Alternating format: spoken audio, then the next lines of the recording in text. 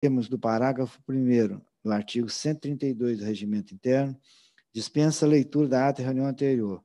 Considera aprovada Presidente, e solicita a sua subscrição. Leitura da ata. O senhor quer que eu faça a leitura? Vamos, vamos dividir. Ficar, é, lembrar do meu tempo de magistério. Solicita a senhora deputada Beatriz Cerqueira que faça a leitura da ata. Ata da quarta, bom dia, né? A todas e todos, bom dia de trabalho. Ata da quarta reunião extraordinária. Obrigada. Ata da quarta reunião extraordinária da Comissão de Administração Pública da segunda sessão legislativa ordinária da 19ª legislatura, em 6 de julho de 2020. Às 10 horas e 1 minuto, compareceram na sala das comissões a deputada Beatriz Cerqueira e os deputados João Magalhães, Oswaldo Lopes, Leonídio Bolsas, Raul Belém, Roberto Andrade, Sargento Rodrigues, membros da supracitada comissão. Estão presentes também as deputadas Celise Laviola, Marília Campos, Ana Paula Siqueira, delegada Sheila, e os deputados Carlos Pimenta, Gil Pereira, Dalmo Ribeiro Silva, Gustavo Valadares, Betinho Pinto Coelho, Inácio Franco, Elismar Prado, Fábio Avelar de Oliveira, Tito Torres, Gustavo Santana, Mauro Tramonte, professor Cleiton, Fernando Pacheco, Guilherme da Cunha, Bartô e delegado Eli Grilo. Havendo número regimental, o presidente deputado João Magalhães declara aberta a reunião e, após requerimento da deputada Beatriz Cerqueira, procede à leitura da ata nos termos do parágrafo 2 do artigo 132 do Regimento Interno. Dispensa a leitura da ata da reunião anterior, a qual é dada por aprovada e é subscrita pelos membros da comissão presentes. A presidência informa que a reunião se destina a apreciar a matéria constante na pauta e a receber, discutir e votar proposições da comissão. A seguir, comunica o recebimento da seguinte correspondência publicada no Diário do Legislativo, nas datas mencionadas entre parênteses. Ofícios entre aspas, seis, dos senhores Igor Mascarenhas Eto, secretário de Estado da Secretaria de Estado de Governo, 30 de maio de 2020, 26 de junho de 2020, 27 de junho de 2020. Ofício do senhor Antônio Claré de Oliveira Júnior, diretor-geral da Agência Reguladora de Serviços de Abastecimento de Água e de esgotamento, de esgotamento Sanitário de Minas Gerais, 20 de maio de 2020, e e-mail do senhor Kleber José Lima Rodrigues, em 19 de 6 19 de junho de 2020.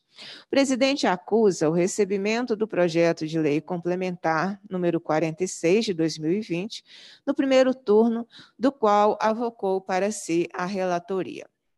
Passa-se a primeira fase da segunda parte da ordem do dia, que compreende a discussão e a votação de pareceres sobre proposições sujeitas à apreciação do plenário.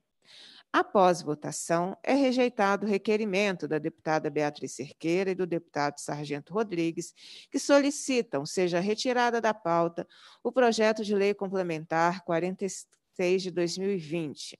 É distribuído em avulso o parecer do relator, deputado João Magalhães, sobre o projeto de lei complementar 46 de 2020, que conclui pela aprovação na forma do substitutivo número 1 da Comissão de Constituição e Justiça.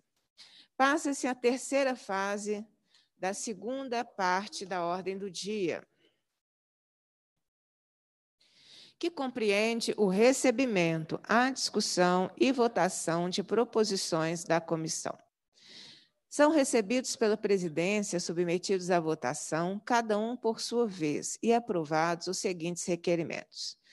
Requerimento número 7026 de 2020 do deputado Arlen Santiago, em que requer seja encaminhado ao Tribunal de Justiça de Minas Gerais Pedido de providências com vista à cessão ao Estado do prédio onde está localizada a comarca de Montes Claros, considerando-se que o referido órgão terá novas dependências, a fim de que o local seja utilizado para o funcionamento da 22ª Superintendência Regional de Ensino de Montes Claros, SRE. Tão logo a nova sede do fórum esteja pronta e em pleno funcionamento. Requerimento 7067 de 2020, do deputado Sargento Rodrigues, em que requer seja realizada audiência pública para debater as proposições contidas na reforma da Previdência do Estado, tendo em vista sua importância e impacto nas carreiras dos servidores públicos civis de Minas Gerais. Requerimento 7069 de 2020 da deputada Beatriz Cerqueira, em que requer seja realizada audiência pública para debater e avaliar os impactos sobre as carreiras dos servidores públicos estaduais do projeto de lei complementar e da proposta de emenda à Constituição encaminhados pelo governador do estado que compõe a reforma da Previdência. Requerimento 7.150 de 2020, da deputada Beatriz Cerqueira, em que requer seja encaminhado à Secretaria Especial da Previdência e Trabalho pedido de providências para que, em função da pandemia de Covid-19, prorrogue o prazo previsto no artigo 1 da Portaria 1348, de 3 de dezembro de 2019, relativa ao cumprimento das normas constantes na Lei Federal 9.717, de 27 de novembro de 1998, e na Emenda Constitucional 103, de 12 de novembro de 2019. Requerimento 7.151 de 2020, da deputada Beatriz Cerqueira, em que requer seja encaminhado ao presidente da Assembleia Legislativa pedido de providências para a suspensão da tramitação do projeto de lei complementar 46 de 2020, por se tratar de matéria que altera a estrutura do IPSENG, entidade pública responsável pela prestação e gestão da assistência médica, hospitalar, farmacêutica e odontológica e da previdência social, protegendo diretamente 820 mil beneficiários, principalmente num contexto grave de pandemia da Covid-19. Requerimento 7.152 de 2020, da deputada Beatriz Cerqueira, em que requer seja encaminhado ao presidente da Assembleia Legislativa pedido de providências para a suspensão da tramitação do projeto de lei complementar 46 de 2020, até que seja realizada audiência pública com participação presencial e ampla dos servidores públicos e demais entidades da sociedade civil nesta casa, garantindo assim o debate democrático e plural da matéria, que afeta diretamente a fonte de subsistência desses trabalhadores e seus familiares. Requerimento 7.153 de 2020 da deputada Beatriz Cerqueira, em que requer seja encaminhado ao presidente dessa casa pedido de providências para que seja suspensa a tramitação do projeto de lei complementar 46 de 2020, visto que o Poder Executivo não apresentou estudos ou pareceres técnicos pormenorizados justificando a adoção das alíquotas previdenciárias progressivas de 13% a 19%, dados e justificativas para a implementação dos requisitos para aposentadoria dos servidores públicos, nem análises comparativas utilizando-se todas as alíquotas previstas na emenda à Constituição 103 de 2019 e adotadas pelos estados, salientando-se que um único estudo e parecer atuarial elaborado pelo IPSENG e apresentado junto com o projeto de lei complementar 46 de 2020 traz elementos rasos e resumidos em matéria de grande complexidade e impacto no regime remuneratório de todos os servidores públicos ativos, inativos e pensionistas. Requerimento 7.154 de 2020, da deputada Beatriz Cerqueira, em que requer seja encaminhado ao governador do Estado pedido de providências com vistas à intervenção junto ao governo federal, para que seja estendido o prazo estabelecido na portaria 1348 de 2019, emitida pela Secretaria Especial da Previdência e Trabalho, quanto à data limite de 31 de julho de 2020, para que o Estado possa discutir a proposta de reforma da Previdência contida na proposta de emenda à Constituição número 55 e no projeto de lei complementar número 46 de 2020, de forma democrática e com ampla participação dos servidores do Estado e demais entidades da sociedade civil. Requerimento 7.155 de 2020, do deputado Sargento Rodrigues, em que requer seja encaminhado pedido de providências ao presidente desta Casa Legislativa para que o slogan da Assembleia Legislativa de Minas Gerais, abre aspas, poder e voz do cidadão, fecha aspas, seja alterado, uma vez que a tramitação da proposta de emenda à Constituição número 55 de 2020, que em resumo pretende alterar o sistema previdenciário dos servidores públicos estaduais, e o projeto de lei complementar número 46 de 2020, entre outras medidas, pretende introduzir alíquotas progressivas de contribuição e cria a autarquia Minas Gerais Previdência dos Servidores Públicos Civis do Estado. Além de extinguir direitos a que os servidores públicos fazem jus em razão do exercício do cargo público que ocupa, não estão fazendo jus ao título. Ambas proposições foram enviadas a essa Casa Legislativa pelo governador do Estado em 23 de junho de 2020, ou seja, o governador do estado escolheu um momento especialmente conturbado em todo o mundo e, por óbvio, no estado de Minas Gerais, para inaugurar o processo legislativo para tratar de assuntos tão relevantes e especialmente sensíveis, não só para a política macroeconômica do Estado, mas principalmente para a vida de cada um dos servidores públicos estaduais. Além disso, nesse período de pandemia de coronavírus, não é permitida a realização de audiências públicas com a participação do público interessado na tramitação de matérias importantes para o interesse público estadual e que tenham o objetivo de ilustrar os parlamentares sobre o assunto tratado na proposição. Desse modo, a limitação imposta à participação popular de modo presencial no processo legislativo em tempo de coronavírus não só subverte o processo legislativo previsto no regimento interno da Assembleia Legislativa de Minas Gerais, como atenta contra os princípios democráticos, que é o princípio estruturante do Estado constitucional brasileiro, como também afeta o pleno exercício do mandato parlamentar que cada um dos deputados recebeu de parcela da população mineira.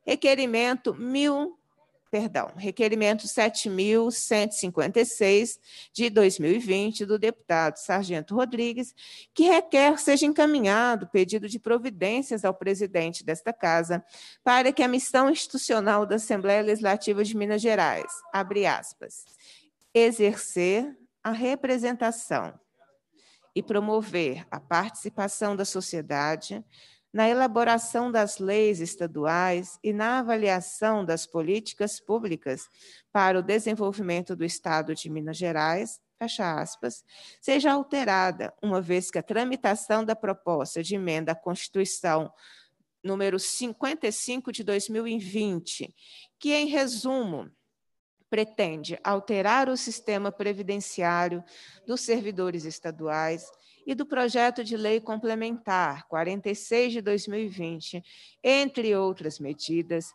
pretende introduzir alíquotas progressivas de contribuição e cria a autarquia Minas Gerais Previdência dos servidores públicos civis do Estado, além de extinguir direitos a que os servidores públicos fazem jus em razão do exercício do cargo público que ocupa. Não estão fazendo jus ao título. Ambas proposições foram enviadas a esta Casa Legislativa pelo governador do Estado em 23 de junho de 2020, ou seja, o governador do Estado escolheu um momento especialmente conturbado em todo o mundo e, por óbvio, no Estado de Minas Gerais, para inaugurar o processo legislativo para tratar de assuntos tão relevantes e especialmente sensíveis, não só para a política macroeconômica do Estado, mas principalmente para a vida de cada um dos servidores públicos estaduais. Além disso, nesse período de pandemia de coronavírus, não é permitida a realização de audiências públicas com a participação do público interessado na tramitação de matérias importantes para o interesse público estadual e que tenham o objetivo de ilustrar os parlamentares sobre o assunto tratado na proposição.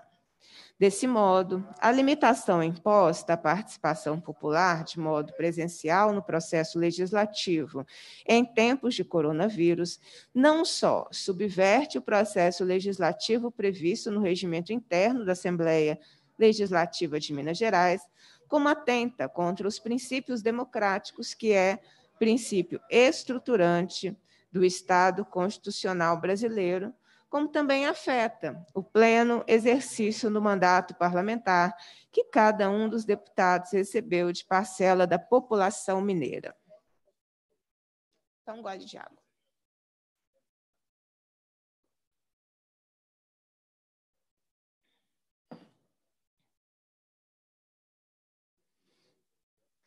Requerimento 7.157 de 2020 do deputado Sargento Rodrigues, do deputado professor Cleiton e da deputada Beatriz Cerqueira, deputado Oswaldo Lopes, em que requerem seja encaminhado ao presidente da Assembleia Legislativa de Minas Gerais pedido de providências para ajuizar a ação pertinente com a finalidade de suspender os efeitos da portaria do Ministério da Economia Secretaria Especial da Previdência e Trabalho, número 1348, de 3 de dezembro de 2019, com a finalidade de resguardar as prerrogativas dos parlamentares desta Casa. Cumprida a finalidade da reunião, a presidência agradece a presença de todos, desconvoca as reuniões extraordinárias de hoje, às 14 horas e às 17 horas, e convoca os membros para os membros da comissão para a reunião extraordinária amanhã, dia 7 de julho de 2020, às 9 horas. Determina a lavratura da ata e encerra os trabalhos. Sala das Comissões, João Magalhães, presidente.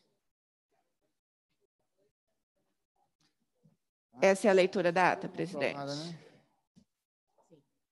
Tem caminhamento?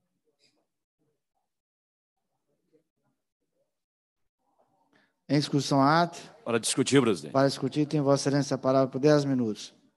Presidente, novamente, nós estamos aqui hoje para deixar claro, presidente, a nossa posição em relação a essa matéria.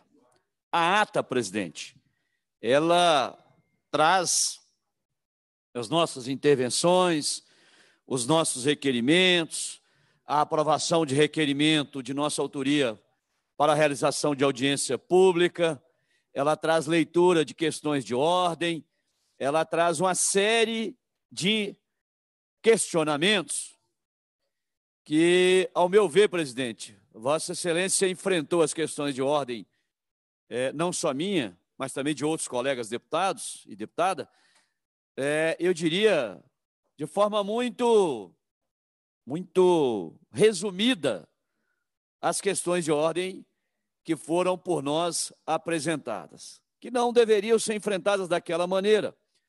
Mas é a opção de Vossa Excelência que dirige os trabalhos ah, no momento em que Vossa Excelência queira enfrentar as questões de ordem. O que, que nós trouxemos aqui nesse primeiro embate aqui na Comissão de Administração Pública, como foi também na CCJ. Presidente, é muito claro, né, está muito cristalino para todos nós, deputados e deputadas, que a reforma, do jeito que ela foi enviada, ela não pode passar aqui na Assembleia. Do jeito que o governador mandou para casa, sem preceder um debate. Não houve uma reunião com nenhum sindicato, com nenhuma associação, não houve sequer. Deputado Duarte Bexi, Vossa Excelência se faz presente aqui no, no plenarinho José Alencar, não houve sequer, deputado Duarte Bexi, um debate com os líderes da casa. Os líderes não foram chamados, nenhum líder. Nem o líder da base de governo foi chamado, nem o líder da base de governo. É porque o governo ficou acéfalo de líder de governo depois do fatídico 11 de março. Né? Tem o 11 de setembro, que foi o ataque às Torres Gêmeas do World Trade Center, lá nos Estados Unidos. Aqui tem o fatídico 11 de março, o dia que o governador desonrou a sua palavra e vetou as duas parcelas de recomposição de perda inflacionária para os servidores da segurança pública. Inclusive, Vossa Excelência votou conosco pela derrubada desses vetos. Queria deixar, inclusive, aqui registrado nos anais desta casa mais uma vez, já que está registrado né, no processo de votação. Então, o governador desonrou a sua própria palavra, descumpriu um compromisso, compromisso que havia assinado ata, um compromisso com chefes de polícia assinando, um compromisso que foi o próprio envio do projeto, com a aprovação de 66 votos favoráveis, ele descumpriu no dia 11 de março. E depois, para nossa surpresa, ele encaminha a PEC 55, PLC 46, ambos que tratam de uma ampla reforma. Depois de, muito, de muitos trancos e barrancos, nós tivemos o primeiro fatiamento na CCJ. O presidente daquela comissão, o deputado Dalmo Ribeiro Silva, em seu parecer, retirou a famigerada reforma administrativa encostou num canto, que aquilo lá não pode tramitar, e no seu substitutivo ainda prevalece um pacote de maldades do governador Romeu Zema. Quem enviou o pacote? O Zema. O governador Zema que enviou. Agora, cabe ao parlamento fazer essa discussão, fazer as tratativas. Da forma que o deputado João Magalhães é, está apresentou o seu parecer, o deputado João Magalhães é, é muito democrático, é muito paciente, nos ouve o tempo todo, mas não houve nenhum avanço no parecer dele. Nenhum avanço. O parecer do deputado João Magalhães é o mesmo da CCJ. E da CCJ encontramos ali aberrações. Olha, nós temos situações que envolvam policiais civis que estão desesperados, porque a transição colocada ali é algo estarrecedor. Nós temos casos de policiais civis que faltam seis meses para aposentar, e da forma que está a transição, ele vai ter que trabalhar mais cinco anos, mais sete anos, como é o caso lá do perito Elber, que está com 68, vai ter que trabalhar até 75 na forma do jeito que está. Então, não há transição. Eu quero dizer aqui, de forma muito especial, hoje, porque os debates têm ocorrido e a gente tem falado de forma genérica dos servidores públicos, mas eu quero dizer aqui a você que é policial civil, policial penal, agente socioeducativo, nós estaremos apresentando diversas emendas para que os senhores possam ser contemplados de forma mínima.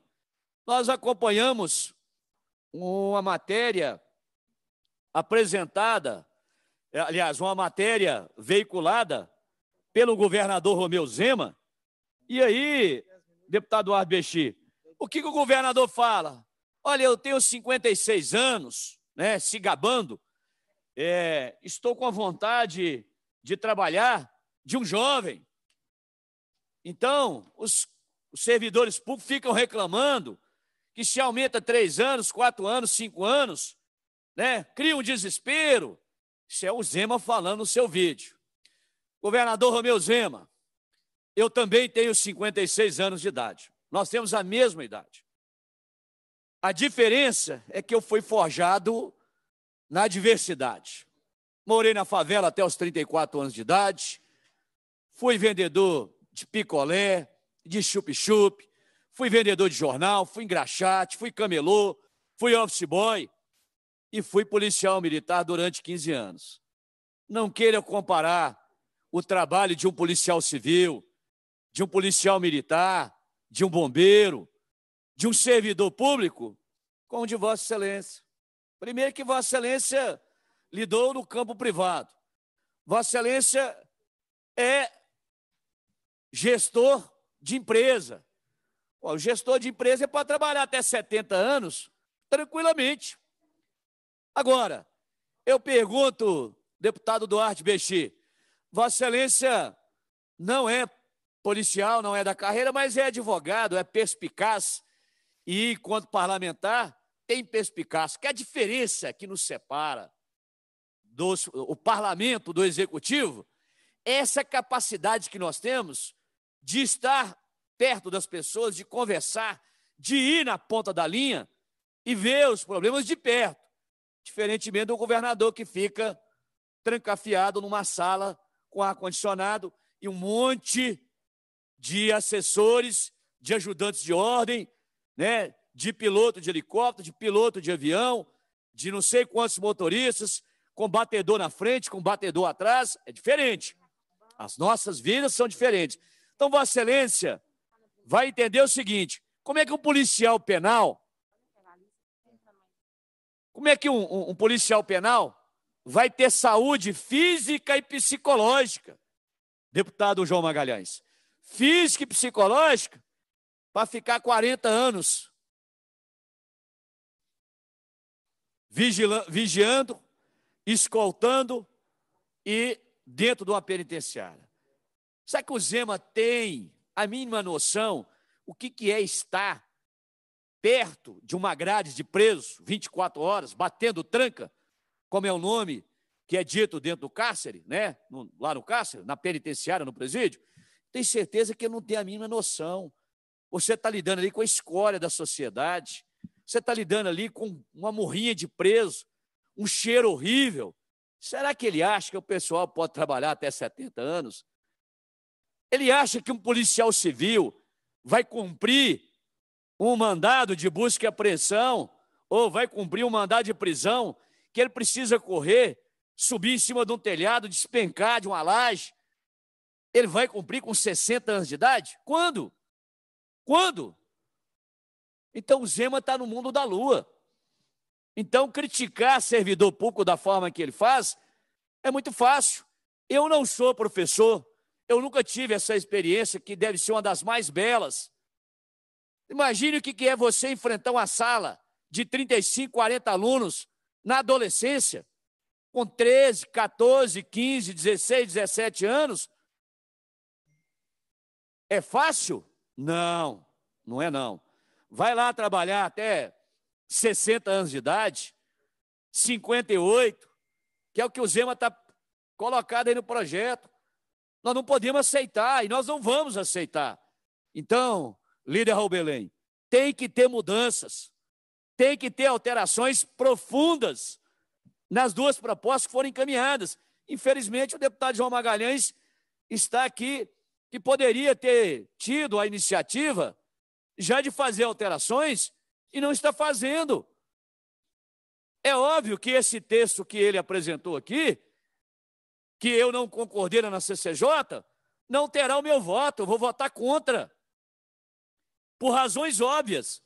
Olha, você querer tratar um professor que está na sala de aula lá, igual se trata um outro servidor, você querer tratar um policial civil policial penal, um agente sócio-educativo, da mesma forma que trata um técnico de uma secretaria, até mesmo aqui os, a, a área burocrática da Assembleia. Não, você não tem condições de fazer esse mesmo tratamento. Conclua, deputado. Reforma da Previdência, Previdente.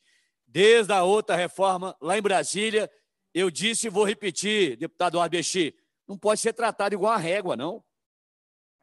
Você pode tratar da reforma da Previdência de um gari que corre atrás de um caminhão de lixo o dia inteiro, igual trata um burocrata aqui na Assembleia? Óbvio que não.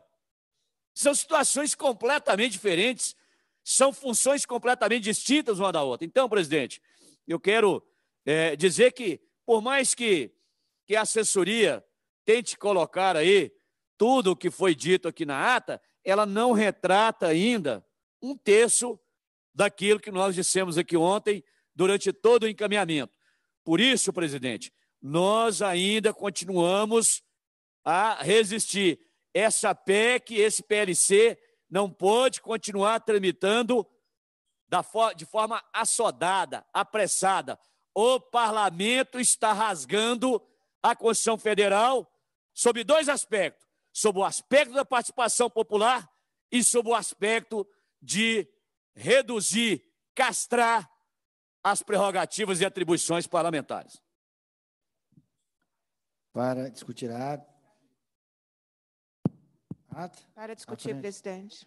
Para discutir a ata, conceda a palavra a deputada Beatriz Cerqueira por cinco minutos. Houve um equívoco da presidência quando concedeu dez minutos para o deputado Sargento Rodrigues.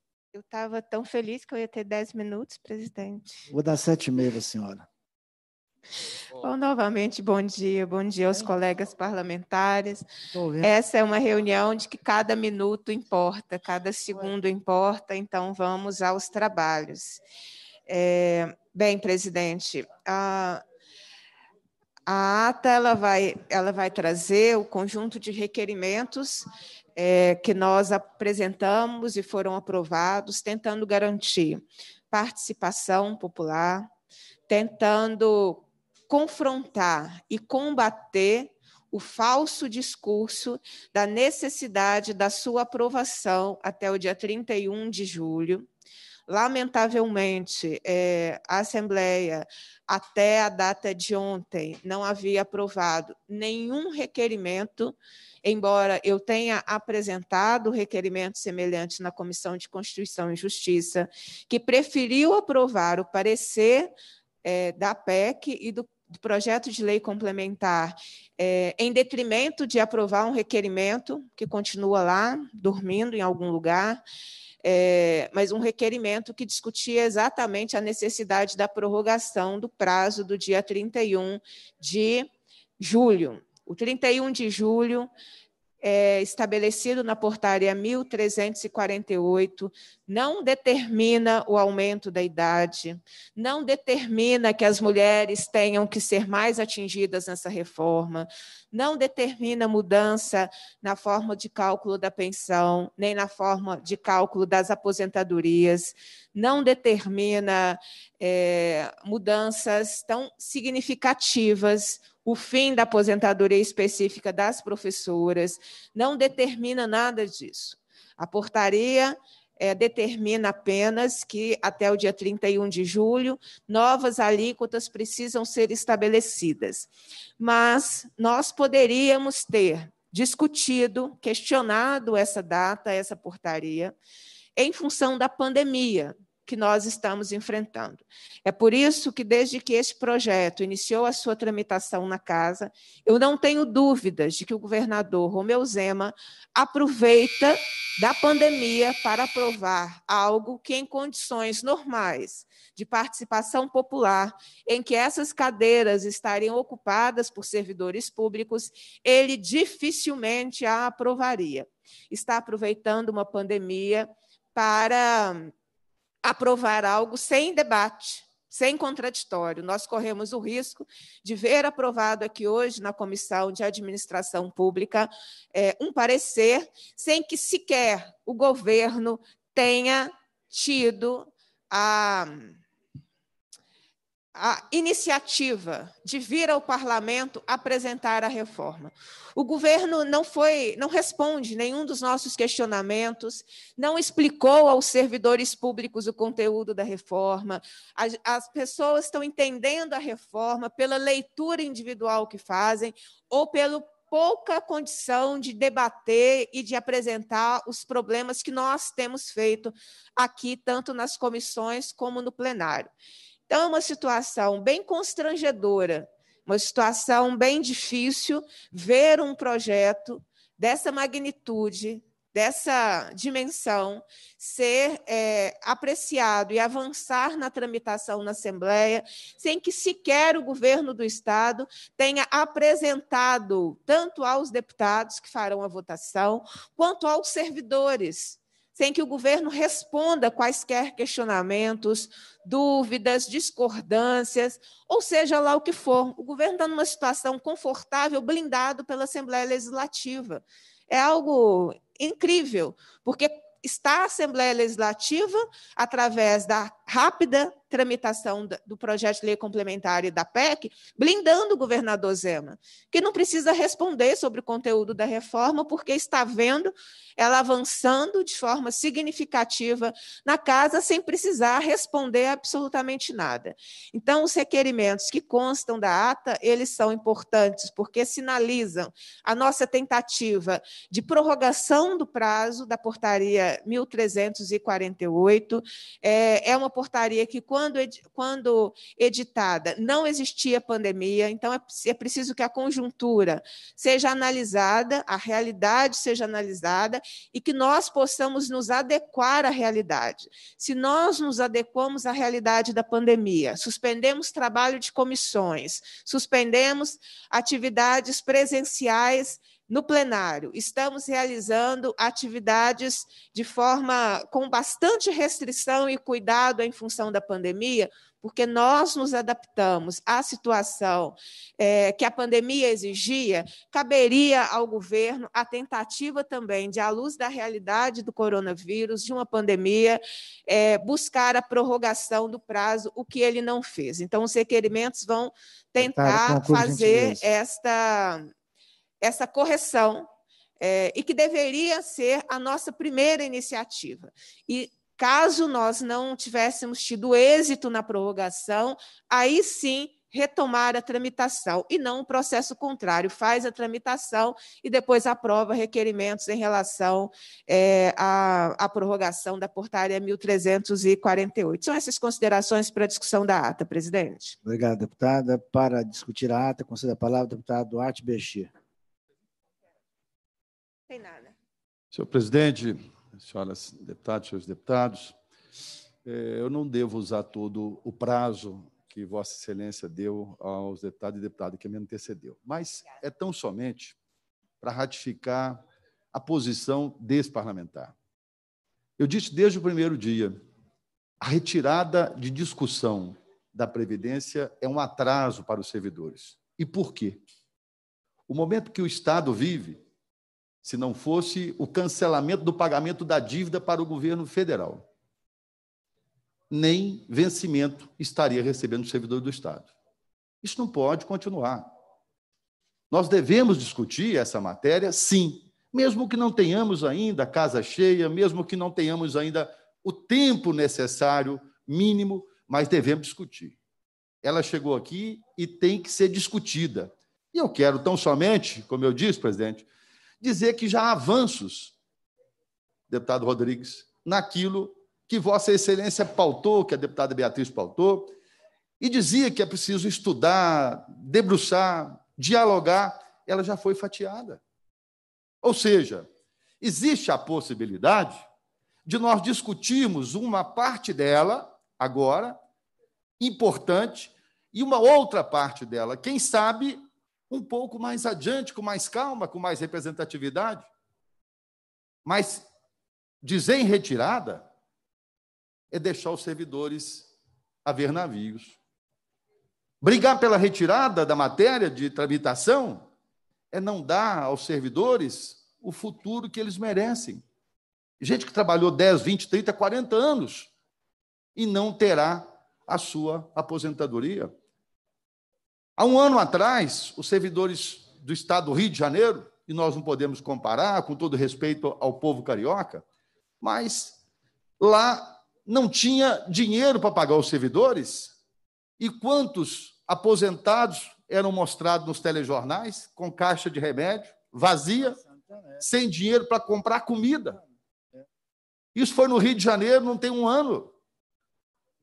O que, que nós queremos para os servidores do Estado de Minas Gerais? O que, que o deputado Duarte Vestir quer?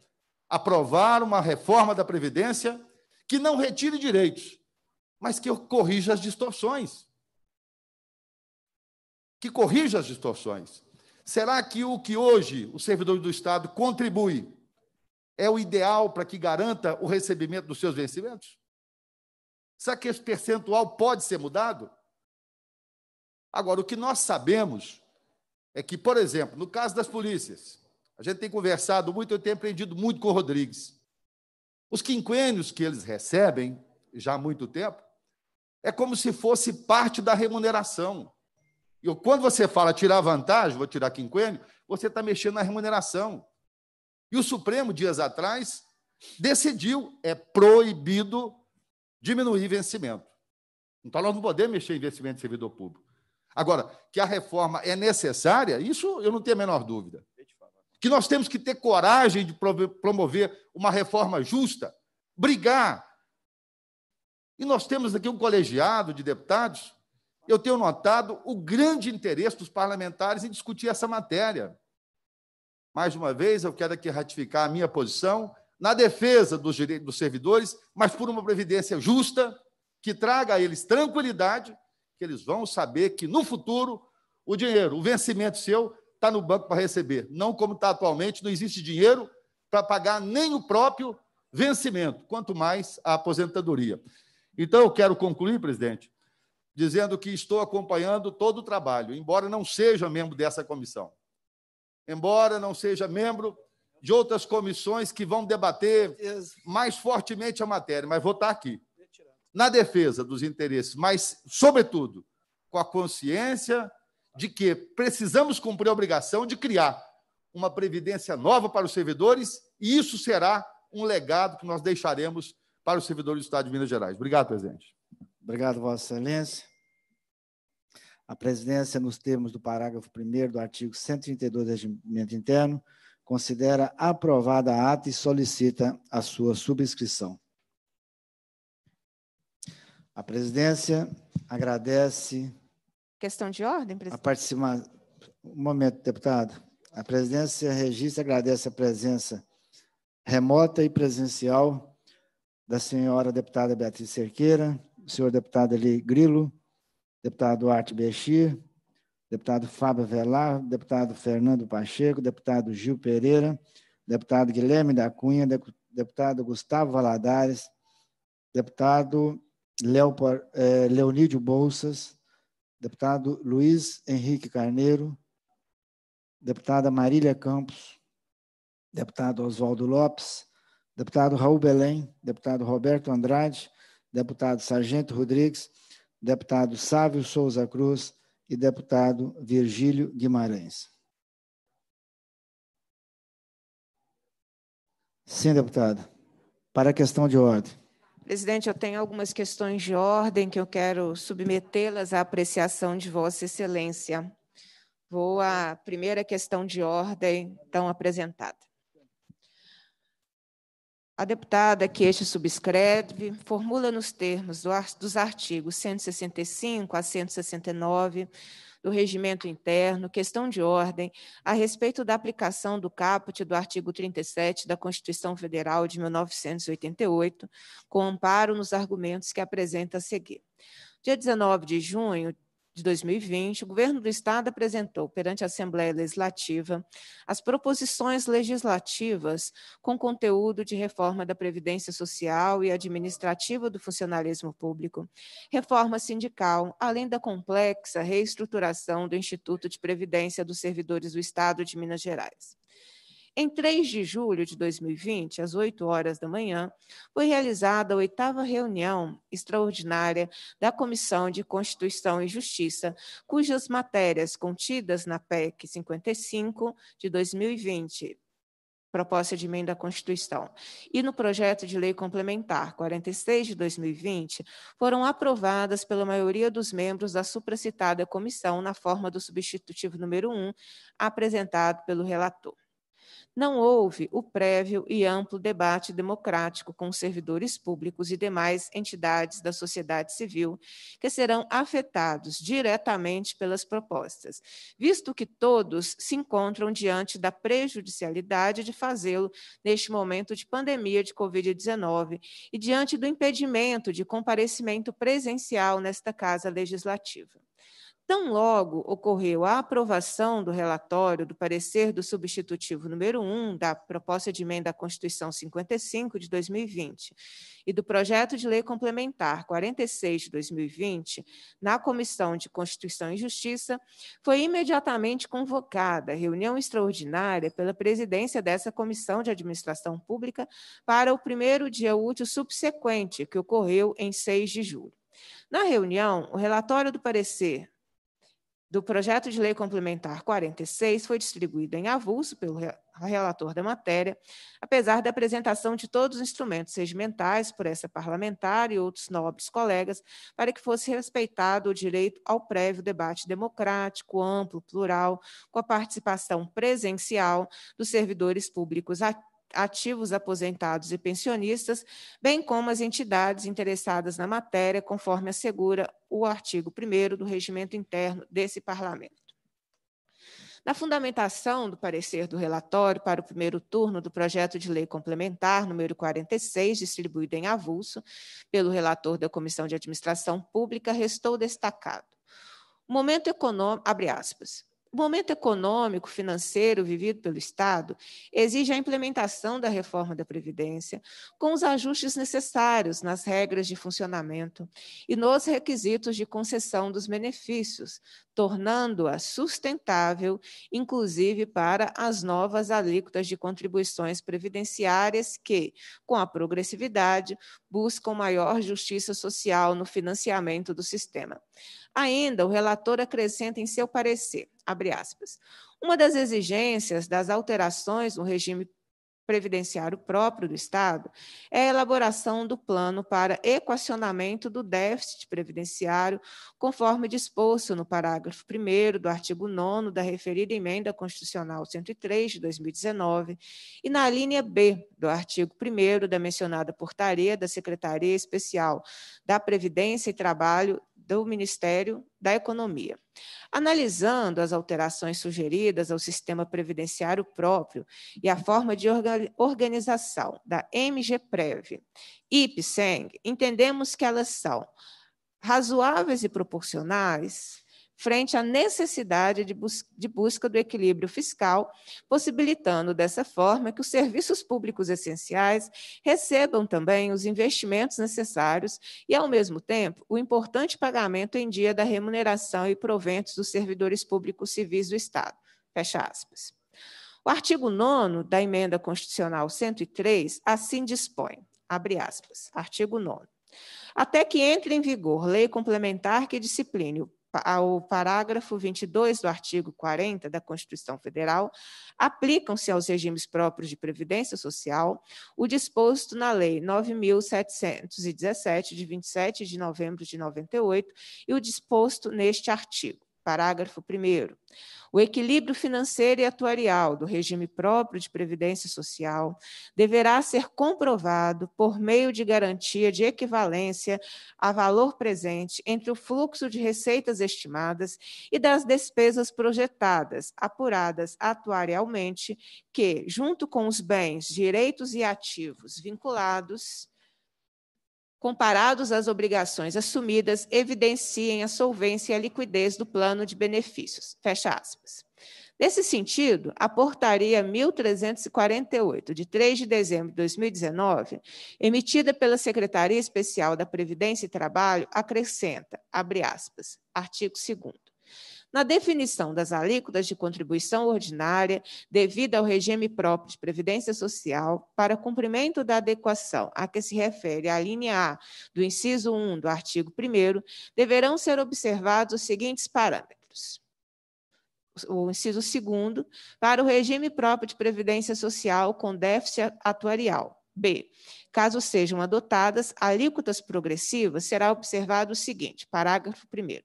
As alíquotas deverão estar embasadas em avaliação atuarial que demonstre que a sua aplicação contribuirá para o equilíbrio financeiro e atuarial do regime próprio de previdência social, nos termos do parágrafo 1 do artigo 9 da Emenda Constitucional 103 de 2019.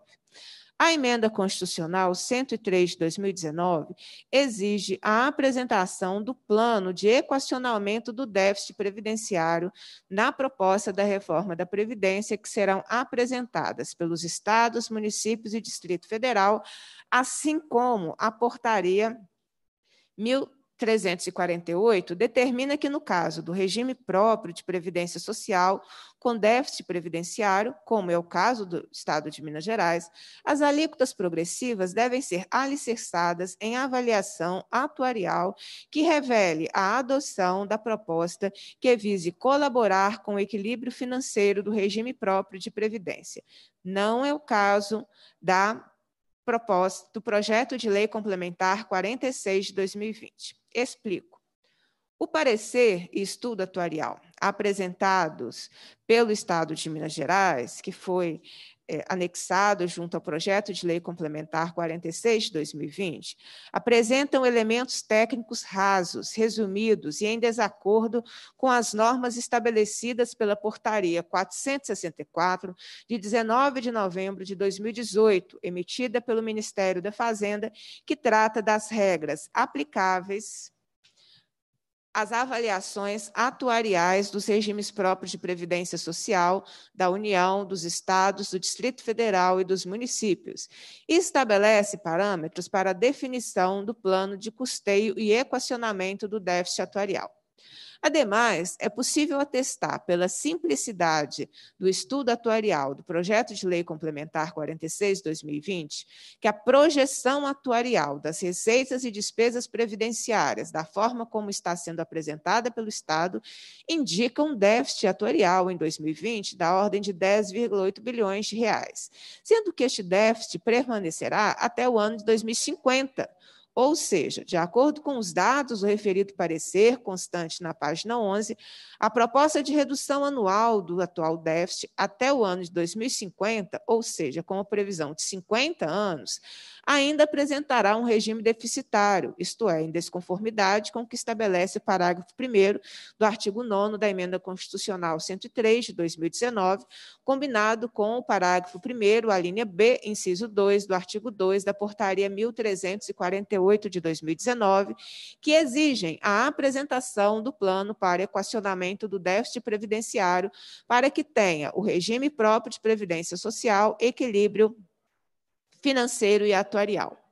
Não obstante, o parecer do Estado, além de não cumprir as determinações legais, sequer apresentou estudos ou pareceres técnicos pormenorizados, justificando a adoção das alíquotas previdenciárias progressivas de 13% a 19%, tão menos dados e justificativas para a implementação dos requisitos para aposentadoria dos servidores públicos, bem como demais análises comparativas utilizando-se todas as alíquotas previstas na Emenda Constitucional 103 de 2019 e adotadas pelos demais estados.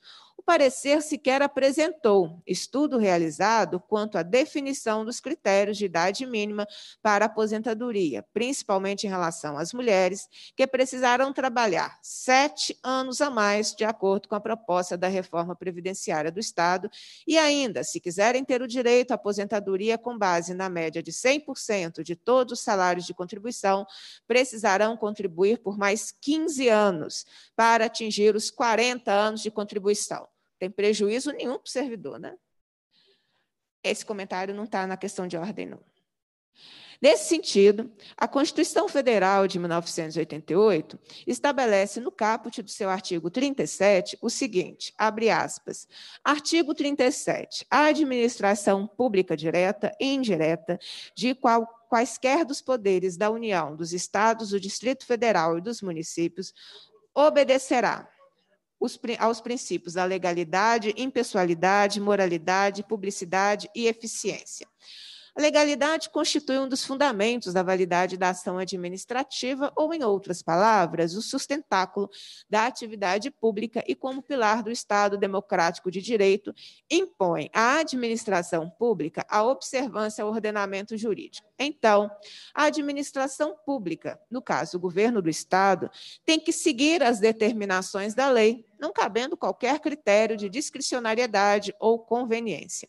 Assim, o substitutivo número 1 do projeto de lei complementar 46/2020, aprovado pela Comissão de Constituição e Justiça, tão quanto o parecer apresentado em primeiro turno pelo relator dessa comissão, que opina pela aprovação do projeto na forma do substitutivo da Comissão de Constituição e Justiça, padece da ilegalidade, visto que não atendem ao parágrafo 1 do artigo 9 da emenda constitucional 103 de 2019, combinado com o parágrafo 1 a linha B, inciso 2, do artigo 2 da portaria 1348 de 2019, que exigem a apresentação do plano atuarial para equacionamento do déficit previdenciário contrariando assim ao disposto do caput do artigo 37 da Constituição do Estado. Igual modo, também não colaboram para o equilíbrio financeiro do regime próprio de previdência do Estado e tão menos tornam o regime sustentável com as novas alíquotas de contribuição previdenciárias como estão sendo propostas na, na, no PLC, Projeto de Lei Complementar 46 de 2020. Por fim, diante do amplamente exposto e com base no princípio da legalidade assegurado pelo caput do artigo 37 da Constituição Federal de 1988, solicito a Vossa Excelência, com fulcro no artigo 120, inciso 9 do Regimento Interno, que trata da competência do presidente da comissão para discutir questão de ordem suscitada por esta parlamentar, que seja determinada a suspensão da tramitação do projeto de lei complementar 46 de 2020. Em vista do exposto, solicitamos a Vossa Excelência que resolva essa questão de ordem, considerando a fundamentação apresentada. Essa é a minha primeira questão de ordem, presidente. O senhor quer? Sim. É, tem, tem, outra questão de ordem? Tenho mais duas. Tá. É, é, é simples como essa? Mais simples ou mais composta? Tem mais duas. Mais simples assim ou mais composta? Hã? Simples como essa? Sim. É, é, semelhantes, eu acho. Semelhantes. Tá. Pode passar a segunda questão de ordem. Vou analisar aqui. Tá bem. Se eu quer suspender cinco minutos para analisar, não? Essa, essa, essa nós caprichamos, né? É, vou responder as três na sequência. É, mas você não quer suspender, não? Estou fazendo parecer ali para cada uma. Hein? É. Não vou responder no final. Pode, pode, pode continuar.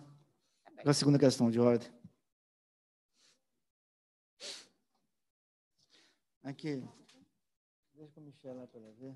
É o artigo 65. Perceba, presidente, que aumentar o tempo das mulheres em sete anos e diminuir o seu benefício previdenciário não traz prejuízo nenhum para os servidores, né? Segunda questão de ordem, presidente. Senhora então... deputada, eu só gostaria de registrar e agradecer a presença é, remotamente do deputado Arlen Santiago, o deputado Marquinhos Lemos, o deputado Luiz Humberto Carneiro e também presencial o deputado Gustavo Santana.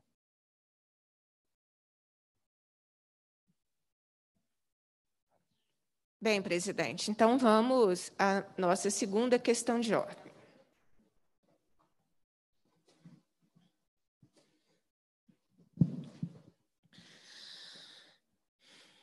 A deputada que este subscreve formula, nos termos dos artigos 165 a 169 do Regimento Interno, Questão de ordem a respeito da aplicação do caput do artigo 37 e do artigo 194, ambos da Constituição Federal de 1988, com amparo nos argumentos que apresenta a seguir. No dia 19 de junho de 2020, o governo do Estado apresentou perante a Assembleia Legislativa as proposições legislativas com conteúdo da reforma da Previdência e administrativa do funcionalismo público, reforma sindical, além de complexa reestruturação do regime de previdência dos servidores do Estado de Minas Gerais. No dia 3 de julho de 2020, às 8 horas, foi realizada a oitava reunião extraordinária da Comissão de Constituição e Justiça, cujas matérias contidas na PEC 55 de 2020 e no projeto de lei complementar 46 de 2020 foram aprovadas pela maioria dos membros da supracitada comissão. Na forma do substitutivo número 1 apresentado pelo relator. Ponto, desculpa não houve o prévio e amplo debate democrático com servidores públicos e demais entidades da sociedade civil que serão afetados diretamente pelas propostas previstas, visto que todos e todas se encontram diante da prejudicialidade de fazê-lo neste momento da pandemia de Covid-19 e diante do impedimento de comparecimento presencial nesta Casa Legislativa. Tão logo ocorreu a aprovação do relatório do parecer do substitutivo número 1 da PEC 55-2020 e do projeto de lei complementar 46 de 2020 na Comissão de Constituição e Justiça, foi imediatamente convocada reunião extraordinária pela presidência desta Comissão de Administração Pública para o primeiro dia útil subsequente, que ocorreu em 6 de julho. Na reunião, o relatório do parecer do projeto de lei complementar 46 de 2020 foi distribuído em avulso pelo relator da matéria, apesar da apresentação de todos os instrumentos regimentais por essa parlamentar e outros nobres colegas para que a matéria não seguisse a sua tramitação normal diante da falta do, pré, do debate prévio com todos os envolvidos. Na fundamentação do relatório do parecer do primeiro turno do PLC, do projeto de lei complementar 46 de 2020, estou destacado pelo relator da Comissão de Administração Pública. Abre aspas. A nova organização da gestão previdenciária proposta no projeto em análise com a criação da MGPrev e dos fundos previdenciários assegura-se eficiente e compatível com a gestão exigida pela Constituição da República de 1988 ao regime previdenciário próprio dos servidores públicos civis. Por sua vez, os ajustes organizacionais promovidos no IPSENG também se afiguram convenientes e oportunos, mantendo a citada entidade voltada apenas para as atividades da assistência médica, hospitalar, farmacêutica, odontológica e complementar aos servidores públicos civis do Estado. As normas propostas no projeto em exame relativas à organização da entidade previdenciária, MGPrev e do IPSENG, aos requisitos e critérios para a concessão de benefício em regime próprio de previdência social, aposentadoria e pensões, e as alterações ao regime de previdência complementar estão em sintonia com o interesse público. Fecha aspas. Importante destacar que uma das matérias apresentadas no projeto de lei complementar 46 de 2020 consiste na reestruturação do Instituto de Previdência Própria dos Servidores do Estado, IPSENG, cuja entidade pública é responsável pela prestação e gestão da assistência médica, hospitalar, farmacêutica, odontológica e a previdência social, protegendo diretamente 820 mil beneficiários principalmente num contexto grave de pandemia da Covid-19, por qual toda a população mineira enfrenta. A emenda constitucional 103 de 2020 estabelece, abre aspas, artigo 40, o regime próprio de previdência social de servidores titulares de cargos efetivos terá caráter contributivo e solidário mediante contribuição do respectivo ente federativo de servidores ativos, de aposentados e de pensionistas, observados critérios que preservem o equilíbrio financeiro e atuarial. Parágrafo 20 é vedada a existência de mais de um regime próprio de previdência social e de mais de um órgão ou entidade gestora desse regime em cada ente federado, abrangindo todos os poderes, órgãos e entidades autárquicas e fundacionais, que serão responsáveis por seu financiamento, observados os critérios, os parâmetros e a natureza jurídica definidos na lei complementar de que trata o parágrafo 22. Fecha aspas. Proposta de reestruturação do IPSENG, que está sendo apresentada na no projeto de lei complementar 46 de 2020, consiste na divisão em dois institutos distintos, destinando um às contribuições previdenciárias e outro à assistência médica, cujo modelo impacta diretamente na manutenção dos benefícios previdenciários, quanto na prestação de serviço pelo qual os servidores e seus respectivos dependentes contribuem diretamente. Ademais, segundo a fundamentação do parecer do relator dessa comissão, haveria necessidade de organização previdenciária por causa da exigência constitucional. No entanto, cumpre esclarecer que a emenda constitucional número 103 de 2019 veda apenas a existência de mais de um regime de previdência social no estado de Minas Gerais, não havendo qualquer óbice legal para que o IPSENG se mantenha da forma como foi instituído como órgão de previdência, saúde e assistência social, conforme determina o artigo 194 da Constituição Federal de 1988, adiante transcrito. Abre aspas. Artigo 194. A Seguridade Social compreende um conjunto integrado de ações de iniciativa dos poderes públicos e da sociedade destinadas a assegurar os direitos relativos à saúde, à previdência e assistência social. Parágrafo único. Compete ao poder público, nos termos da lei, organizar a Seguridade Social com base nos seguintes objetivos: 1. Um, universalizar universalidade da cobertura e do atendimento. 2 uniformidade e equivalência dos benefícios e serviços a populações urbanas e rurais. Três, seletividade e distributividade na prestação dos benefícios e serviços. Quatro, irredutibilidade do valor dos benefícios. Cinco, equidade na forma de participação no custeio. Seis, diversidade da base de financiamento, identificando-se em rúbricas contábeis específicas para cada área as receitas e as despesas vinculadas às ações da saúde, previdência e assistência social, preservado o caráter contributivo da previdência social. Sete, caráter democrático e descentralizado da administração, mediante gestão quadripartite, com participação dos trabalhadores, dos empregadores, dos aposentados e do governo nos órgãos colegiados. Fecha aspas.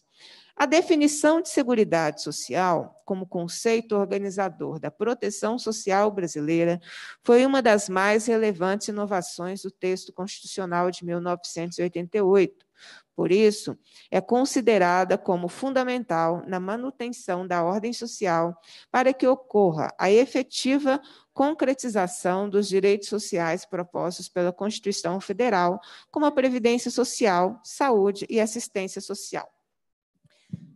Deste modo, a proposta de alteração da estrutura do IPSENG, além de afetar diretamente o sistema de seguridade social previsto no artigo 194 da Constituição Federal, também trata da extinção do FUNFIP, que é o atual Fundo Financeiro de Previdência do Estado. Ainda a matéria não trata de forma clara como serão feitas as transferências dos recursos para os novos fundos que o Poder Executivo está propondo instituir no projeto de lei complementar 46 de 2020. Tal menos, o Poder Executivo apresentou qualquer estudos e análises técnicas em relação ao FUNPENG, Fundo de Previdência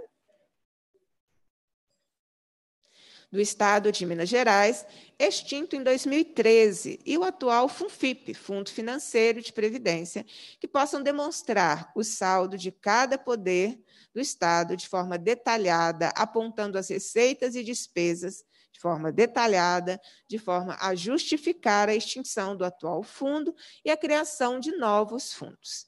Nesse sentido, o relatório do parecer para o primeiro turno do projeto de lei complementar, número 46 de 2020, distribuído em avulso pelo relator da Comissão de Administração Pública, não atende ao princípio da publicidade ao qual a administração pública está, está adstrita, pois a publicidade significa a transparência das decisões tomadas pelo poder público, o que é fundamental no regime democrático. A finalidade do Estado também consiste de atender ao interesse público e não à satisfação de interesses particulares, pois o agente público ou governo ou governo ou servidor ou governa ou servidor somente de agir pensando no interesse da sociedade como um todo. A matéria do projeto de lei complementar 46 de 2020 não atende o princípio da publicidade nem ao interesse público, bem como contraria ao disposto no artigo 194 da Constituição Federal, visto que pretende alterar a estrutura do IPSENG, cuja entidade pública é responsável pela prestação e gestão da assistência médica, hospitalar, farmacêutica, odontológica e de previdência social, que protege diretamente 820 mil, mil beneficiários, principalmente num contexto grave de pandemia da Covid-19, por qual toda a população mineira enfrenta e sem a ausência de qualquer debate e com a ausência de qualquer debate prévio, amplo e democrático com aqueles que serão atingidos pela proposta. Isto é, a falta de publicidade das informações e dos dados técnicos por parte do Executivo Estadual, no sentido de discutir a reestruturação do IPSENG e a extinção dos fundos previdenciários que estão sendo propostos na matéria constante no projeto de lei complementar 46 de 2020, contraria o princípio da publicidade dos atos administrativos, o interesse público que deve nortear a atividade administrativa, bem como o direito efetivo dos cidadãos e cidadãs à Seguridade Social, assegurado pelo artigo 194 da Constituição Federal de 1988. Ademais, como já dito, a emenda constitucional 103 de 2019 veda apenas a existência de mais de um regime de previdência social no Estado, não havendo qualquer óbice legal para que seja mantida a atual estrutura do IPSEG. Por isso, diante do exposto, solicito a Vossa Excelência, com fulcro no artigo 120, inciso 9 do regimento interno, que trata da competência da, do presidente da comissão para discutir questão de ordem supracitada por parlamentar, que seja determinada a suspensão da tramitação do PLC 46 de 2020. Em vista do exposto, solicitamos a Vossa Excelência que resolva essa questão de ordem, considerando a fundamentação apresentada.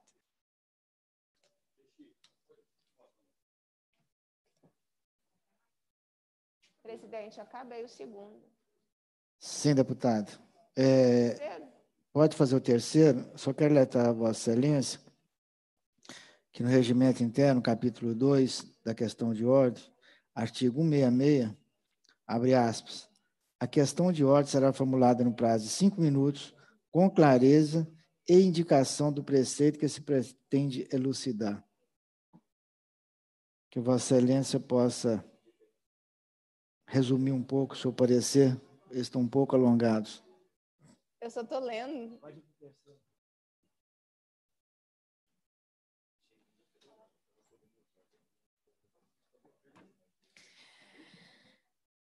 Essa é a terceira questão de ordem, presidente, para que Vossa Excelência possa resolvê-la aqui na nossa comissão. Mas a clareza e o fundamento estão ok, né? Então, tá bem.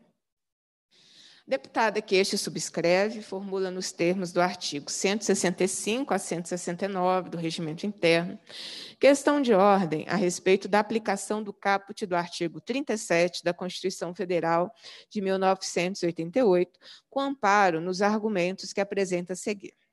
Dia 19 de junho, de 2020, o governo do Estado apresentou perante a Assembleia Legislativa as proposições legislativas com conteúdo da reforma da Previdência Social e administrativa do funcionalismo público, reforma sindical, além da complexa reestruturação do Instituto de Previdência dos Servidores eh, do Estado de Minas Gerais, IPSENG, em 3 de julho de 2020, às 8 horas, foi realizada a oitava reunião extraordinária da Comissão de Constituição e Justiça, cuja matéria contida na proposta de emenda à Constituição número 55 de 2020 e no projeto de lei complementar 46 de 2020 foram aprovados pela maioria dos membros da supracitada comissão na forma do substitutivo número 1, apresentado pelo relator. Não houve o prévio e amplo debate democrático com servidores públicos e demais entidades da sociedade civil que serão afetados diretamente pela proposta,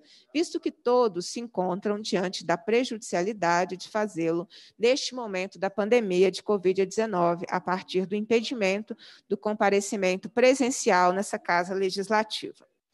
Tão logo ocorreu a aprovação do relatório do parecer do substitutivo número 1 da PEC 55 e do projeto de lei complementar 46 de 2020 na Comissão de Constituição e Justiça, foi imediatamente convocada reunião extraordinária pela presidência dessa comissão de administração pública para o primeiro dia útil subsequente, que ocorreu em 6 de julho.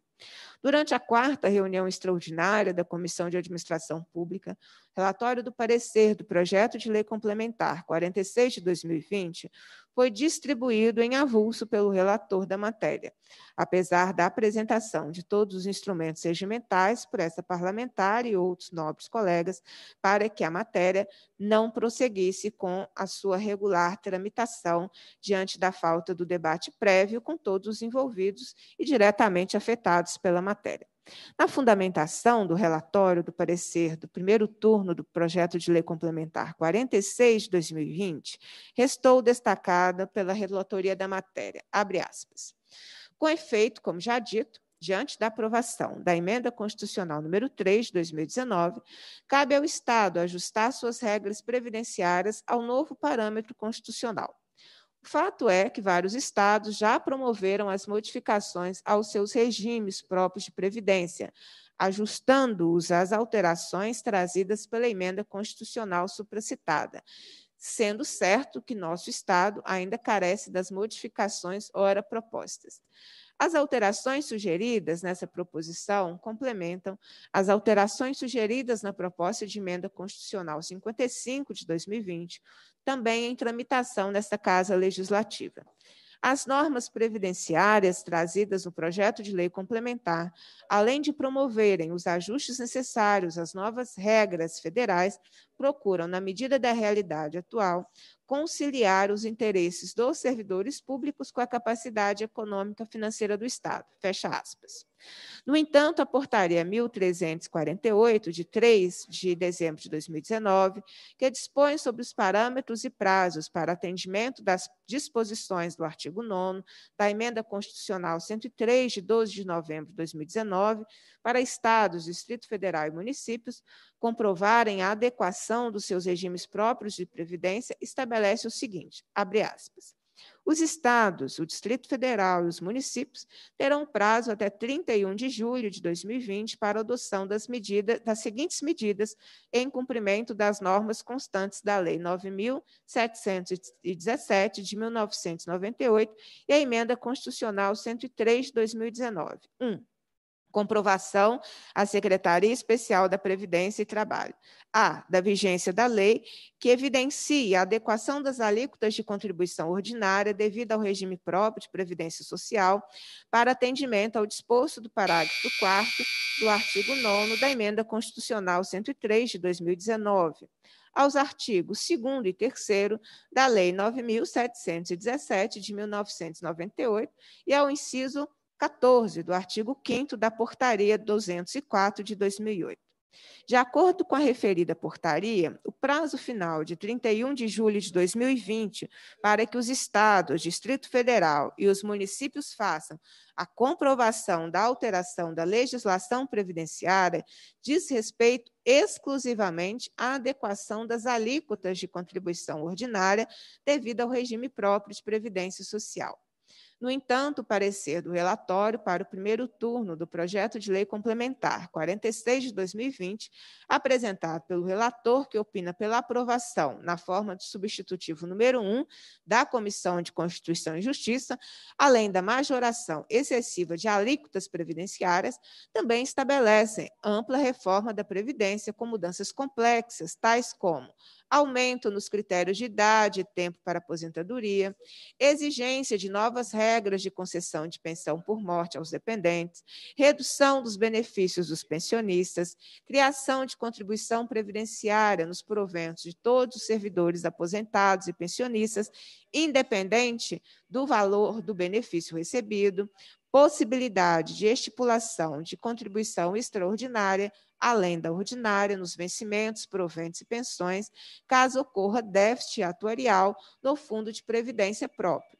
Redução abrupta no valor das aposentadorias e pensões a partir da nova metodologia de cálculo que está sendo apresentada pela proposta.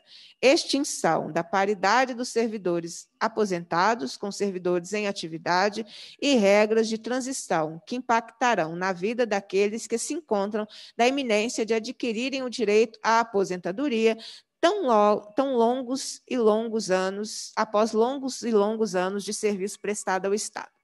Ademais, o Poder Executivo Estadual não apresentou estudos ou pareceres técnicos pormenorizados e completos, de modo que justifiquem a adoção da alíquota previdenciária progressiva inicial de 13% a 19%, quando, na verdade, a emenda constitucional 103 de 2019, por exemplo, estabelece a alíquota mínima de 7,5% para aqueles que possuem rendimentos superiores a um salário mínimo. Não obstante, o Estado não apresentou dados, fundamentos ou critérios para a implementação do aumento dos requisitos de tempo e idade para a aposentadoria dos servidores públicos, mudança na metodologia de cálculo de todos os benefícios, estipulação de alíquota previdenciária ordinária e extraordinária de todos os servidores aposentados e pensionistas, além de estudos de natureza comparativa, utilizando-se, para tanto, as normas da Emenda Constitucional 103 de 2019 ou aquelas adotadas pelos demais estados. A Constituição Federal de 1988 estabelece no caput do seu artigo 37 o seguinte: abre aspas. Artigo 37. A, a administração pública direta e indireta de qualquer dos poderes da União, dos estados, do Distrito Federal e dos municípios obedecerá aos princípios de legalidade, impessoalidade, moralidade, publicidade e eficiência.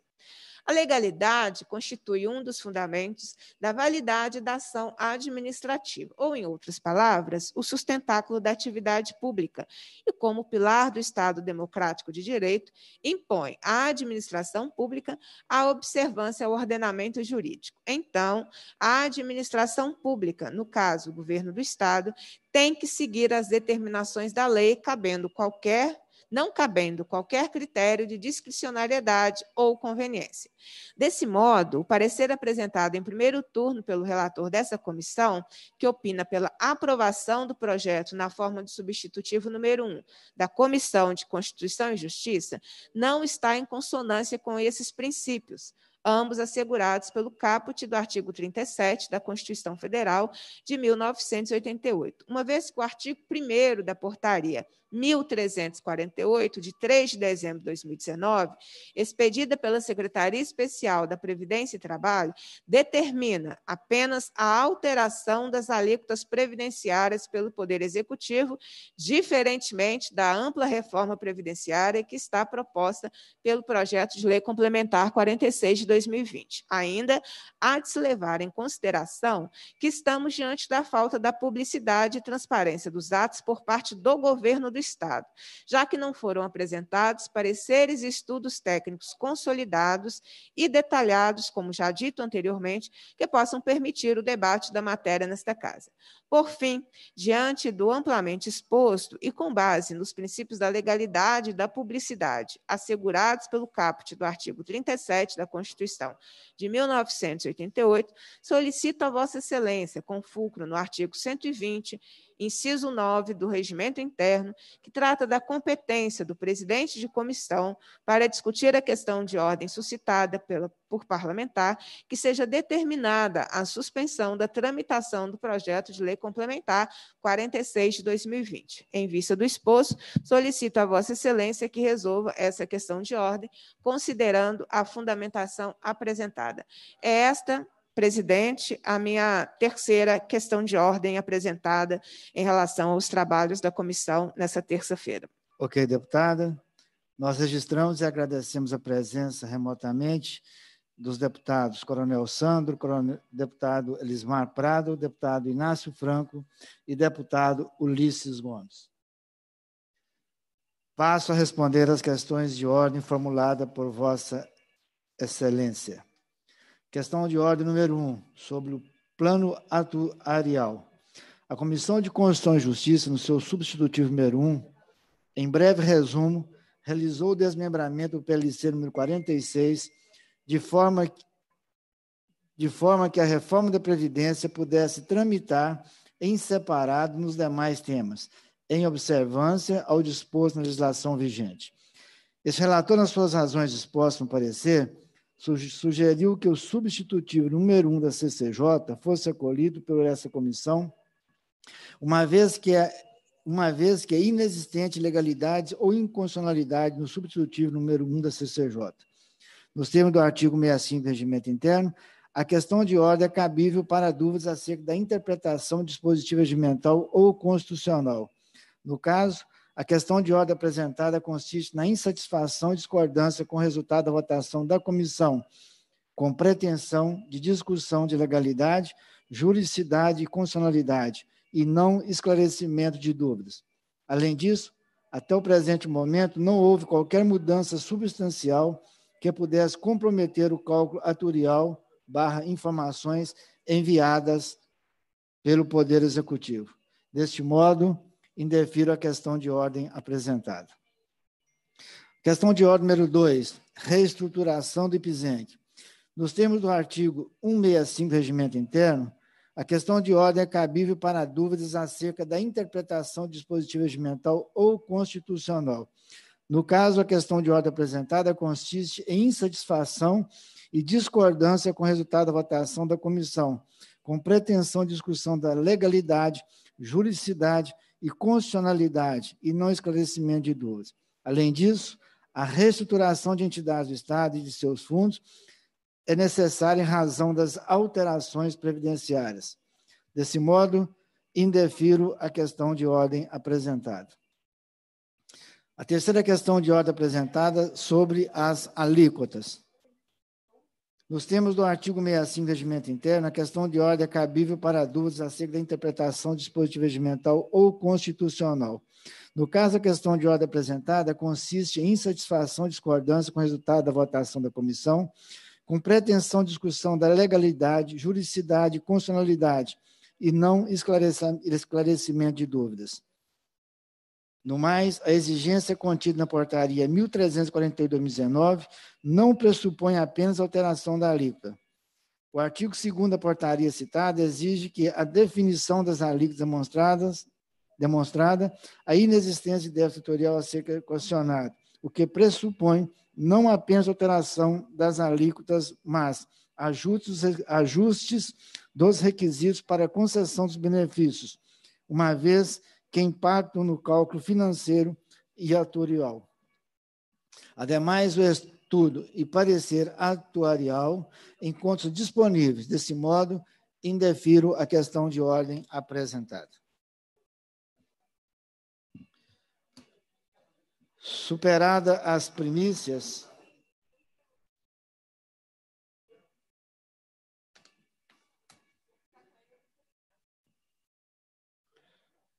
Passa-se a primeira fase da ordem do dia, que compreende a discussão e a votação de pareceres sobre proposições sujeitas à apreciação do plenário. Projeto de lei complementar número 46 de dois. Eu tenho que apresentar o projeto primeiro. Eu vou, eu vou assinar, não assinei. Projeto de lei complementar número 46 de 2020. Altera a lei complementar número 64 de 25 de março de 2002 e a Lei Complementar número 132, de 7 de janeiro de 2014, cria a autarquia Minas Gerais Previdência dos Servidores Públicos Civis do Estado, institui fundos de previdência do Estado de Minas Gerais, altera a Lei 869, de 5 de julho de 1952, e dá outras providências. Em reunião anterior, foi distribuído em avulso parecer que concluí pela aprovação do projeto na forma do substitutivo número 1 da Comissão de Constituição e Justiça. Não é nada, eu já estou acostumado com isso aqui. Não é nada.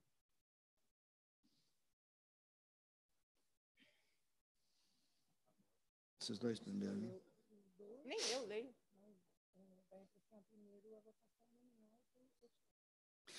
Requerimento sobre a mesa. Requerimento de autoria da deputada Beatriz Cerqueira que requer retirada de pauta do PLC 46 de 2020. Para encaminhar, presidente. Só um momento, senhora deputada.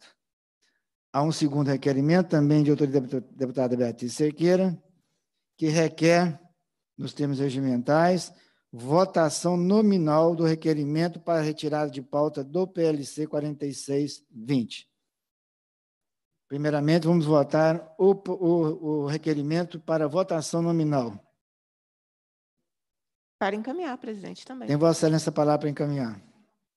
Bom, presidente, nós, é, para todos que nos acompanham pelas redes sociais, porque é a única forma, né? É, que os servidores públicos, suas famílias, os milhares de pensionistas, os milhares de aposentados é, têm de acompanhar essa importante discussão da matéria. Nós entramos agora, então, no processo que talvez culmine daqui a pouco na, na votação do parecer aqui na Comissão de, de Administração Pública é, do projeto, do parecer do projeto de lei complementar 46, que trata de uma ampla reforma da Previdência. Assim, às vezes a gente fica com a sensação que a gente está falando para a gente mesmo, mas eu me lembro é, de todas as pessoas que acreditam no nosso trabalho parlamentar. Então, é, acreditando e me lembrando dessas pessoas, que eu vou fazer esse esforço de trazer o conteúdo do projeto de lei complementar para esse debate, e por isso a importância da votação nominal, é, por isso a, importância da retirada de pauta, e por isso todos os requerimentos que nós estamos apresentando, eles são extremamente relevantes. Eu cheguei a escutar que essa reforma não retira direitos. Que essa reforma não ataca servidores. Eu acho, pessoal, que a gente precisa ler a reforma. E a gente precisa conhecer a realidade dos servidores públicos para que nós possamos debatê-la no conteúdo. Porque dizer que aumentar em sete anos a idade das mulheres, isso não é um problema, realmente depende do lugar que nós nos encontramos, né? do ponto de vista do mundo em que nós nos encontramos. É, eu, é muito estranho é, esse entendimento de que aumentar mais a idade das mulheres do que dos homens, porque a proposta é, que está em, estará em discussão vai aumentar em sete anos a idade das mulheres e em cinco anos a idade dos homens. Se nós não estamos vendo problemas nisso, de fato, é, é, é, é, bastante estranho, né? Porque parece que nós, na sociedade mineira, pelo menos, no Brasil não, mas parece que em Minas Gerais, nós já equacionamos os, as questões das desigualdades de gênero. É isso que nós estamos dizendo se este projeto de lei complementar for aprovado é, aqui nessa comissão. Nós estaremos dando, nós não, porque eu votarei contra, mas se o resultado for a aprovação, é, estará se dando o aval, dizendo que sim, que as mulheres precisam ser é, mais atacadas e aumentando mais a sua idade para uma aposentadoria do que os homens. Porque aí a questão de gênero estaria equacionada e as mulheres não mais exercem pelo menos em Minas Gerais, né? no restante do Brasil não, mas no caso de Minas Gerais, as mulheres já não exercem mais atividades não remuneradas do que os homens. As mulheres, inclusive, aqui em Minas Gerais, devem ter os mesmos salários ou salários superiores aos homens, nos mesmos cargos de chefia e com a mesma formação. É, as mulheres aqui no estado de Minas Gerais não são elas que saem ou diminuem a sua jornada de trabalho para cuidar das crianças, porque municípios e estado não universalizaram o acesso à educação infantil. No caso do estado de Minas Gerais também, quando há pessoas com deficiência na família, não são as mulheres que cuidam das pessoas com deficiência. É, no restante do Brasil, sim, mas no caso de Minas Gerais, aprovando esse parecer, nós estamos dizendo que não, que isso está plenamente ou quase plenamente equacionado. Também nós estaremos dizendo que no momento é, que, as, que, os núcleos familiares têm pessoas idosas, essas pessoas idosas não são amparadas por mulheres, de forma alguma. Nós estaremos dizendo que o Estado equacionou é, o atendimento e a assistência aos idosos, e com isso é, não é preciso mais o reconhecimento de tantas funções não remuneradas que as mulheres exercem é, no caso de Minas Gerais, porque no Brasil os problemas continuam, mas me parece que no estado de Minas Gerais, é, com a tranquilidade com que essa discussão está sendo tratada, eu devo estar interrompendo duas reuniões que acontecem ao mesmo tempo enquanto eu falo. Mas não tem problema, porque as pessoas não se importam com o argumento. Né? As pessoas vão se importar com a votação final. Mas eu vou aguardar, porque o ambiente está ficando um pouquinho difícil para argumentar, presidente. isso não foi superado. É porque é muita reunião paralela enquanto a gente fala. já está. Acho que eu posso continuar, né? Mas se eu estiver interrompendo alguma reunião, não tem problema nenhuma em, em, paralisar mais um pouquinho, até porque acabei de ganhar uma nova, um novo copo de água, e aí é, é porque assim, eu já estou aqui num argumento de gênero, né? É, e com duas, três reuniões paralelas que acontecem ao mesmo tempo, enquanto a gente argumenta, por isso eu comecei a minha fala dizendo: quando a gente faz a argumentação, eu tenho que lembrar das pessoas que estão fora desse, desse ambiente. Eu tenho que pensar nas pessoas que estão nos acompanhando, das pessoas que trabalharão, sete das mulheres que é, é, trabalharão sete anos a mais para terem o seu direito à aposentadoria. E esse é um dos motivos pelos quais eu estou utilizando todas as ferramentas regimentais, porque eu discordo desse recorte de gênero que essa reforma da Previdência traz. É um recorte de gênero é, que aprofunda desigualdades, que não reconhece aquilo que a Constituição de 88 reconheceu, que são as funções exercidas pelas mulheres, que não são remuneradas, mas que não deixam, por isso, de serem funções que acrescentam na sua jornada diária de trabalho, que acrescentam no seu estresse, no seu adoecimento, e que, portanto, a redução, a diferença é, da idade é, e do tempo de contribuição entre homens e mulheres é um reconhecimento da Constituição a esse conjunto de funções que as mulheres exercem é, a mais em detrimento dos homens. Enquanto quando a mulher chegar ao final da sua vida de trabalho, para a aposentadoria, comparativamente ao homem, ela terá trabalhado mais do que o homem, se nós reconhecermos essas funções não remuneradas. E é por isso que a Constituição Federal reconheceu essa função não remunerada e, para tanto, há essa mudança, essa diferença de idade e tempo entre homens e mulheres. Então, eu tenho feito a mesma pergunta desde a Comissão de Constituição e Justiça, e essa pergunta não é respondida por ninguém. A gente tem líder do bloco, a gente tem líder do governo, a gente tem pessoas que vêm às comissões e defendem a reforma, mas quando a gente começa a discutir o conteúdo da reforma, é, as respostas não aparecem. A gente escuta de forma simplória, de forma genérica, que precisa ser uma reforma justa. Não sei onde está a justiça de uma reforma que ataca as mulheres. Então, presidente, fazendo essa primeira consideração, que é o recorte de gênero, que muito me indigna que isso esteja sendo tratado com tamanha tranquilidade na casa. É, eu encaminho a votação a favor do requerimento apresentado pelo deputado Sargento Rodrigues para a votação nominal do requerimento de retirada de pauta, considerando exatamente a publicidade de todos os nossos atos aqui na Assembleia Legislativa. Então, presidente, são essas as considerações é, para o encaminhamento dessa votação. Obrigado, deputada. Para Agora, encaminhar... eu queria fazer um pedido, presidente. Sim, Vossa Excelência Se nós pudermos diminuir as conversas paralelas, eu agradeceria. Ok. Porque todos nós temos o direito de ir conversando, discutindo, argumentando. Mas quando as conversas paralelas chegam no nível que chegou durante oito minutos da minha fala, tem uma função que é a função de desconcentrar, da gente perder a linha de raciocínio. Isso não é feito com todos os parlamentares que falam. Então, eu queria fazer um pedido para todo o ambiente. Claro que a gente conversa aqui o tempo inteiro, porque é próprio, né?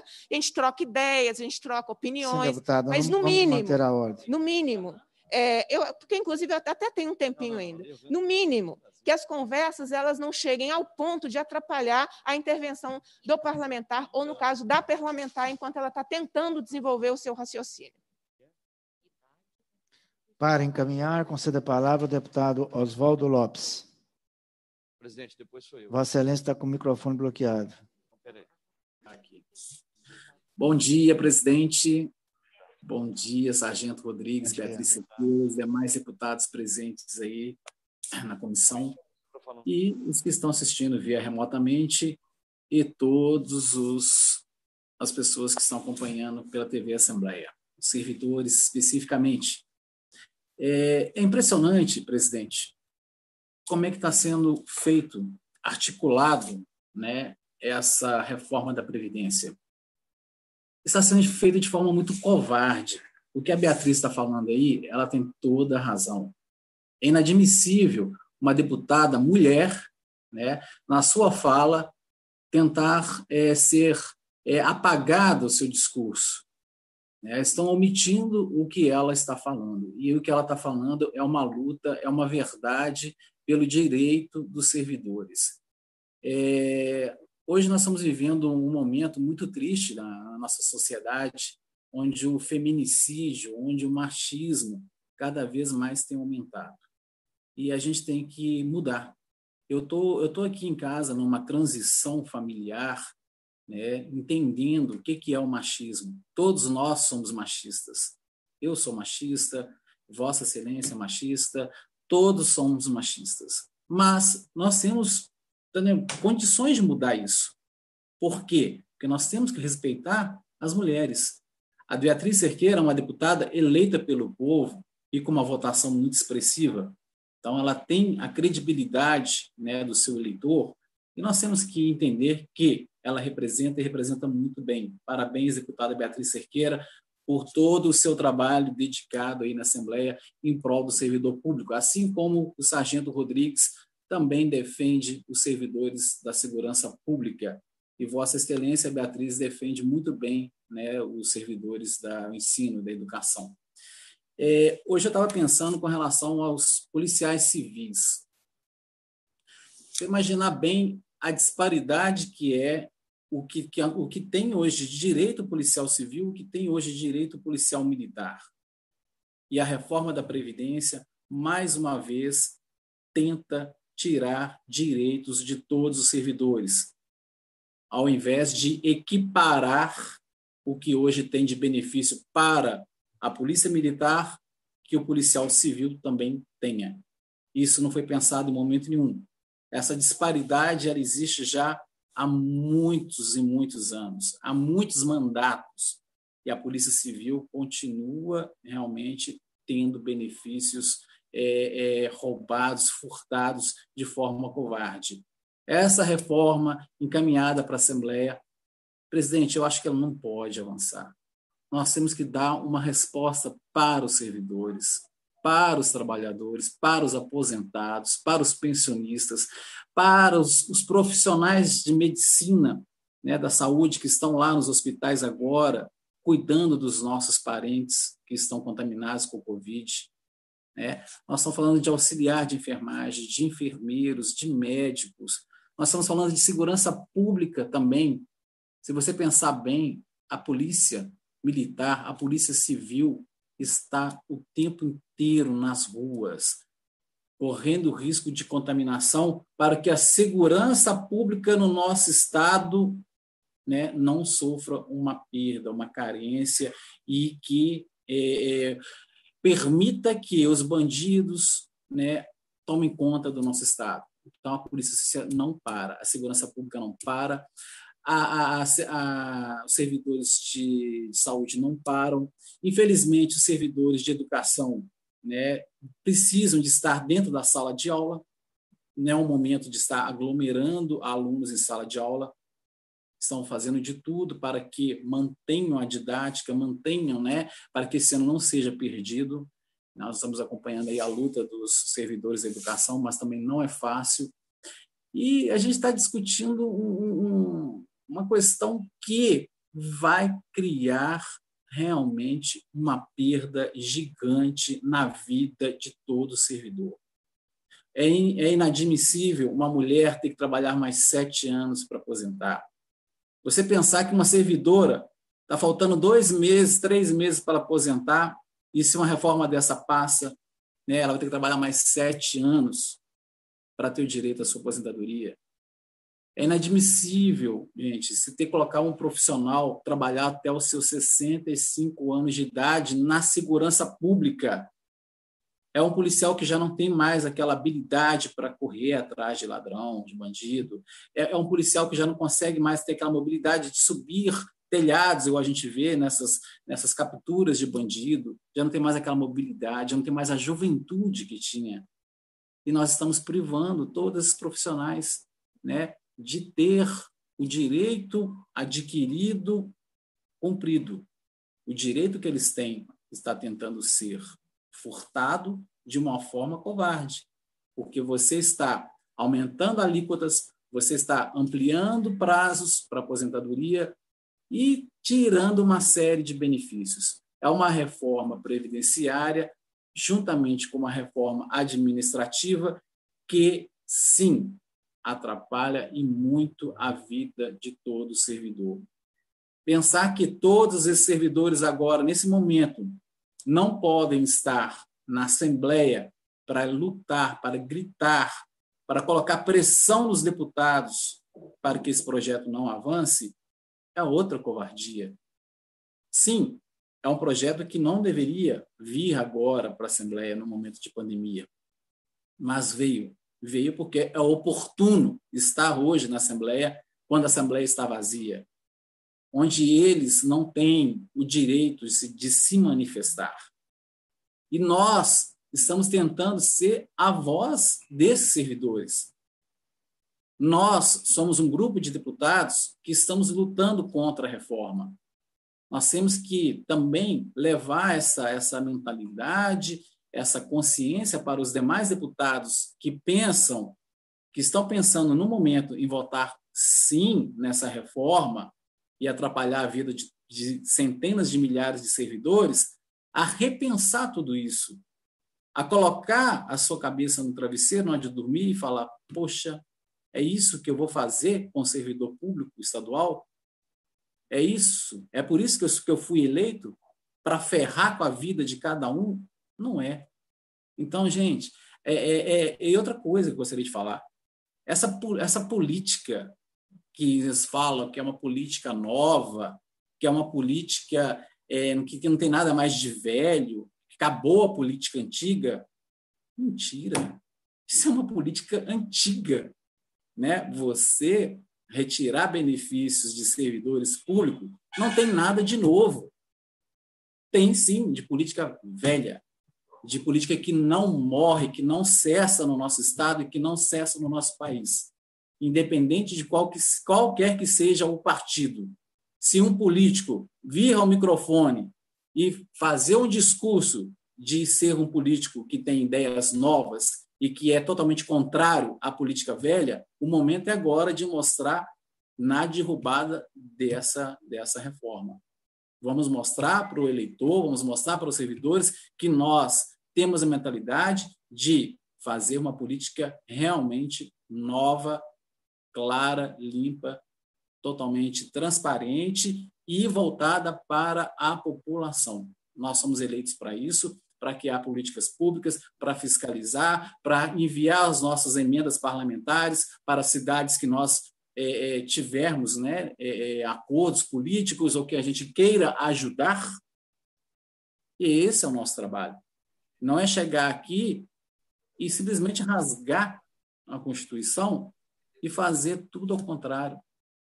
Imagina bem o que, que é agora um, um, um, um servidor público não deve estar nem dormindo direito, de pensar que ele está prestes a aposentar e de repente acabou, ele vai ter que trabalhar mais. E ele, além de trabalhar mais, ele vai ter que aumentar a contribuição dele.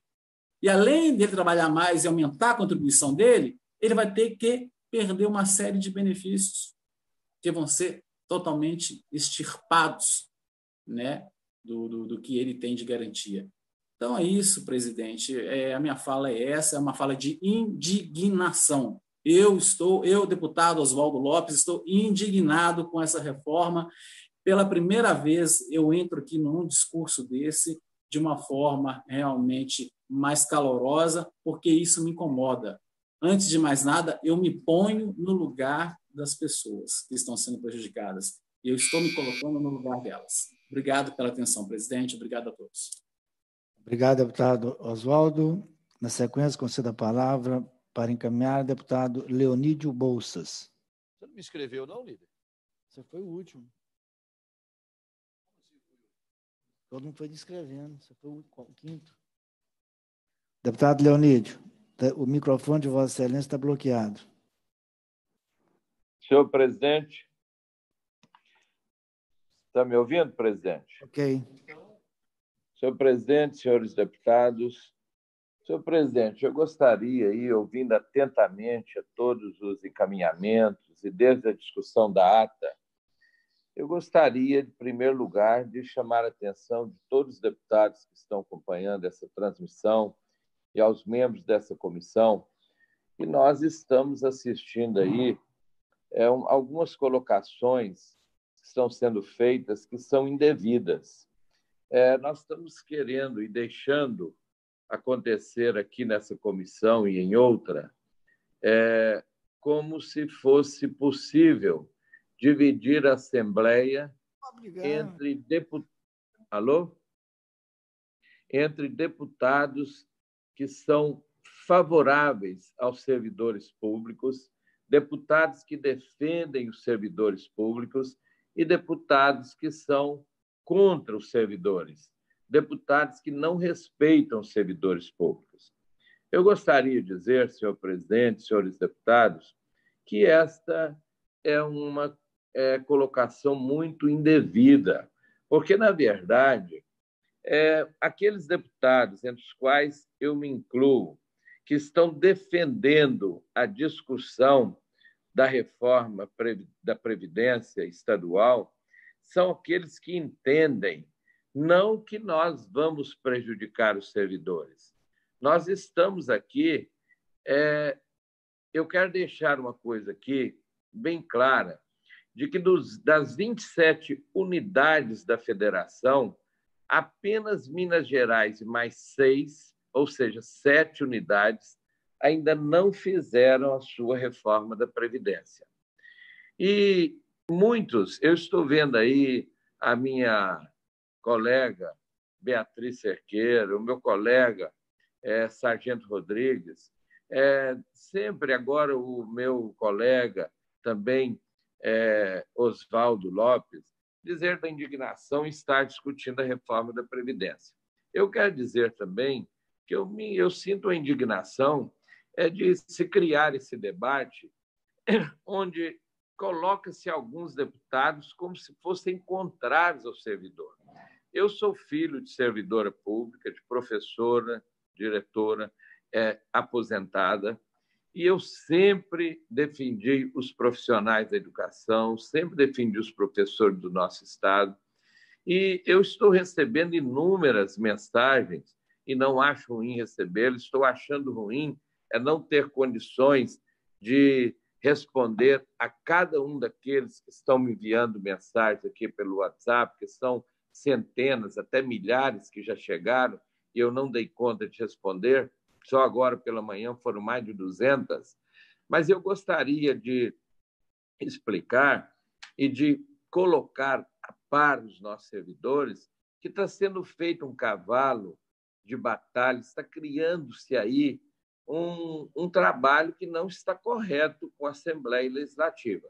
Chegou aqui uma proposta de reforma que nós temos que discuti-la, nós temos que aperfeiçoá-la. É muito fácil dizer simplesmente: não vamos permitir que a reforma ande. A reforma andou já na maioria dos estados brasileiros, ela andou no, no Congresso Nacional e todos sabem que é imprescindível essa reforma. Nós aqui, o deputado João Magalhães, hoje nosso presidente da Comissão de Administração e presidiu no, na, também na legislatura anterior, enquanto eu era presidente da Comissão de Constituição e Justiça, nós sabemos que o Estado está numa situação de calamidade financeira que não é por causa da pandemia. Nós aqui aprovamos no passado para que pudesse pagar os servidores. Nós, inclusive, aprovamos até o uso dos depósitos judiciais. Nós tivemos aqui, o governo anterior teve que fazer uso de uma maneira ilegal. Ele usou dos recursos, inclusive, dos municípios, que eu, inclusive, fui contra, o presidente aí foi contra, mas o governo deixou de fazer os repasses constitucionais aos municípios de Minas Gerais para conseguir fazer os pagamentos dos servidores. A nossa situação é crítica. O que eu acho que os nossos colegas deputados, amigos deputados, deveriam estar todos imbuídos não é de fazer esse blá blá blá contra a tramitação da reforma, é dizer nós queremos estudar que essa alíquota seja dividida em faixas tais, tais. Nós achamos que a idade que está sendo proposta para as, as servidoras, as mulheres em Minas Gerais, está muito grande. Nós queremos que seja menor. Nós queremos fazer essa mudança nesse, sobre esse item, sobre aquele. Aí sim nós estamos discutindo algo que seja palpável. Agora, simplesmente dividir é pedir a vários servidores. Né? Agora, eu conversei por telefone com uma servidora da educação, um agente de serviços gerais, e ela me disse: Ah, deputado, eu confio muito no senhor, é muito importante que o senhor fale, que estão dizendo que vão fechar o IPSENG, o que, que não vai ter mais assistência médica. Quer dizer, isso não é uma política correta. O que nós, por exemplo, aqui, o que nós trabalhamos para que o IPSENG pudesse voltar a fazer os pagamentos em dia para os seus fornecedores, para aqueles que prestam assistência médica no Estado e que hoje o IPSENG está sendo elogiado em várias cidades onde se melhorou o atendimento, tanto que as mensagens que eu estou recebendo estão dizendo, deputado, não é possível que agora que o Ipseng está funcionando, vai fechar o Ipseng, não vai ter mais atendimento. Então, estão sendo passadas informações truncadas, erradas. Eu queria dizer aí ao meu companheiro, ao, ao colega aí, é, Oswaldo Lopes, Oswaldo, você disse aí que nós teríamos uma pessoa que estivesse faltando para aposentar é, um mês ou daqui um ano e agora tem que cumprir mais cinco anos. Não, terá uma, uma transição. A pessoa que está faltando um ano, ela não tem que cumprir mais cinco. É justamente isso que nós vamos discutir, que são as regras de transição. Essa pessoa pode ter que cumprir mais três ou quatro meses, mas não é mais cinco anos. Eu tenho uma professora que me ligou e disse que está faltando para ela 4, em 4 de agosto ela aposenta, quatro dias. Então, ela não vai ter que cumprir mais tantos anos. Ela pode ter que cumprir alguns dias a mais para compensar, ou um mês a mais. Essa regra de transição é que nós vamos fazer. Não é que todo mundo vai ter que cumprir mais cinco anos e assim por diante. O que eu acho que nós deveríamos, tudo bem que o trabalho é, de alguns deputados é para fazer obstrução. Quantos anos eu estou na casa e sei que o trabalho de obstrução ele é válido, ele é democrático, mas eu acho que nós devemos fazer obstrução, mas não colocando a sociedade mineira contra aqueles deputados que estão querendo ver a reforma sendo discutida e ouvindo as pessoas, cada um. Nós estamos na pandemia, mas eu estou conversando, tem pessoas me ligando e conversando das escolas, é da polícia e assim por diante. Nós aqui somos 77 deputados que estamos é, em, em total contato e comunicação com as pessoas. Hoje a tecnologia é muito grande. Nós estamos conversando e tem os representantes das classes. Agora, vamos julgar, vamos fazer essa discussão de alto nível. Não vamos colocar é igual os famosos carômetros. Esses são os deputados contra os servidores públicos e esses são os favoráveis. Isso não existe, isso é política mesmo do passado. Isso é uma política que não joga com a verdade, onde já se viu nós, deputados, estamos querendo acabar com o IPSENG, com a assistência médica que se faz em Minas Gerais. Isso não é verdade. Nós temos que deixar isso claro. São inúmeras mensagens que eu estou recebendo a esse respeito e estou dizendo não existe fim da assistência. Alguns nos mandam mensagens, não estão sabendo de nada. Eu vou até pedir para os deputados que estão, que estão defendendo uma discussão de alto nível dessa reforma, que gravem vídeos, que coloquem para a sociedade mineira que nós estamos discutindo uma reforma que ela vai ter que ter uma contribuição de todos os servidores, de toda a sociedade mineira, para que o Estado consiga pagar os seus servidores, consiga pagar os seus aposentados e os seus pensionistas, mas é uma contribuição de todos que nós façamos de tal maneira que aqueles que têm que têm vencimentos menores, que tenham menores salários, possam contribuir menos, que aqueles que ganham mais possam contribuir mais, mas é preciso deixar claro para toda Minas Gerais que nós que estamos defendendo uma discussão da reforma da Previdência, nós não estamos contra os servidores. Aliás, ao contrário, nós estamos a favor dos servidores, porque nós queremos garantir o pagamento dos servidores em dia, nós queremos garantir o pagamento das aposentadorias, nós queremos garantir o pagamento dos pensionistas, nós queremos garantir os investimentos em Minas Gerais, nós queremos garantir recursos para a saúde, melhorias para as escolas, recursos para a educação, recursos para a segurança. Nós estamos defendendo é que tenha que ter uma mudança não para sacrificar o servidor, é porque todos estão. Nós tivemos a reforma já da Previdência Geral, são aqueles. O, o Congresso Nacional já aprovou a reforma da Previdência, que não é dos servidores é, apenas da União. Ele fez uma reforma para os trabalhadores em geral do Brasil, aqueles que trabalham em empresas que não têm, inclusive, a estabilidade, aqueles que estão agora, por exemplo, numa pandemia dessa, vários foram levados ao desemprego porque não contam com a estabilidade que existe no serviço público.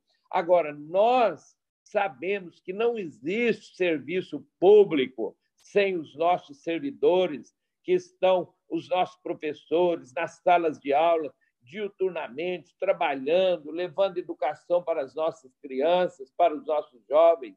Como que nós vamos desmerecer esses que, sem o Estado, sem a participação deles, o Estado não existiria? Não existe Estado, não existe governo sem os servidores públicos.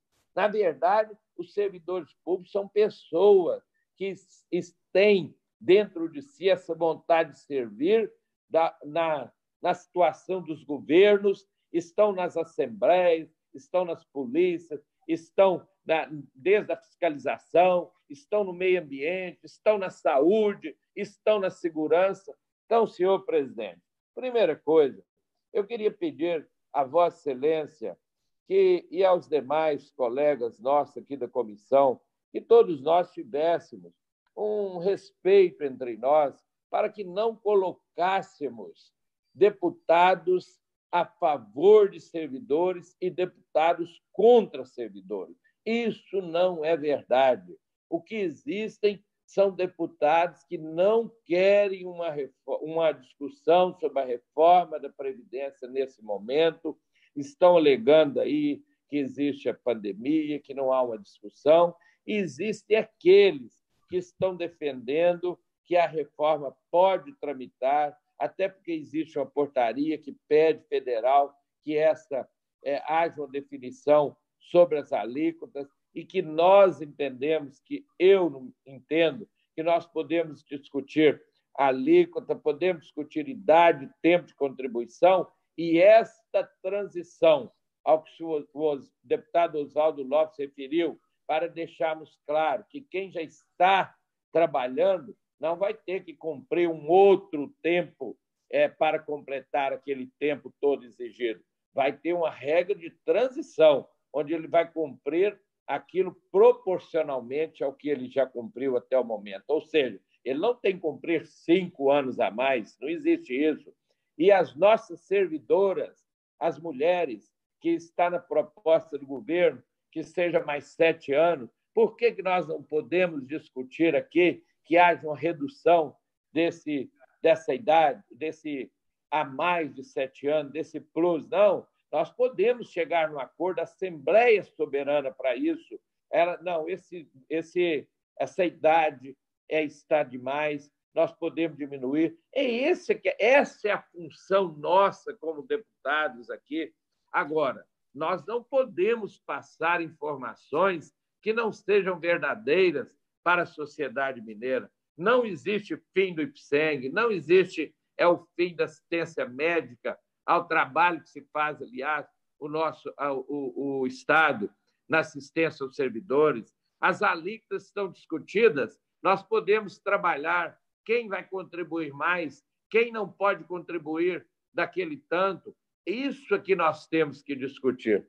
Então, senhor presidente, nós estamos encaminhando para que continue a discussão e votação da reforma da Previdência. E nós temos aí a questão todas a ser discutida, dos quinquênios, biênios. Eu até acredito que este projeto, que envolve essa, essa reforma administrativa, pode até ser discutido com mais tempo. Agora, é, esse, esse projeto da reforma, nós somos a favor de que continue tramitação. E, além disso, nós temos uma discussão na Comissão do Trabalho, nós podemos ter discussão na Comissão de Educação, quer dizer que há uma ampla, um amplo leque de discussões ainda a ser realizado. Não vamos impedir a discussão, vamos continuar discutindo. Essa etapa aqui, na nossa Comissão de Administração Pública, é apenas uma etapa do processo. Por que, que nós vamos parar essa discussão se nós podemos avançar e, e podemos é, levar e ouvir as pessoas e levar sugestões e convencer os nossos pares de mudanças importantes que podem ser feitas no projeto original do governo. O que não pode é deixar a sociedade mineira e os nossos servidores ao léu, imaginando que não existe deputado. uma discussão correta. Muito obrigado, senhor presidente. Para encaminhar, concedo a palavra ao deputado Sargento Rodrigues. Presidente, eu estou aqui guardando a minha vez e espero que o deputado Leonídio Bolsos continue online conosco, até porque, de certa forma, me estranha um pouco a fala do ilustre colega deputado. Primeiro, que o processo de obstrução, como ele disse lá atrás, é legítimo, é democrático, está no regimento. Está no regimento. Diferentemente, deputado Leonídio Bolsas, o que não está no regimento é votar sem a participação do cidadão. Se Vossa Excelência buscar, pede, pede assessoria de Vossa Excelência para buscar o planejamento estratégico da Assembleia. Dentro do planejamento estratégico da Assembleia, o senhor vai perceber a ampla participação da sociedade, que é uma das ações concretas no ano de 2020. Aí o senhor quer votar uma reforma da Previdência que atende os interesses do Zema. Atende os interesses do Zema, não atende os interesses dos servidores. Então, é, nós ficamos aqui meio estarrecidos. O senhor disse aí, nós estamos a favor dos servidores. Não tá bom. O senhor citou a reforma da Previdência, que já foi aprovada no plano federal. Eu destaquei uma emenda, e eu vou acompanhar o voto de Vossa Excelência. Eu destaquei uma emenda, emenda número 8, deputado Leonídio Bolsas, na reforma da Previdência no plano federal, até um salário mínimo é 7,5%. Aqui o Zema está fixando em 13%. 13%, deputado Leonídio Bolsos, até um salário mínimo. A emenda número 9, nós fixamos em 9% até R$ mil reais. Emenda número 9, nós fixamos em até até dois mil reais, 9%. Mas eu não posso destacar mais do que uma. Então, já que Vossa Excelência quer fazer justiça, eu conclamo a Vossa Excelência, porque eu tenho certeza que o deputado Oswaldo Lopes está nos acompanhando, é membro efetivo dessa comissão, que a deputada Beatriz Cerqueira e eu, nós vamos votar favorável à emenda, emenda número 8, que prevê que até um salário mínimo pagará 7,5%, que é igualzinho está na reforma do governo federal. Aí sim. O que não dá, deputado Leonídio Bolsos, é você ver o procurador do Miserê, que ganha 35 mil reais de subsídio, e mais outros 35 mil reais de penduricalho, que vai para uns 70 mil, pagar só 16%. Então, é, eu quero fazer o apelo a Vossa Excelência, aproveitando Vossa Excelência, diz que não, não tem ninguém contra, é, que, que está a favor dos servidores. Então, essa seria um bom momento né, de votar essa emenda destacada. Vou lembrar Vossa Excelência de novo. Durante a emenda, eu já apresentei um requerimento para fazer o encaminhamento dela da emenda destacada, emenda número 8. E eu quero certificar que Vossa Excelência vai realmente ajudar os mais humildes. Até um salário mínimo, 7,5%. Feito isso, presidente, eu quero dizer o seguinte: nós estamos encaminhando esse requerimento, porque é um requerimento de votação nominal, para que todos os deputados possam votar nominalmente e todos os servidores públicos conheçam. O parecer, deputado Leonídio Bolsa, da forma que o presidente da comissão apresentou aqui, que inclusive colega do seu MDB, ele não nos atende. Porque no parecer, no parecer, ele está cobrando aqui 13%. Vossa Excelência pegar o parecer aí do relator, Vossa Excelência vai certificar. Dá uma olhadinha no artigo 28. Artigo 28. Vamos lá. Fazer a leitura aqui para não ter erro. A alíquota de contribuição mensal dos segurados, ativos, inativos e pensionistas, a que se refere o artigo 3 será progressiva e incidirá sobre a remuneração de contribuição sobre os proventos e sobre o valor das pensões de acordo com os seguintes parâmetros: até R$ 2.000, 13%. Então, eu vou dar a opção aos colegas deputados dessa comissão, ou vota o parecer que prevê um alíquota de até, até o salário de 2 mil reais, 13%. Ou nós votamos a emenda que eu vou destacar, de número 8, até um salário mínimo 7,5%. Então não começa-se com 13. Por quê? Porque acima de 16 mil reais está previsto 19%. Mas e acima de 25 mil? Que há um distanciamento enorme aí. E para o miserê, que ganha 35 mil de subsídio, e mais 35 mil de penduricalho, como fica? Vai pagar só 19%? Eu acho que não é justo.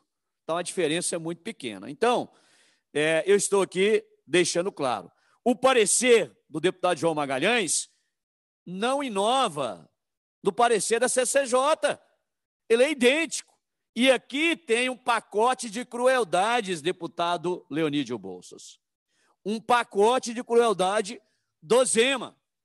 Se Vossa Excelência se sente à vontade para votar isso aqui a toque de caixa, bom, aí é uma escolha de Vossa Excelência.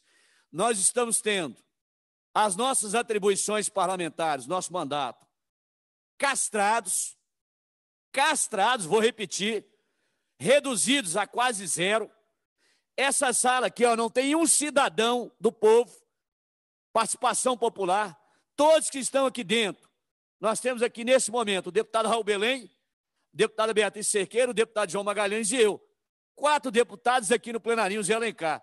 O restante são servidores, são jornalistas, são assessores, consultores, assessores de comissão. Onde está a população?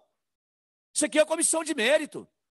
Ah, não, lá na CCJ, não, aqui nós não discutimos, porque aqui é juridicidade, constitucionalidade, legalidade.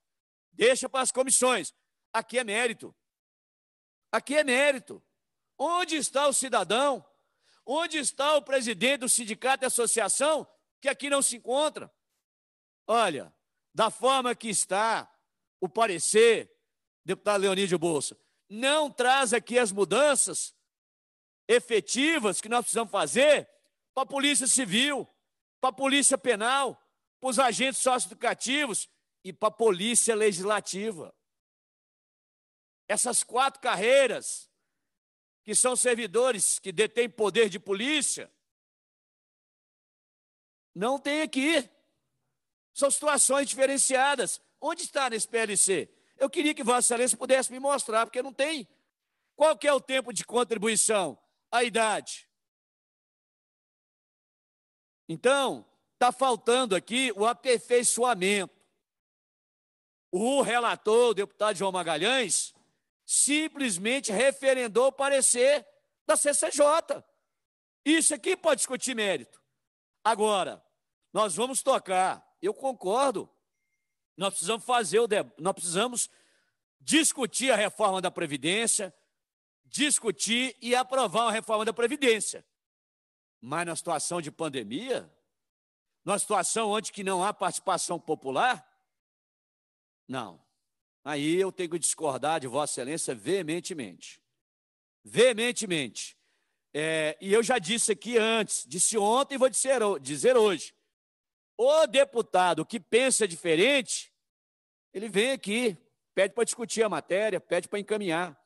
Os membros podem encaminhar. Os demais podem discutir na fase de discussão. Falam agora. Dizer que nós vamos votar isso aqui, a PEC 55 e o PLC, a toque de caixa, não agride ao parlamentar? Se já não tem participação popular, que é o mais grave de tudo, se não tem a participação aqui dos servidores, se não fosse o grito nosso, se não fosse a pressão nossa, a reforma da Previdência estava aí, ó, destruindo, destruindo a política remuneratória de todos os servidores. Eu só espero, eu só espero que as promessas que estão sendo feitas nos bastidores que até então são promessas, e é esse que é o perigo do deputado achar que a promessa vai ser cumprida e depois na prática enfia-se goela abaixo. Só espero que as promessas estão sendo feitas que a comissão especial possa dar outra fatiada. Porque o que tem que ser discutido aqui, deputado, colegas deputados e deputadas, e o público que nos assiste pela TV Assembleia, o que precisa ser discutido aqui, sob a imposição da portaria do Ministério da Economia, é exatamente a alíquota. Não é discutir se vai criar uma nova autarquia, substituindo, se vai desmembrar a autarquia Epiceng em duas, uma vai cuidar de previdência, outra de saúde, se vai discutir a idade mínima, o tempo de contribuição, o tempo efetivo no cargo, a regra de transição. Não.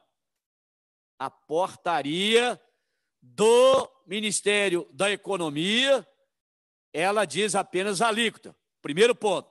Segundo ponto. Quando a portaria foi editada, colegas deputados e deputadas, a data era 4 de dezembro de 2019. Não se tinha notícia de nenhum decreto estabelecendo a calamidade pública da pandemia do coronavírus, nem na União, nem nos estados e nem nos municípios. Portanto, o Zema, muito espertinho, né? muito maquiavélico, que essa que é a, a expressão mais adequada, ma, muito maquiavélico, manda a reforma da Previdência, é uma PEC e um PLC, para a Assembleia, para ser discutida a toque de caixa. Corrido. E o que a gente percebe nos bastidores da casa é que há, há um, um, um, um, acordão para se votar isso até sexta-feira da semana que vem, que é a data do recesso parlamentar. Eu não concordo. Eu não posso, o, o mandato que a mim foi confiado, ele não vai ser submetido a acordo nenhum. Não vai ser a vontade de deputado A ou de deputado B. Eu, se fosse um dos líderes, retirava minha assinatura do acordo de líderes, para que exatamente essa matéria não pudesse ser debatida em período de pandemia. Se eu fosse um dos líderes, eu tirava minha assinatura do acordo de líderes para que essa matéria não pudesse ser tratada a toque de caixa. Então, eu entendo, presidente, que o servidor está sendo prejudicado, que ele não tem voz, não tem vez, que a Assembleia, no período da pandemia, não está permitindo exercer na plenitude o poder e voz do cidadão, que os mandatos estão sendo castrados pelo período da pandemia, que todo o processo está eivado de vícios e irregularidades. E eu alertei uma, duas, três. A primeira medida judicial que eu estou tomando é para suspender os efeitos da portaria em razão de que essa imposição está atropelando, restringindo e reduzindo o, as atribuições e as prerrogativas dos deputados, e de forma especial do demandante desta ação judicial, que nesse caso sou eu que estarei apresentando. E, se possível, presidente, na data de hoje estarei protocolando. Artigo 64. Por cinco minutos, concedo a palavra ao deputado Oswaldo Oswaldo Lopes. Ô, presidente, obrigado, viu? Bom, é, vou ser breve. Eu vim aqui humildemente pedir desculpas, perdão ao deputado Leonide Bolsas e aos demais deputados que de repente se sentiram ofendidos com a minha fala. É, o propósito não foi esse, viu, deputado Leonide? Nós que fomos quase parceiros lá em Uberlândia, né, num trabalho muito bacana que a gente ia realizar lá em prol dos animais, você me perdoa, acho que foi no ímpeto, né, no ímpeto de defender os servidores, de defender familiares que são servidores e amigos. De repente, fui mal colocado em alguma expressão, mas de forma alguma eu quis né, colocar vocês né, no, de um lado que é um lado negro da Assembleia e o lado né, branco, o lado bom, vamos colocar o lado branco, não ficou péssima essa fala. o lado assim, o lado que é ruim e o lado que é bom. Mas é isso. Ô, Leonide, me perdoe, viu? Se você realmente se sentiu né, é, ofendido com a minha fala e os demais deputados também que se sentiram ofendidos, não tive é, o, o a interesse né, de fazê-lo, tá bom? Um abraço aí de coração. Me perdoe mesmo. Artigo 164, concedo a palavra por cinco minutos, até cinco minutos, deputado Leonídio Bolsas. É, caro amigo Oswaldo Lopes, deputado que representa tão bem o povo de Minas na Assembleia, é, caro Oswaldo, eu entendi suas colocações, não me senti, na verdade, não, eu quis apenas é, tirar, deixar um pouco mais claro essa situação de, de deputados contra ou a favor de servidores. Eu acredito que todos os deputados são a favor dos servidores, todos da Assembleia. Não acredito que nenhum, eu convivo aqui na Assembleia há muitos anos e eu vejo que todos têm preocupação e reconhecem o trabalho dos servidores em Minas Gerais. O que nós temos é opiniões diferentes em relação a essa dificuldade do Estado. Por exemplo, é, alguns entendem nesse projeto que houve há pouco tempo é, sobre o aumento salarial, de que alguns teriam votado, votado contra os servidores. Tinha, foi feito até um carômetro distribuído aí, porque isso existe desde o meu primeiro mandato, que foi nas eleições de 94, quando eu iniciei em 95, que desde aquela época existem os carômetros. Ou seja, as pessoas que votam é, contra um determinado projeto, tomam um determinado, têm uma visão diferente, aí se faz aí é, um folheto, hoje é através da internet. Naquela época eram os folhetos distribuídos no estado inteiro, como se alguns deputados fossem contra os servidores. Isso não é verdade.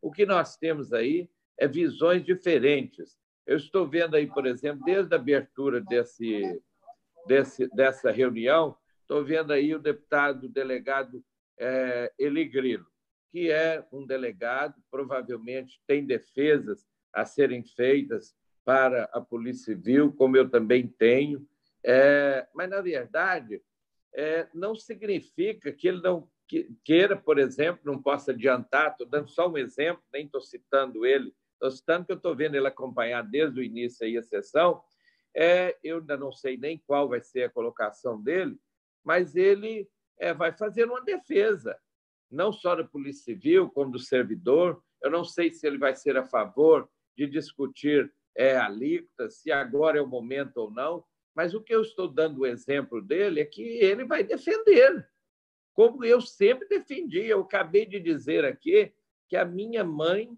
é aposentada do Estado. Eu sempre defendi os professores, mas não significa que eu não queira discutir a reforma nós temos é, que discutir ela e ver de que maneira nós podemos amenizar. O próprio deputado Sargento Rodrigues disse que teve um, um promotor, um procurador, que disse que ganhava um miserê, ganhando 24 mil reais. E isso fora os outros ganhos, que na época se colocou aí o contra-cheque dele, chegava a 60 mil reais. Então, na verdade, o que nós estamos discutindo é que nós não podemos tratar todos igualmente. Alguns podem contribuir mais, outros podem contribuir menos, mas o que existe é que tem que haver uma contribuição de todos. Os deputados contribuem, nós já estamos dentro do teto constitucional há quantos anos os deputados, os próprios Sargento Rodrigues sabe disso. Então, cada um faz a defesa daquilo que considera correto. Agora, eu sou contra por, é, de colocar deputados que são contra o servidor e deputados a favor.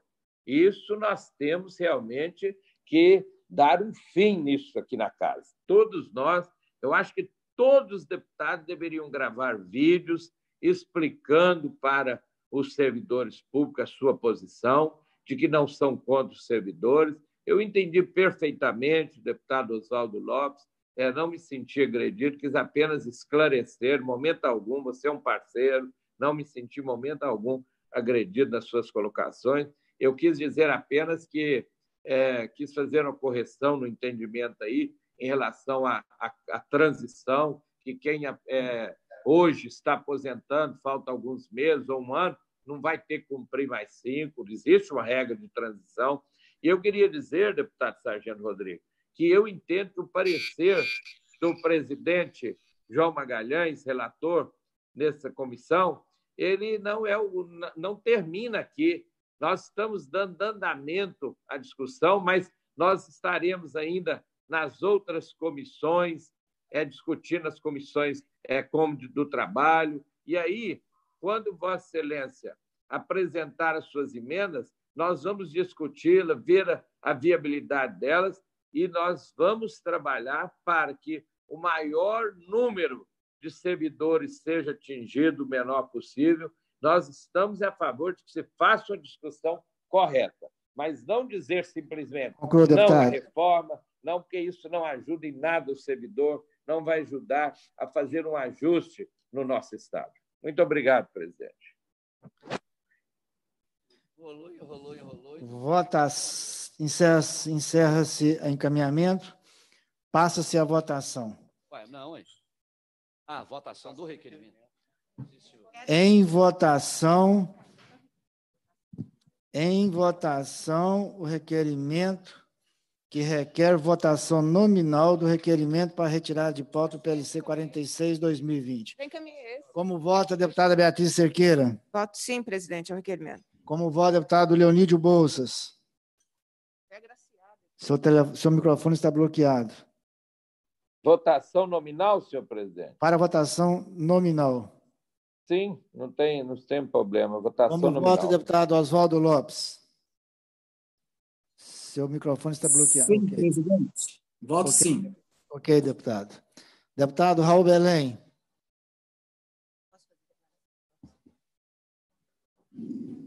Voto não, senhor presidente.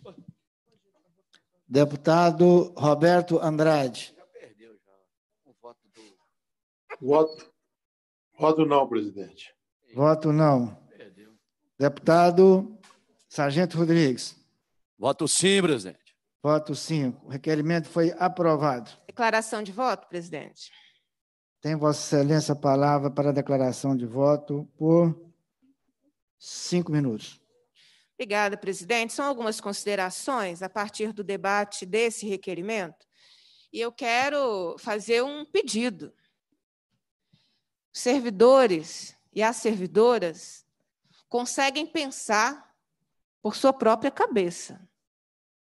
Conseguem saber o que é o serviço público, o que é a sua vida funcional e os impactos que cada projeto de lei projeto de lei complementar, proposta de emenda à Constituição, que tramitam na Assembleia Legislativa, têm nas suas vidas.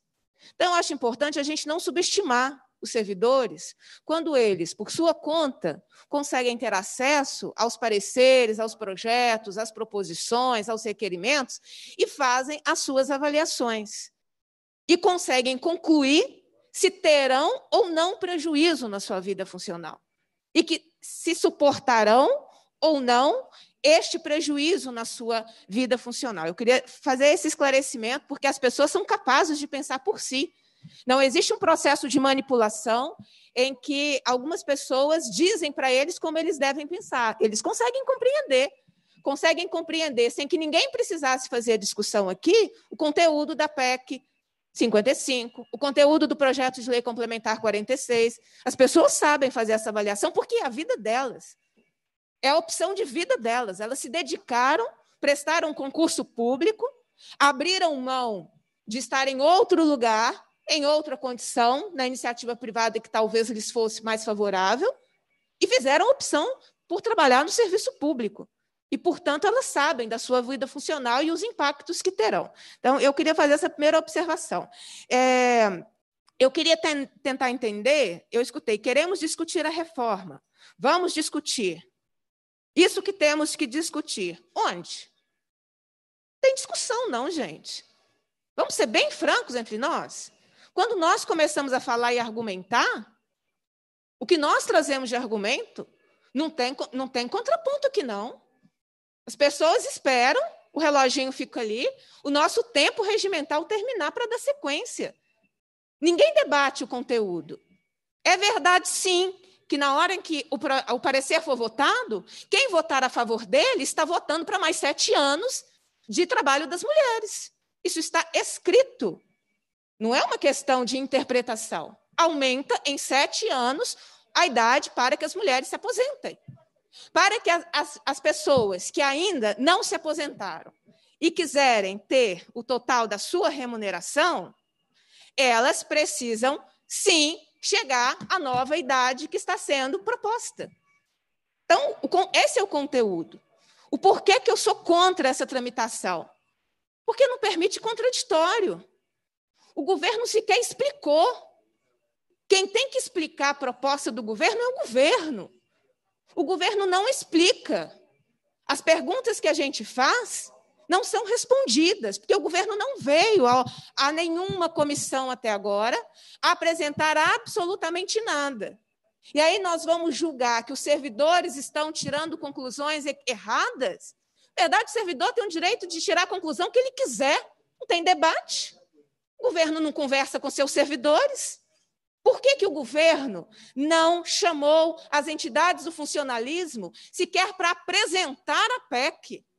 o conteúdo da, de uma proposta que altera suas vidas, para mim, mais de 500 mil pessoas, 400 mil pessoas, para mim, é, são pessoas, são famílias, e para mim isso é relevante. Para o governo não foi, porque é um governo que não dá conta do contraditório, é um governo que não dá conta de quem pensa diferente. Nós estamos aqui tentando fazer o debate, os nossos argumentos, eles não têm contraposição ao argumento, não. A gente faz pelo tempo, e aí, quando termina o tempo, por respeito ao regimento e à condição dos processos, nós terminamos a nossa intervenção. Mas não tem debate. O governo não se dignou a conversar com ninguém, está confiando na blindagem que está sendo constituída dia a dia aqui na casa, para que, que flua a tramitação. E a vergonha alheia, né? para concluir, presidente, se eu ainda tiver condições de dizer, mas eu acabei de receber uma notícia Conselho propõe prorrogação de prazo constante na portaria 1348. Enquanto o Zema corre para tirar dinheiro de quem ganha pouco, porque está escrito isso na reforma, viu? Não sou eu que quero jogar ninguém contra ninguém, não. Quem sabe ler vai achar na reforma que todas as pessoas aposentadas e pensionistas que ganham acima de um salário mínimo terão confisco de seus salários em 13%. Enquanto o Zema corre para tirar dinheiro de quem é pobre, de quem está custando a se sustentar, porque servidor público também é gente, viu? Servidor público é gente. Adoece, come, paga a conta de luz, paga a conta de água, morre, como todas as demais pessoas no mundo. Servidor público é gente. Mas enquanto o Zema corre para tirar dinheiro desses servidores que ganham pouco, o Conselho Nacional dos Regimes de Previdência Social fez uma reunião extraordinária e discutiram alterações relacionadas à prorrogação do prazo estabelecido no artigo 1 da Portaria 1348.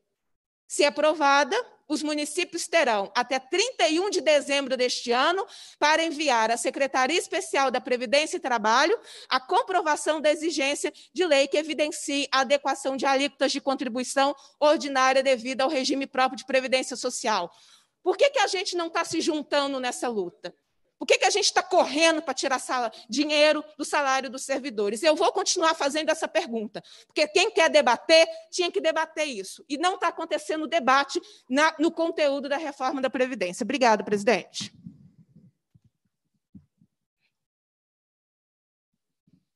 Declaração de voto, presidente.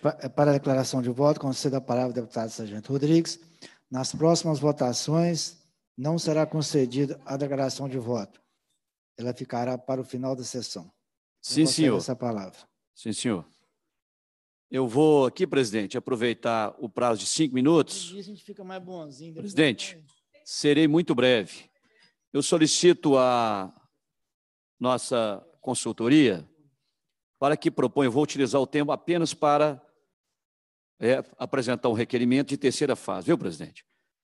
Apresentar um requerimento que seja encaminhada a todos os membros do Conselho Nacional dos Regimes de Previdência Social, que promoveu a reunião extraordinária nesta sexta-feira, dia 3 de julho.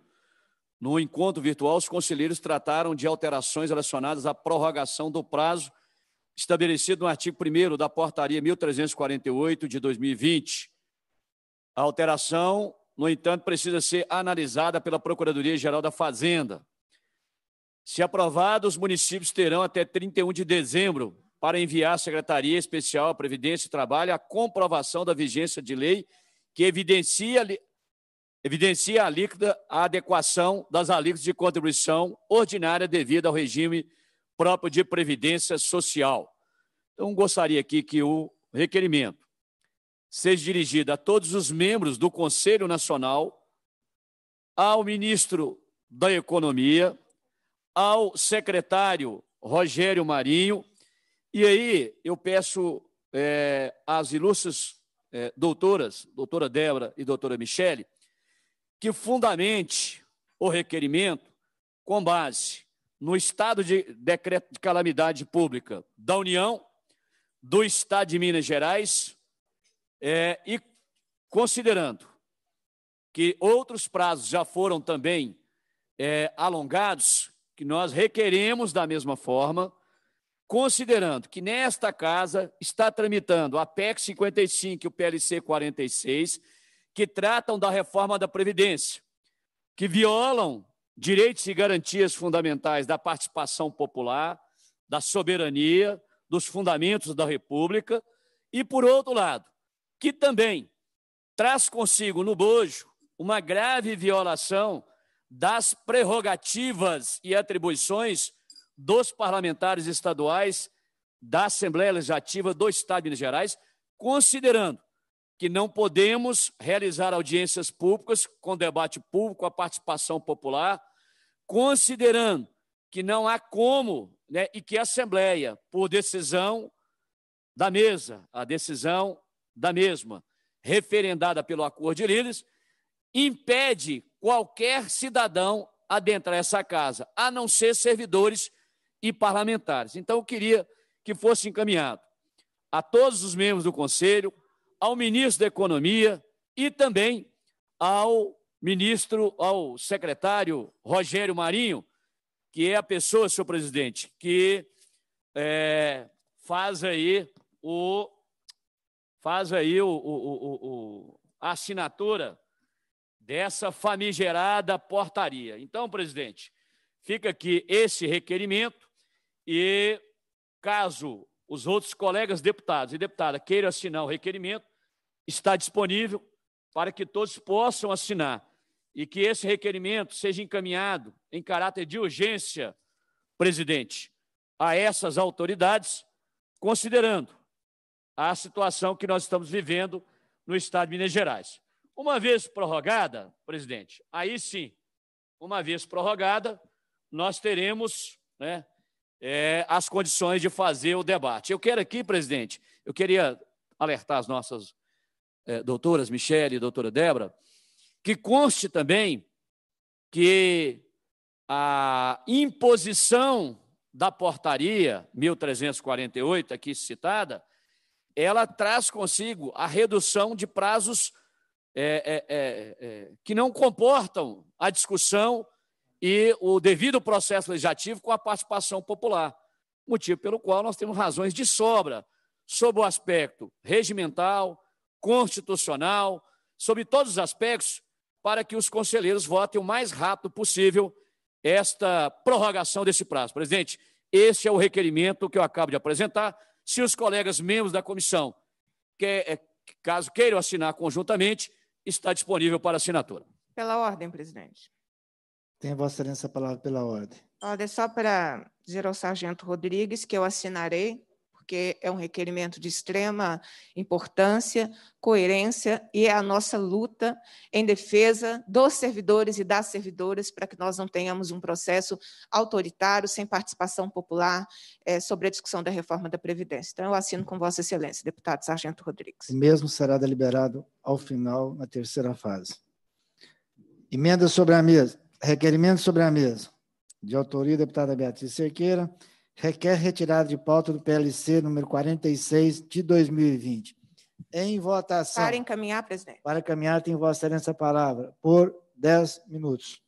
Obrigada, presidente. Eu quero dedicar esse meu tempo para a discussão, para o encaminhamento, mais uma vez solicitando a retirada de pauta do projeto de lei complementar 46 da discussão dessa reunião extraordinária da Comissão de Administração Pública.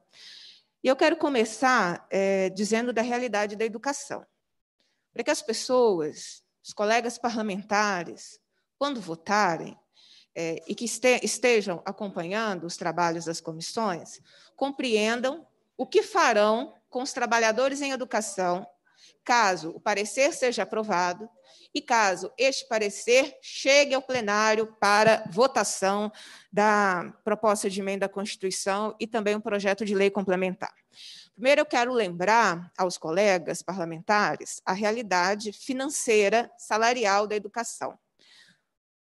Por 10 anos, de 1995 a 2005, os trabalhadores em educação ficaram sem mudança no seu vencimento básico. E isso terá uma grande relevância, porque o conteúdo do projeto de lei complementar que nós estamos discutindo altera a fórmula de cálculo é, das aposentadorias. E essa informação de 10 anos, sem qualquer alteração no seu vencimento básico, uma política remuneratória que não alterou o vencimento básico, tem impacto direto na vida das pessoas. Segundo, essa, esse projeto de lei complementar, se alguém tiver dúvida, eu mostro os artigos, é, para não dizer que é, eu estou fazendo terrorismo, a gente pode discutir artigo por artigo aqui nessa comissão, pelo tempo necessário. Eu não tenho pressa para fazer a discussão desse projeto de lei complementar. Mas este projeto de lei complementar, ele destrói a aposentadoria específica do magistério, que é, que é conhecida como aposentadoria especial. Essa aposentadoria específica, ela está na Constituição Federal por uma razão que deveria ser óbvia para todos nós. Os profissionais do magistério constituem uma profissão que, ao longo da sua carreira, que deveria ser de 25 anos de sala de aula, eles acumulam desgastes físicos e emocionais que não se recuperam. Você não tem um fim de semana, você não tem férias em que haja recuperação da deteriorização cotidiana das suas condições de saúde física, saúde emocional. Faz parte da característica da profissão. A nossa profissão é uma profissão é, que comprovadamente acumula um desgaste ao longo dos anos, que vai se acumulando, é, e, portanto, o reconhecimento dessa aposentadoria específica, com a redução de cinco anos, tanto para homens quanto para as mulheres, corresponde a esse reconhecimento é, dessa situação, lhes, lhes concedendo por direito uma aposentadoria específica. Isso é uma garantia que veio depois da ditadura militar, com a redemocratização do país e a Constituição Cidadã de 1988. Este projeto de lei complementar que nós estamos discutindo e que irá à votação daqui a pouco, se aprovado, como está, que é como também foi aprovado na Comissão de Constituição e Justiça, destrói a aposentadoria específica dos professores. Até agora, ninguém do governo se deu ao trabalho de explicar por que, que o governo está destruindo a aposentadoria específica dos professores e das professoras. Vou continuar perguntando, quem sabe um dia tenha a coragem de responder por que está destruindo a aposentadoria específica das professoras e dos professores. Primeiro, algo muito curioso que está é, nas propostas em tramitação na casa. Retira da LDB, porque é a LDB que define função de magistério. Proje os projetos, eles tiram, é, passam essa definição para o Estado. Quem decide o que é a profissão do magistério não é o Estado de Minas Gerais. A legislação é federal, está na Lei de Diretrizes e Bases da Educação. Então, nós ainda corremos o risco de ver o Estado descaracterizar o que é função de magistério em Minas Gerais. Segundo, que a mulher que hoje se aposenta, professora, aos 50 anos de idade, passará sim a se aposentar aos 57 anos de idade. Portanto, sete anos a mais, que me parece que não está incomodando as pessoas aumentar em sete anos o tempo, a idade das professoras e das pessoas em geral. Segundo, o homem que era de 55 anos, ele passa a se aposentar aos 60 anos, mais cinco anos. Por que, que as mulheres foram sete, os homens foram cinco? Vou continuar perguntando, mesmo não tendo respostas. Terceiro, é, projeto estabelece 25 anos de contribuição para se aposentar. Então, você vai ter a idade e 25 anos de contribuição. Com 25 anos de contribuição, a professora vai ter uma redução de 57% no seu salário. Eu fiz as contas. Eu trouxe um caderninho, eu mantenho a minha, minha, minha característica de professora. Uma professora que conseguir chegar no final da carreira, sabe aquela carreira que na votação aqui na Assembleia Legislativa em 2011 foi destruída?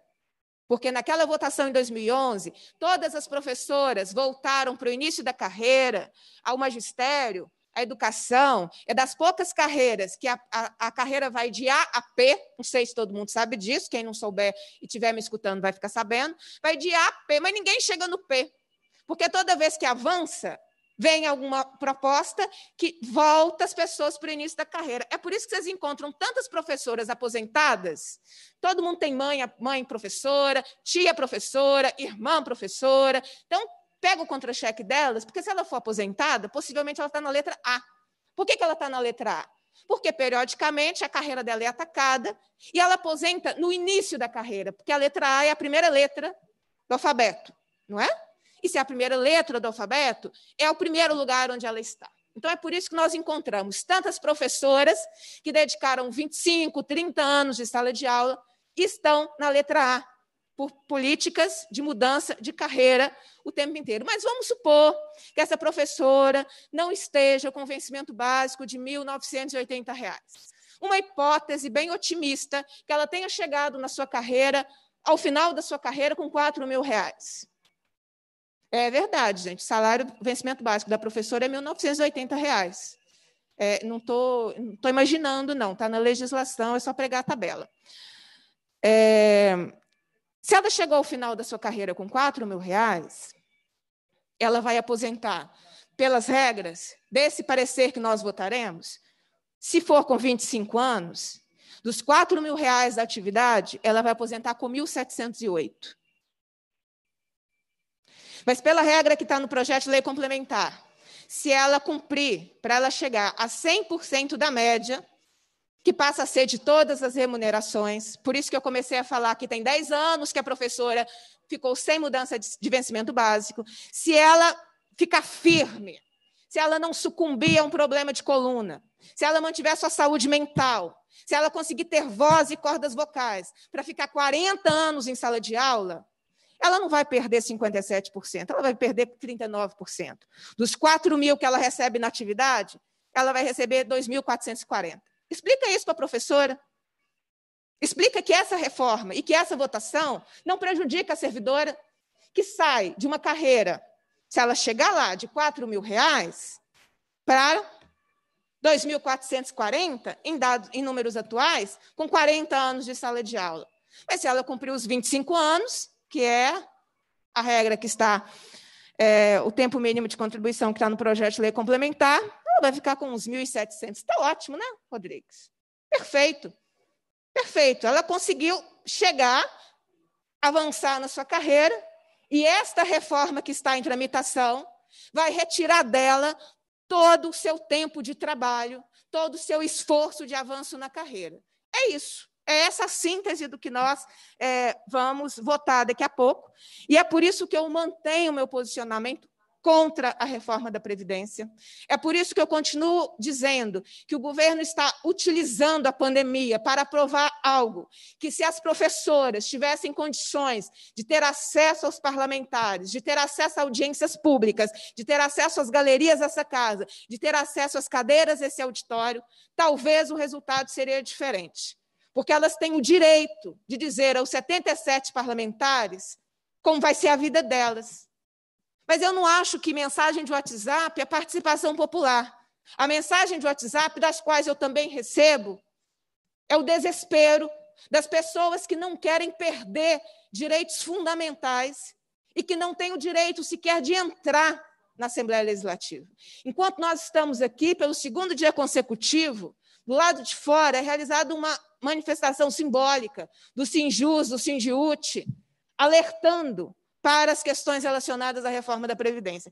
Mas eu já passei por isso, não como deputado estadual, porque alguém confundiu aí, né? Eu só tenho um ano e meio de deputado estadual, alguém disse anos. Eu, eu tenho, eu estou no segundo ano do primeiro mandato é, como deputado estadual, mas eu já passei por isso como professora e como dirigente sindical. A gente alertava, a gente tentava explicar, a gente argumentava, mas avançava um processo avassalador de retirada de direitos, que é o que eu estou vendo que acontecerá. Se alguém acha que essa reforma não é retirada de direitos, vamos fazer o debate? Vamos fazer audiência pública antes de votar? Vamos deixar o governo apresentar o seu PowerPoint aqui para gente? Vamos ter o direito de perguntar? Quem vem aqui explicar a regra de transição? Quem vai defender que a professora fique tranquila porque a regra de transição para ela é boa? E depois que ela se aposentar, vai prestar contas a ela dos prejuízos que ela teve na sua vida funcional por uma regra de transição que não lhe garantiu os direitos que ela teria antes da reforma da Previdência. O debate precisa ser feito. E o debate não está acontecendo porque o debate precisa de participação e do contraditório. E essas questões não estão acontecendo. Agora, todas as pessoas sabem o que vai acontecer não apenas com as mulheres, mas com todos os profissionais do magistério, caso essa reforma prossiga e vá a plenário com este parecer que saiu da CCJ, que é a destruição da aposentadoria específica começou na CCJ com o parecer que está lá. E aqui vai ser votado o mesmo parecer que já foi aprovado na Comissão de Constituição e Justiça. São essas as palavras para encaminhamento contra contra o parecer do projeto de lei complementar 46 que está em discussão aqui nesse momento. Para encaminhar, conceda a palavra ao deputado Sargento Rodrigues. Presidente, eu serei breve no nosso encaminhamento e vou encaminhar favoravelmente a retirada do PLC, mas seria bom ler aqui a matéria num todo, presidente, conteúdo da Confederação Nacional dos Municípios, no portal de notícia deles, Previdência, Conselho propõe prorrogação de prazo constante na portaria 1348-2020. Para o telespectador entender, é essa portaria que fixa o prazo de 31 de julho para que os estados e municípios possam alterar as alíquotas de contribuições dos servidores em seus respectivos regimes de previdência. Diz aqui o seguinte a matéria do Conselho Nacional dos Municípios.org.br.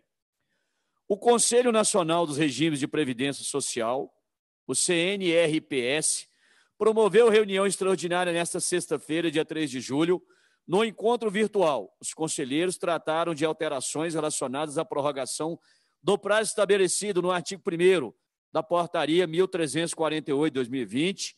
A alteração, no entanto, precisa ainda ser analisada pela Procuradoria-Geral da Fazenda Nacional.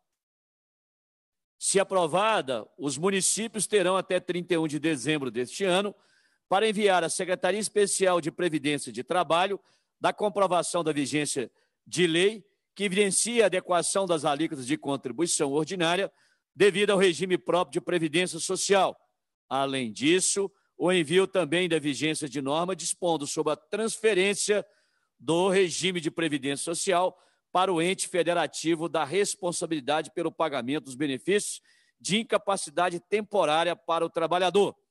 a Confederação Nacional dos Municípios, integra o Conselho Nacional, sendo representada pelo presidente de honra da entidade, Paulo Zil. Na oportunidade, Zilkowski pediu a palavra, manifestando que o prazo fosse postergado para 31 de dezembro de 2021 e não deste ano, conforme aprovada no pedido. Paulo Zilkowski alegou que seria complicado fazer as alterações legislativas ainda dentro do exercício de 2020 e que, no início de 2021, os novos gestores eleitos não teriam prazo, aliás, teriam prazos que no início de 2021 os novos gestores eleitos não teriam prazo suficiente para tomar conhecimento da situação e adotar as medidas necessárias. Presidente, está aqui o presidente nacional né, da Confederação Nacional dos Municípios. Então, é uma demonstração que nós estamos aqui absolutamente no caminho certo. Eu não sei, talvez a doutora Michele, a doutora Débora possam nos falar qual foi o município do estado de São Paulo, São Bernardo do Campo. Ingressou, me parece que quem ingressou foi o presidente da Câmara, que ingressou com o mandado de segurança e conseguiu que fosse postergado o prazo. Então, eu, é, o que nós estamos fazendo aqui, presidente, no meu caso, e eu quero deixar isso muito claro, não é fazer aqui, deputado Raul Belém, não é fazer uma obstrução por obstrução. Eu não faço isso, eu não tenho hábito de fazer isso. Eu faço obstrução com um objetivo claro. Qual o objetivo da obstrução que eu estou fazendo? Fiz na CCJ, estou fazendo aqui na administração, farei em todas as comissões que eu tiver condições de fazê-la, do ponto de vista regimental. É porque é uma matéria muito complexa. É uma matéria que não pode ser votada sem a presença dos sindicatos e das associações dos servidores públicos do Estado de Minas Gerais. É uma matéria que requer um debate profundo. É uma matéria que não pode ser votada num período de calamidade pública da forma que está sendo tocada aqui, com prazo até 31 de julho, e hoje é um dia 7, portanto, a Assembleia, pelo o andar da carruagem e os burburinhos dos bastidores, a Assembleia quer votar isso até sexta-feira da semana que vem. E eu conheço essa casa. Quando quer impor o ritmo de votação, impõe. Impõe. E aí, nessa tentativa de aprovar e entrar de recesso, sai atropelando todo mundo. Então, eu sou favorável e faço obstrução, porque eu entendo que precisa ser melhor debatido.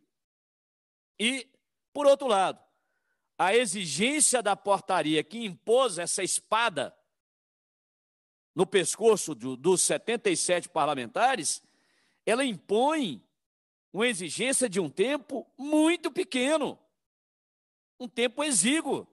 Então, nós não podemos votar essa matéria, tanto é que o relator aqui, o deputado João Magalhães, não fez nenhuma alteração.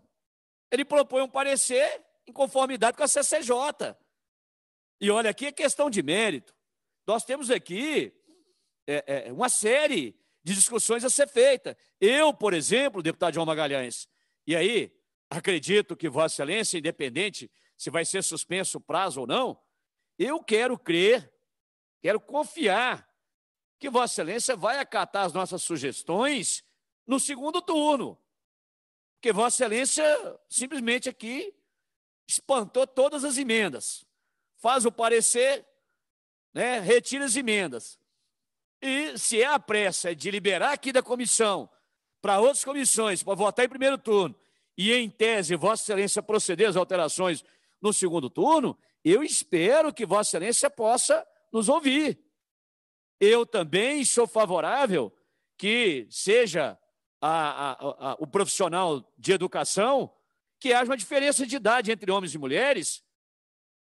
Eu sou favorável que haja uma diferença de idade entre homens e mulheres na área da segurança pública, na Polícia Civil, né, na Polícia Penal, nos agentes socioeducativos, na Polícia Legislativa, que está citada aqui tanto na PEC quanto no PLC, de adentrar esse detalhamento, porque o parecer de Vossa Excelência não adentra no detalhamento.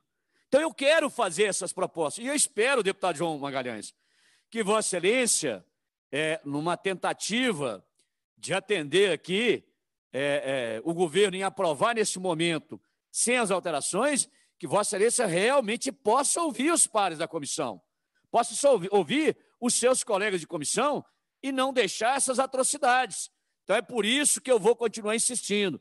É por isso que eu voto sim pela retirada de pauta e voto, né? E esperamos que esse prazo seja estendido pelo menos a 31 de dezembro desse ano.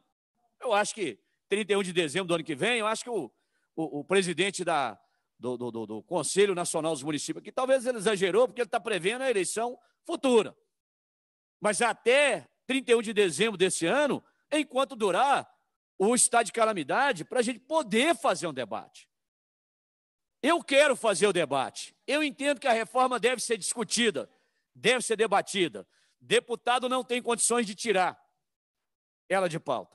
Não tem condições de tirar ela de pauta. deputado não tem condições. Nós não temos dispositivo no regimento que retire ela de pauta. O único que tem condições de fazer isso aqui chama-se presidente Agostinho Patrus. Só ele. Ah, como, deputado? Ué, não permitir que ela tramite. Ou estacione ela na gaveta de alguma comissão. Porque se a gente for analisar aqui, ó, quantos PLCs estão aguardando parecer na, na administração pública? Quantas PECs tem de autoria de deputados que estão nas gavetas? Que não passa pela CCJ e nem comissão especial. Centenas de emendas à Constituição, centenas de PLCs. Ah, aí não, aí chega uma, porque tem uma portaria, então nós podemos atrofiar o mandato, castrar o mandato dos deputados e deputadas, não permitir a participação popular, não permitir que a outra parte interessada. Porque aqui, deputado João Magalhães, nós aprovamos requerimento ontem. Vamos fazer uma audiência pública. Como é que ela vai ser? Remota. Quem vai vir aqui? Matheus Simões e Gustavo Barbosa. Que pelo menos são os dois indicados que eu quero trazer aqui. É porque os cérebros maldosos da reforma são os dois. Trazemos eles aqui. Tá aí os sindicatos e as associações. Cadê que isso aqui não vai estar lotado? Então há um prejuízo muito claro. Então queria deixar claro aos colegas deputados e deputadas que eu sou a favor do debate da reforma. Eu entendo que é necessário fazer alterações, eu também entendo. Mas é preciso fazer justiça. Por isso que eu apresentei emenda. Uma emenda ali, que é a emenda número 8, já pediu o presidente para destacar. Presidente, o requerimento está pronto. Na terceira fase eu faço a leitura. Vou pedir os colegas deputados da comissão, especialmente a deputada Beatriz Cerqueira já falou que assina o deputado é, Oswaldo Lopes. Né, eu gostaria muito que ele pudesse assinar, porque ele, ele, ele reproduz o que nós estamos tentando fazer aqui a todo momento, presidente. Para encaminhar, deputado Oswaldo Lopes. Microfone de Vossa Excelência. Ok. É para votar ou encaminhar, presidente? Para encaminhar. Encaminhar? Não, meu voto é sim e acompanho aí a, o requerimento da Beatriz Cerqueira.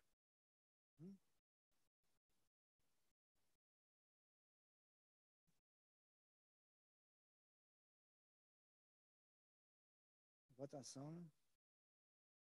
Em votação, o requerimento para retirada de pauta do PLC 46 2020.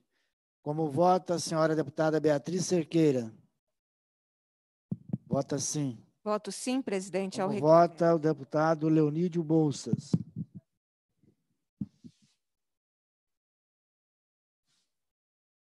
Deputado Leonídio Bolsas.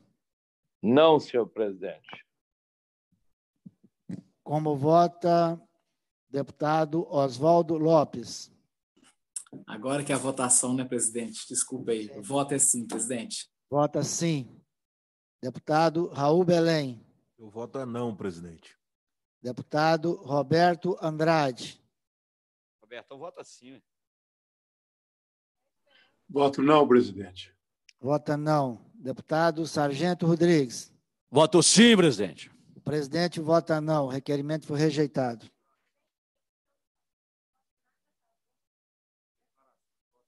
Próximo eu vou votar. Vou negociar com o Rodrigo. O Rodrigo vota contra, eu voto a favor. Vai, eu voto. Suspendo a sessão por um minuto. Você é um fanfarrão. Vamos lá. Está prevista na deliberação da mesa 2737 de 2020, para Ordem, artigo presidente. 5 parágrafo 3 quarto. Manter- é, eu queria que meu microfone ficasse ligado, porque eu- pela ordem, presidente. Sim, tem você nessa palavra pela ordem. Nós não acabamos de votar um requerimento semelhante, presidente? Sim, E qual a diferença do senhor ter recebido outro requerimento e esse não? eu abri uma sessão, senhora presidente, Perfeitamente, presidente. mas é, eu consultei a assessoria logo depois e vi que a gente estava é, no mesmo erro de ontem. Já está plenamente contemplado no regimento interno as votações nominais. Requerimento sobre a mesa, de autoria da deputada Beatriz Cerqueira e deputado Sargento Rodrigues. Os deputados que subscrevem requerem a Vossa Excelência, nos termos do artigo 247 do Regimento Interno, o adiamento da discussão do projeto de lei complementar número 46 de 2020 do governo Romeu Zema Neto. Para encaminhar, presidente? Para encaminhar, tem Vossa Excelência a palavra por 10 minutos. Perfeitamente, presidente. Esse requerimento, eu vou dar continuidade ao debate contra, parecer contra a reforma. Na minha intervenção anterior, eu havia abordado a discussão de, da reforma da Previdência na, para a educação. Antes, eu abordei o debate sobre a questão de gênero. E, lamentavelmente, na ausência de uma audiência pública, na ausência de debate, na ausência de um processo que o próprio governo do Estado viesse à Assembleia Legislativa ou reunisse com as entidades do funcionalismo público eh, para apresentar e discutir o projeto, eh, nós acabamos cumprindo esse papel. E eu quero, presidente, então, nesse momento de encaminhamento, esclarecer aos colegas parlamentares e a todos os servidores que nos acompanham nesse debate as questões relacionadas a alíquotas de contribuição. Porque a reforma altera, a reforma proposta pelo governo Romeu Zema altera de forma substancial as questões relacionadas à alíquota, e com isso eh, significará a retirada de salário. As pessoas vão perder no seu salário, eh, e como eu já havia dito em várias oportunidades, vão perder no salário, na sua remuneração, aqueles com menor remuneração. Eh, e tenho aqui também algumas tabelas que eu vou apresentar, porque disseram que essa reforma é uma reforma que combate privilégios, e eu trouxe aqui as faixas salariais para que nós possamos eh, entender essa reforma. Hoje, os servidores contribuem com 11% para a sua aposentadoria, servidores que estão em atividade. Bem, eu quero começar por esse ângulo, exatamente para identificar que os servidores já contribuem. Então, já tem recurso, mês a mês, oriundo do salário desses servidores, para o custeio futuro da sua aposentadoria. É, hoje, aposentados e pensionistas que recebem até o teto do INSS estão isentos porque já contribuíram durante toda a sua vida de trabalho e, portanto, é, não contribuem nesse momento, contribuem do valor que excede é, o teto do INSS, exatamente contribuem, o cálculo é feito naquilo que excede. Qual é a proposta que o governo nos apresenta? Primeiro, ele traz a ideia da progressividade. É um discurso bacana, progressivo, você vai pagar de acordo com o seu salário. O problema da progressividade é que ela vai começar em 13% até 19%. Nós poderíamos estar atacando e fazendo a correção dessa progressividade aqui na nossa Comissão de Administração Pública. Segundo aspecto da proposta do governo todos sofrem aumento de contribuição. Nenhum servidor, por menor que seja o seu salário, é, não será atingido pela reforma. Então, aqui eu refuto aquela ideia de que é uma reforma que corrige distorções e desigualdades. Não corrige desigualdade você taxar quem ganha R$ 1.045, 1.050 reais, é, numa reforma da Previdência. Não corrige distorção você taxar aqueles que têm a remuneração mais baixa. É, o terceiro aspecto da proposta é exatamente a cobrança de aposentados e pensionistas, todos que ganham a partir de R$ 1.045,01. Então, essa inovação, essa é, criatividade do governo Romeu Zema começa atingindo aqueles que têm os salários mais baixos na administração pública direta. É, e a quarta questão, que tem sido pouco falada, é a autorização, a possibilidade do, da cobrança de alíquota extraordinária.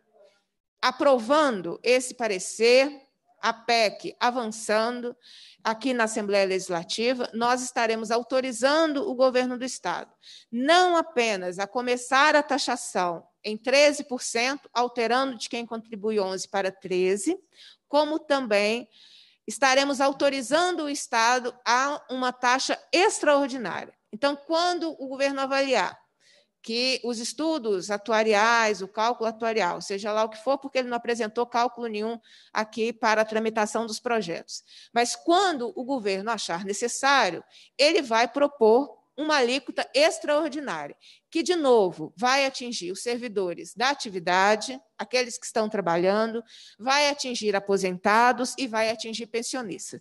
Então, aquelas pessoas, inclusive, que hoje, porque já contribuíram toda uma vida, não são taxados para é, contribuição previdenciária, não só serão taxados, como poderão ter uma taxa extraordinária. Então, duas taxações, além das de 13%, um outro percentual que a legislação não trata, porque nesse momento ela autoriza a cobrança de alíquota extraordinária para todos. Então, esse é um outro aspecto da reforma que precisa ser alertado e, por isso, meu encaminhamento é sempre contra a continuidade da tramitação da reforma. Eu estou com dados que é, foram retirados à fonte, a demonstrativo de despesa com pessoal da CEPLAG. É, então, eu estou com números da administração direta dos servidores aposentados, aí não é da educação, de todos os servidores aposentados. E o curioso que a faixa de 20 a 40 mil, é, 20 R$ reais a R$ 40.747, de acordo com o demonstrativo de pessoal da CEPLAG, não existe nenhum servidor. Mesmo que aqui na casa, durante os trabalhos da Comissão de Constituição e Justiça, foi dito que a, a reforma precisaria corrigir distorções daqueles que ganham 100 mil reais por mês. Não encontramos, de acordo com os dados da CEPLAG, na administração direta, é, nos aposentados, é, nenhuma faixa de renda que diga respeito aos valores que foram trazidos na semana passada e que justificariam a correção de distorções, a correção de desigualdades. Nenhum servidores. Na faixa salarial número 8, R$ 40.747, também nenhum servidor. Mas até R$ 3.134 que são servidores aposentados e que hoje estão isentos da contribuição, porque já contribuíram toda a sua vida, estes servidores serão taxados em 13%. Então, nós temos uma faixa salarial baixíssima, que vai até R$ 3.134 de aposentadoria, como faz falta, né? Um debate com o governo, o PowerPoint do governo, as informações trazidas pelo governo, 190 mil e 200 servidores aposentados da administração que hoje não contribuem para a Previdência, porque já contribuíram toda a sua vida, e se essa reforma passar, serão taxados em 13% automaticamente. Podendo, depois do início da taxação dos 13%, chegar a taxa, uma taxação extraordinária, porque a legislação, se aprovada, que é que nós estamos debatendo, autorizará o governo a fazer uma cobrança extraordinária. Se nós formos até o limite do regime geral de previdência, que é hoje a isenção é, para a contribuição previdenciária dos aposentados, aí eu estou falando dos aposentados, nem aqui acrescento os pensionistas, nós temos mais 5.331 servidores, de acordo com o demonstrativo de despesa de pessoal da CEPLAG.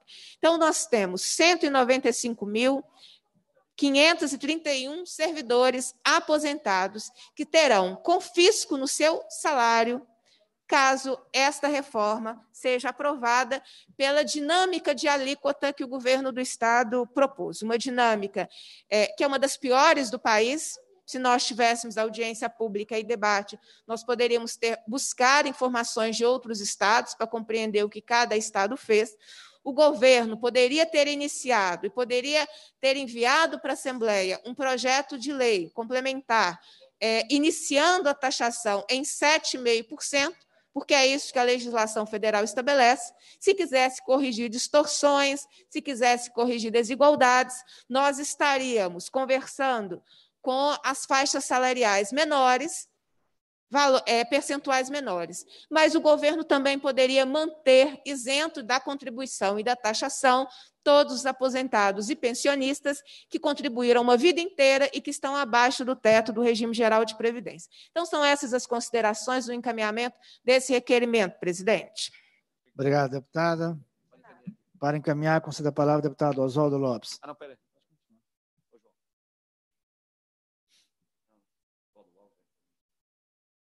Microfone de Vossa Excelência está bloqueado. Ah, ok. Obrigado, presidente. Acompanho o raciocínio da deputada Beatriz Cerqueira, eu encaminho também para o voto sim. Para encaminhar, conceda a palavra ao deputado Sargento Rodrigues. Presidente, nós, obviamente, caminharemos o voto sim, e já está pronto aqui o requerimento que nós vamos encaminhar para o seja encaminhado aos membros do Conselho Nacional de Previdência Social, ao secretário especial de Previdência e Trabalho, ao ministro da Economia e ao Procurador-Geral da Fazenda Nacional. O pedido de providência para que seja encaminhado em caráter de urgência, pedido de prorrogação previsto na portaria 1348 de 3 de dezembro de 2019, em razão das limitações impostas ao devido processo legislativo com restrições da participação popular e o exercício do mandato, especialmente aquelas que limitam o acesso de servidores e cidadãos e a realização de audiências públicas. Bom, presidente, é, nós estamos encaminhando, estou fazendo aqui a leitura de parte do requerimento, o deputado Oswaldo Lopes. É bom deixar claro aqui que o deputado Oswaldo Lopes vai assinar também o requerimento, ele já manifestou aqui. É, então, nós somos três deputados que estamos assinando o requerimento aqui. Eu, a deputada Beatriz Cerqueira e o Oswaldo Lopes. Se qualquer outro deputado tiver interesse de assinar o requerimento, presidente, nós também disponibilizamos sem problema nenhum, porque nós entendemos que a matéria continua no afogadilho. É, a matéria não poderia ser votada do jeito que está sendo colocada, ela mexe com a vida de cerca de 600 mil pessoas, somente no executivo são 470 mil. Então, quando você pega os servidores do legislativo, os ativos, aposentados e pensionistas, quando você pega os servidores do judiciário, ativos, inativos e pensionistas, do Ministério Público, do Tribunal de Contas, da Defensoria Pública, nós vamos chegar aí a algo em torno de 600 mil famílias. 600 mil famílias, nós não estamos falando de, de meia dúzia de servidores. Então, o impacto é muito forte nós continuamos aqui nessa resistência de não permitir que essa matéria seja levada a toque de caixa. É uma crueldade, é uma covardia o que o governador Romeu Zema está fazendo. Mas eu vou repetir aqui de novo. Quem sabe a minha voz chega a algum dos líderes, né? É, essa matéria ela poderia estar tramitando de forma diferente se um dos líderes retirasse a assinatura do acordo de líderes. Então, é, nós temos aqui a parcela de responsabilidade do governador Romeu Zema, quando ele encaminha uma proposta cruel, um pacote de maldade. Mas nós temos uma parcela que alguns deputados aqui discordam, que acham que é só o Zema. Não. O Zema encaminhou, mas quem vai votar é a Assembleia. Então eu vou fazer aqui uma sugestão. Quem sabe um dos líderes, né? Quem sabe o, líder do bloco, do nosso bloco, vou começar pelo nosso bloco, o deputado Cássio Soares, o líder do governo, né, do bloco do governo, o deputado Gustavo Valadares, o líder do outro bloco independente, Cássio Soares, ou, aliás, do deputado Sávio Souza Cruz, o líder da oposição, o deputado André Quintão, o líder da minoria, o deputado Ulisses Gomes, o líder da maioria, o deputado Inácio Franco. Quem sabe um dos líderes retira a assinatura do acordo de líderes, que ela tem que ser na totalidade. Então, faça aqui um apelo a um dos líderes. Retire a assinatura dessa tramitação, dessa matéria, e chega para o presidente e fala: olha, presidente Agostinho, eu, eu é, quero ajudar aqui em tudo, mas eu não posso concordar com essa matéria sendo tocada né, a todo vapor, a toque de caixa. Vou voltar a manifestar a seguinte preocupação, presidente.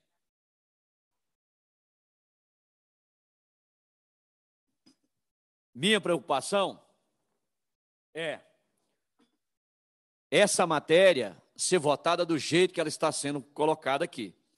Por qual motivo?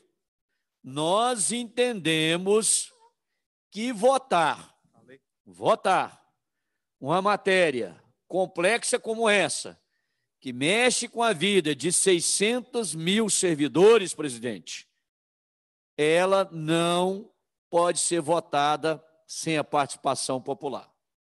Ela não pode ser votada sem a presença dos presidentes de sindicatos e associações à mesa conosco, aqui nessa grande mesa. E vou falar novamente o que eu disse semana passada. Causa-me estranheza. Alguns sindicatos estão calados. Eu espero que sindicato servidor não venha pelegar. Eu espero que sindicato servidor não venha fugir do embate, porque é hora de manifestação.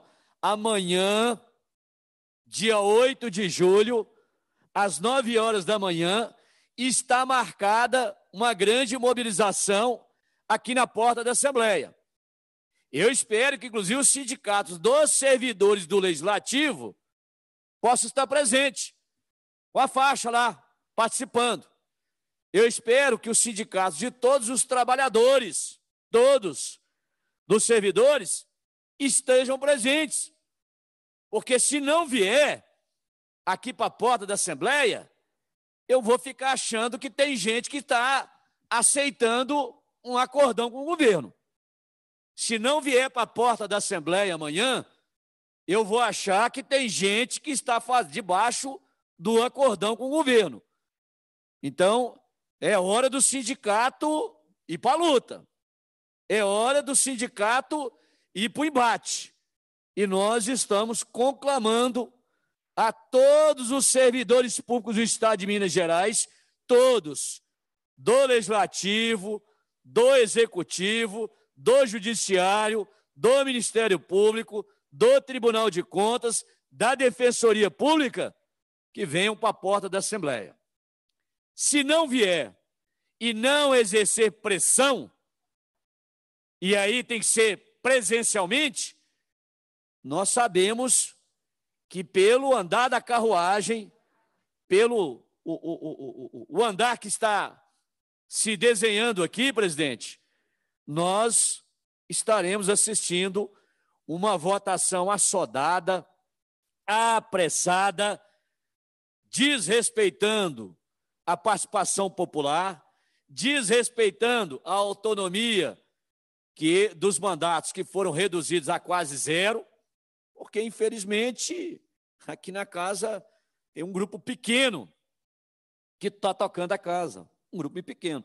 Eu já falei isso, alguns deputados querem falar, mas não têm coragem, né? Então, isso preocupa muito. Então, presidente, eu quero dizer o seguinte: espero que amanhã seja um dia em que os servidores, em que os servidores possam manifestar e possam trazer aqui sua indignação.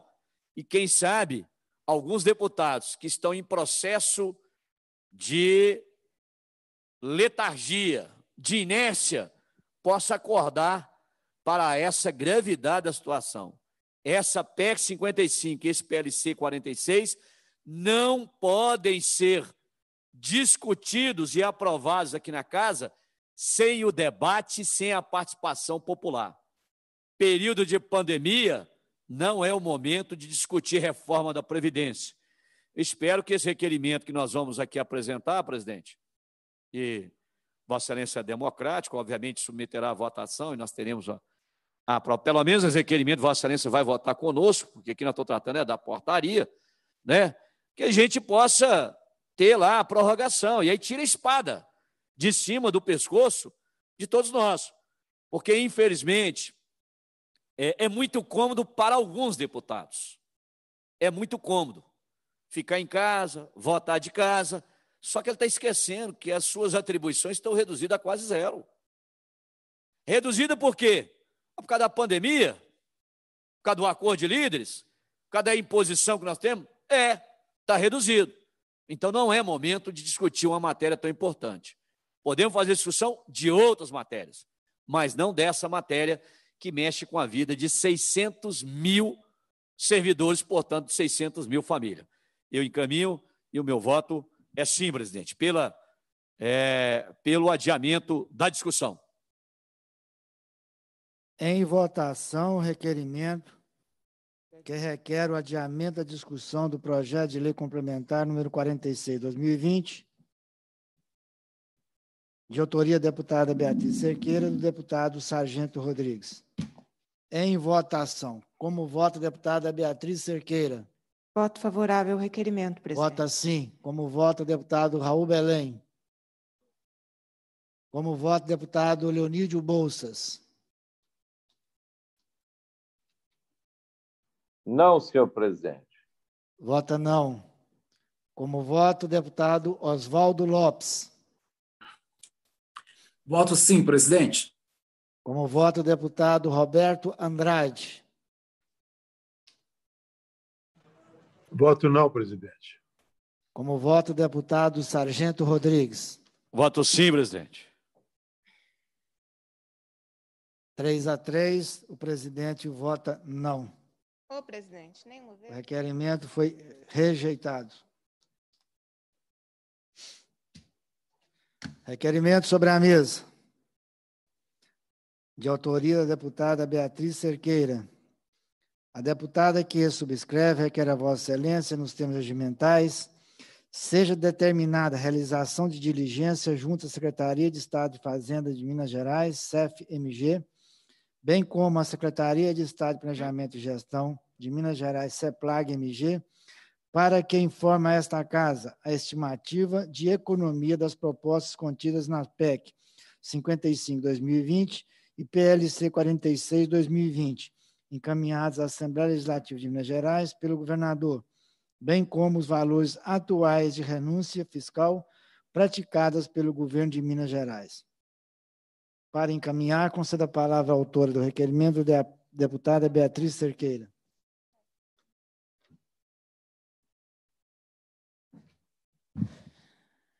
Obrigada, presidente. Esse é mais um esforço nosso. É, nós sabemos da complexidade. Dez minutos? Dez minutos. É, nós sabemos da complexidade de uma matéria, como é uma reforma da Previdência, organização de fundos, alteração da estrutura do IPSENG, que sim sofrerá uma reestruturação, e nós não sabemos é, não está escrita né, na, na, no projeto de lei complementar e nem na PEC, é, o que, que o governo pretende fazer depois dessa reforma com o IPSENG. A nossa, o nosso temor eu tenho o direito de ter temor de pensar o que eu quiser, porque o governo não vem debater nada. É, mas o nosso temor é que o IPSENG vá se aproximando cada vez mais de uma política é, privada de plano de saúde, e não um patrimônio dos seus servidores, com tudo que ele presta de serviços aos seus servidores e aos seus dependentes. Então, é, eu tenho o direito de ter esse temor, porque, como não tem debate, a gente não tem direito de perguntar nada ao governo, porque ele não aparece aqui, não tem audiência pública. É, então, como é uma matéria de extrema complexidade, é, eu não vejo dificuldades é, em que seja promovida essa diligência junto à Secretaria de Estado da Fazenda e também à Secretaria de Planejamento e Gestão, para que nos informe a estimativa de economia é, das propostas contidas na PEC 55 e no PLC, no caso o PLC, o Projeto de Lei Complementar 46, que é o que está em tramitação aqui na nossa comissão, bem como os valores atuais da renúncia fiscal praticada pelo governo de Minas. Por que, que tem essa última parte, presidente? Porque a reforma da Previdência ela está sendo apresentada à sociedade, à Assembleia Legislativa, aos servidores, isso foi dito aqui no microfone mais cedo, como uma medida essencial para colocar os salários em dia, para que os servidores consigam receber salário, para fazer uma, é, uma economia e, portanto, para melhorar o Estado do ponto de vista fiscal. Eu já estou é, antecipando que não será, será esta a realidade caso o governo do Estado aprove a reforma. Eu ouvi isso em relação à reforma administrativa, foi aprovada e os servidores não melhoraram sua condição de recebimento de salário, quando nós aprovamos a antecipação dos recebíveis do Unióbio, ou seja, periodicamente, é, quando o governo quer aprovar algo estrutural que lhe causa desgaste, ele transfere para a Assembleia Legislativa, ou tenta transferir essa responsabilidade, de modo que a sua não aprovação manterá o Estado é, numa situação de dificuldade financeira. É, mas semestre que vem, nós vamos ouvir é, que para colocar os salários em dia vai precisar vender a CEMIG. Depois vai precisar vender a, Copasa. E aí vai vendendo um grande leilão das lojas Lema, né? É, e nós vamos viver num grande leilão e a cada período precisa vender alguma coisa para pagar os servidores, porque essa é a dinâmica que o Estado estabeleceu desde o ano passado. Nós poderíamos estar discutindo uma reforma da Previdência que corrigisse distorções, que organizasse melhor o sistema, mas nós não estamos discutindo uma reforma com esse perfil, é, e o debate sobre a renúncia fiscal praticada no Estado é porque, se nós somarmos as isenções com as perdas de receita, nós chegaremos a um valor previsto no orçamento deste ano superior àquele que o governo é, investirá em educação. Nós temos mais de 13 1,9 bilhões de reais em é, isenções e perdas de receita praticadas pelo governo de Minas. Eu acho que nós deveríamos estar gastando toda essa energia. É, foram três reuniões da Comissão de Constituição e Justiça, nós estamos na nossa segunda reunião. É, debatendo o projeto de lei complementar, nós prestaremos um serviço à sociedade muito melhor se nós estivéssemos discutindo esses 13 bilhões ou seja, demonstrando que o Estado está fazendo um esforço de melhorar a sua arrecadação pela receita, e não retirando de servidores que têm baixas remunerações, como é aquilo previsto pela, pela proposta de reforma da Previdência, conforme eu já coloquei vários argumentos aqui é, durante o nosso debate. Então, por esse motivo, presidente, eu estou apresentando o requerimento eu vou pedir a votação dos colegas favoráveis a essa diligência para que nós tenhamos essas informações. Eu já apresentei hoje três questões de ordem. Todas as questões de ordem diziam é, respeito é, à ausência de informações, que o governo encaminhou uma proposta de emenda, de emenda à Constituição em projeto de lei complementar sem as informações pertinentes. Todas as questões de ordens não foram aceitas aqui na comissão, como também apresentei questão de ordem na Comissão de Constituição e Justiça, e assim e que também não foram acatadas, e assim a gente vai caminhando para chegar ao plenário com uma votação de uma reforma da Previdência sem transparência, sem dados, sem informações, sem que o governo seja questionado a respeito de nada. Nós vamos chegar no plenário sem que o governo seja é, obrigado a informar qualquer coisa à Assembleia Legislativa, como se o projeto de lei complementar e a proposta de emenda à Constituição estivessem perfeitos transparentes em todas as informações, trazendo todos os impactos, trazendo toda a discussão necessária, o que não é verdade. Por isso, a minha insistência em relação a esse requerimento, presidente. São essas considerações para a diligência em relação ao que eu apresentei e com o conteúdo que eu apresentei, presidente. Obrigado, deputada. Para encaminhar, deputado Sargento Rodrigues. Presidente, serei breve até porque, presidente, a matéria, o requerimento já aportado pela luz colega deputada, já foi objeto aqui de diversos questionamentos desse deputado. E eu trago aqui a matéria publicada pelo jornal Estado de Minas, do dia 12 de fevereiro de 2020, onde diz o seguinte: o governo de Minas Gerais abriu mão de 6,2 bilhões em impostos em 2019 isso ano passado. A previsão para esse ano, presidente, é de algo em torno de 6,9. Ele abriu mão o ano passado de 6,2. E a previsão esse ano é que ele abra mão. Você que está nos acompanhando pela TV Assembleia, o governo Zema mandou a esta casa a PEC 55 e o PLC 46, tratando da reforma da Previdência. O governo alega que não tem dinheiro, que é fundamental fazer a reforma e que vários deputados aqui da base de governo, os governistas mais roxos, né, é, defendem que tem que ter a reforma, alegando que não tem dinheiro. Mas ao, é, e com essa reforma, segundo entrevista dada pelo secretário de Fazenda, o senhor Gustavo Barbosa, a quem nós devemos trazer aqui nesta comissão, disse que a reforma da Previdência trará para o ano que vem, de 2021, em sendo aprovada, uma economia da ordem de 2,3 bilhões por ano. Mas a matéria do jornal Estado de Minas desse ano, que está aqui acabou de. Qualquer um pode. É, qualquer um que está nos assistindo, é só colocar aí governo de Minas, renúncia fiscal, vai encontrar a matéria que eu estou falando. Somente o ano passado, ele a chamada renúncia fiscal, numa tradução mais popular, ele deixou de arrecadar, ele deixou de cobrar os impostos das grandes empresas, as grandes mineradoras, né? As grandes empresas, 6,2 bilhões só em 2019. Esse ano a previsão é de 6,9 bilhões, quase 7 bilhões. E a economia prevista, dita pelo secretário de Fazenda durante entrevista à Rádio Tatiaia, seria de 2,3 bilhões por ano com a reforma da Previdência. Ou seja, um terço do valor. Um terço do valor, se ele cobrasse das grandes empresas, ele cobriria o chamado rombo. É bom que no debate, presidente, que até agora não houve, por isso nós somos contra a tramitação no afogadilho, sem a participação popular, dos sindicatos, das associações, dos servidores públicos, que são diretamente atingidos, né? É, quando o governo faz a renúncia desse dinheiro, desse imposto, quando ele renuncia, mas quem é que pagou? Quem é que pagou por esse dinheiro, desse tributo? Foi o cidadão, principalmente as grandes mineradoras.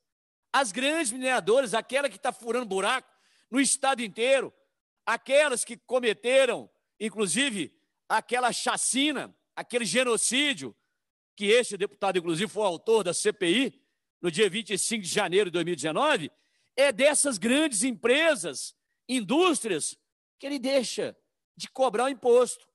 Ele abre mão. Mas que imposto é esse? O imposto que é pago pelo cidadão que é o cidadão que paga no produto final do que é produzido em Minas Gerais. É o cidadão que paga. Paga o chamado ICMS, que é o grande produto, né, que é o grande, eu diria, a grande arrecadação do Estado sobre os produtos que aqui são comercializados de todas as formas, todos os produtos e serviços, é o ICMS.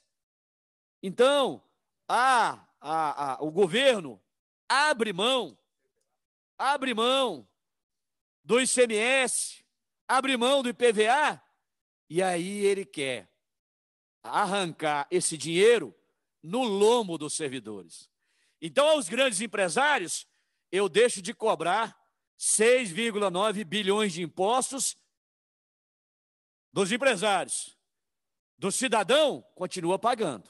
O cidadão não chega, esse, essa renúncia não é descontado na compra que um cidadão faz de um serviço ou um produto na ponta da linha. Ele faz a renúncia. Faz a renúncia também de outros impostos das grandes locadoras, como é o caso da Localiza, que são amigos, são empresários amigos do governador, amicíssimos. Aí ele quer arrancar isso no lombo, nas costas dos servidores. É uma injustiça.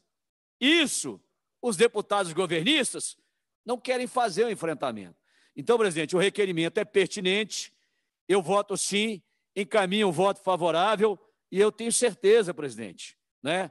Durante, na hora que estiverem aqui, Gustavo Barbosa e o mentor, né?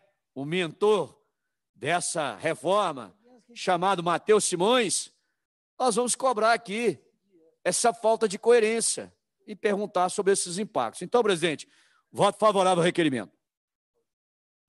Obrigado, deputado. Em votação, o requerimento para que seja determinada a realização de diligência. Como vota a senhora deputada Beatriz Cerqueira? Voto sim ao requerimento, presidente. Como vota o senhor deputado Raul Belém? Voto não, senhor presidente. Como vota o deputado Leonídio Bolsas?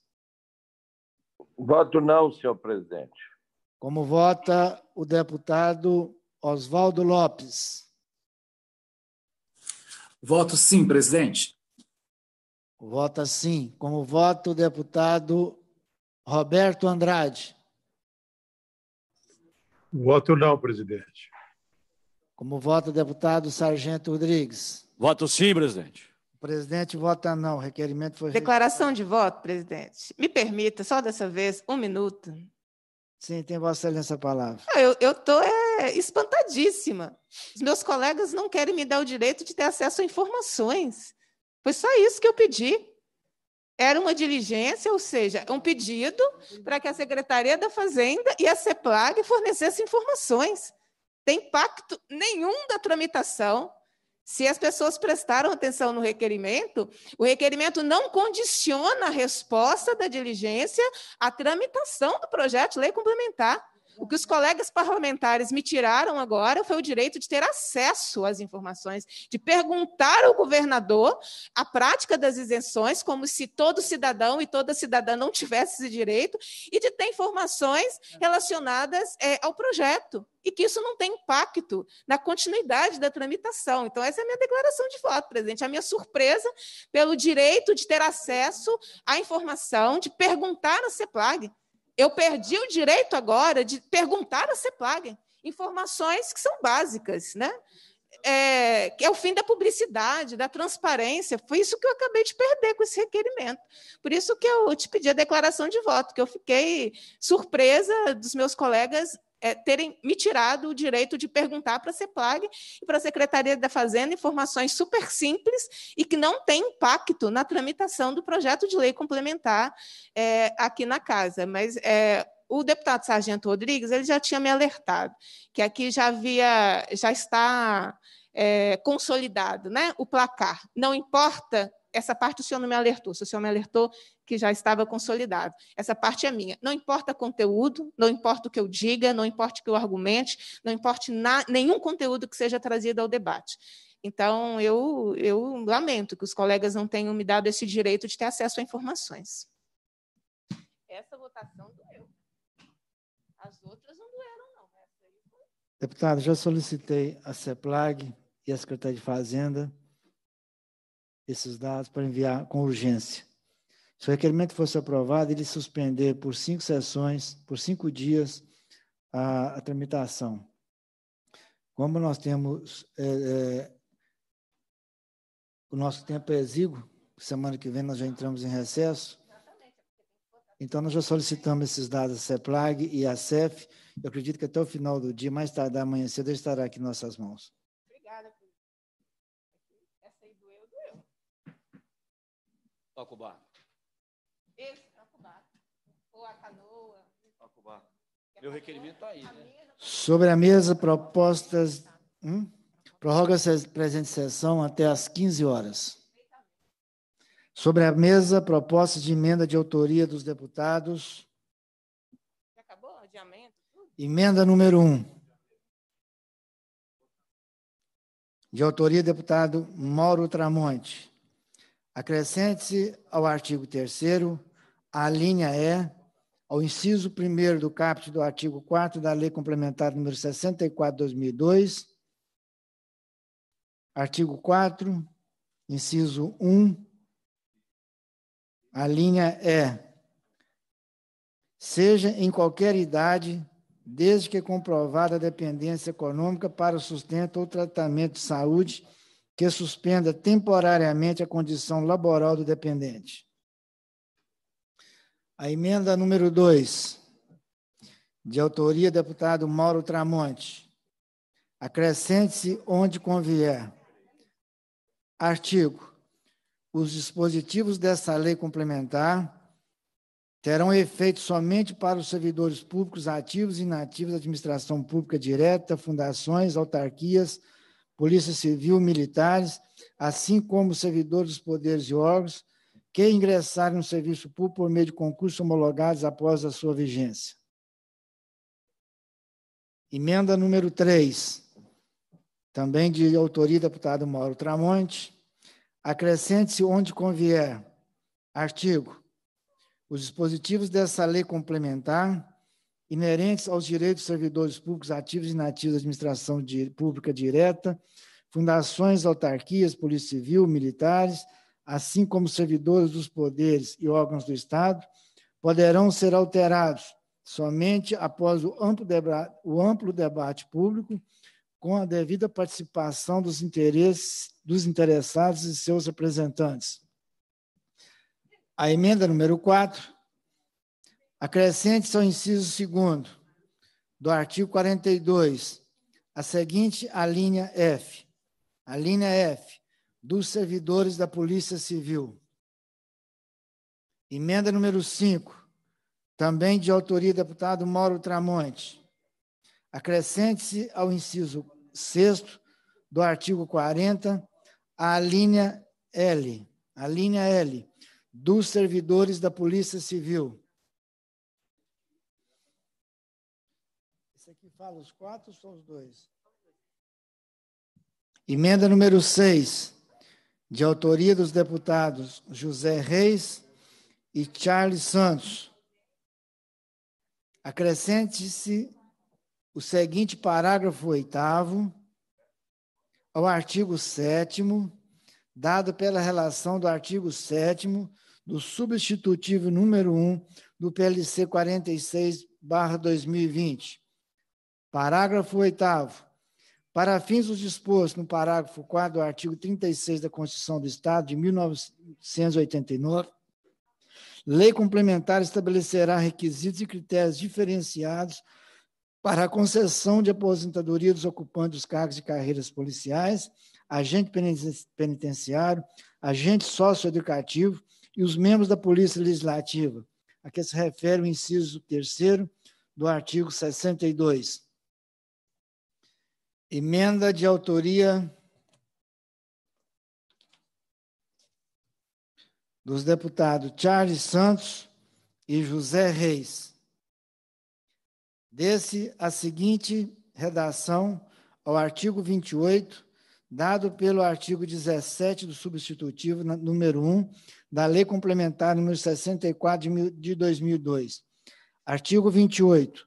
A alíquota de contribuição mensal dos segurados ativos, inativos e pensionistas, a que se refere o artigo 3 será progressiva e incidirá sobre a remuneração de contribuição sobre os proventos e sobre o valor das pensões, de acordo com os seguintes parâmetros. 1. Um, até R$ 2.000, 7,5%. 2. De R$ 2.001 a R$ 6.000, 10%. 6.001 a 12 mil reais, 13%. 12.001 até 16 mil reais, 14%. 16, 5, de 16 mil e 1 até 22 mil reais, 15%. De 22 mil reais até 26 mil reais, 22 mil e 1 até 26 mil reais, 18%. 7. De 26 mil reais e um centavo até 32 mil reais, 20%. Oitavo, acima de 32 mil e um centavo, 22%. Parágrafo 1 não incidirá a alíquota de contribuição do segurado inativo e pensionista sobre os proventos e sobre o valor das pensões de até R$ 1.045, aplicando-se aos demais as alíquotas previstas nos incisos do caput. Parágrafo 2 o, estatuto, o Estado não poderá estabelecer a alíquota inferior à da contribuição dos servidores da União, exceto se demonstrado que o respectivo regime próprio de previdência social não possui déficit atuarial a ser equacionado, hipótese em que a alíquota não poderá ser inferior às alíquotas aplicáveis ao RGPS. Parágrafo 3 a alíquota será aplicada de forma progressiva sobre a base de contribuição do servidor ativo e inativo pensionista, incidido cada alíquota sobre a faixa de valores compreendida nos respectivos limites. Parágrafo 4 A alíquota de contribuição patronal será equivalente ao dobro da alíquota de contribuição prevista no caput deste artigo, para os segurados de que trata os incisos 1, 2, 3 e 5 do caput do artigo 3 Parágrafo 5 a alíquota de contribuição mensal dos servidores inativos e dos pensionistas incidirá sobre o valor dos proventos das pensões que supere o limite máximo estabelecido para os benefícios do RGPS, de que trata o artigo 201 da Constituição da República. Parágrafo 6 quando houver déficit atuarial, a contribuição ordinária dos aposentados e pensionistas poderá incidir sobre o valor dos proventos de aposentadoria de pensões que supere o valor máximo estabelecido para os benefícios do RGPS, de que trata o artigo 201 da Constituição da República. Emenda número 8, de autoria do deputado Sargento Rodrigues, dê a seguinte redação ao inciso 1 do artigo 28 da Lei Complementar número 64 de 2002. Artigo 28, inciso 1. Até um salário mínimo, 7,5%. Emenda, propósito de emenda número 9. De autoria do deputado Sargento Rodrigues. Desse ao CAPT e ao inciso 1 do artigo 28 da Lei Complementar número 64 de 2002, a, a seguinte redação, acrescentando-se o inciso 2 e renumerando-se os demais. Artigo 28. A alíquota de contribuição mensal dos segurados ativos, aposentados e pensionistas, a que se refere o artigo 3 será progressiva e incidirá sobre a remuneração de contribuição sobre os proventos e sobre o valor das pensões, de acordo com os seguintes parâmetros: até um salário mínimo, 7,5%, acima de um salário mínimo do, até R$ 2.000, 9%. Esta presidência informa que, nos termos do artigo 242 do Regimento Interno, a discussão da proposição será feita no seu todo, inclusive emendas.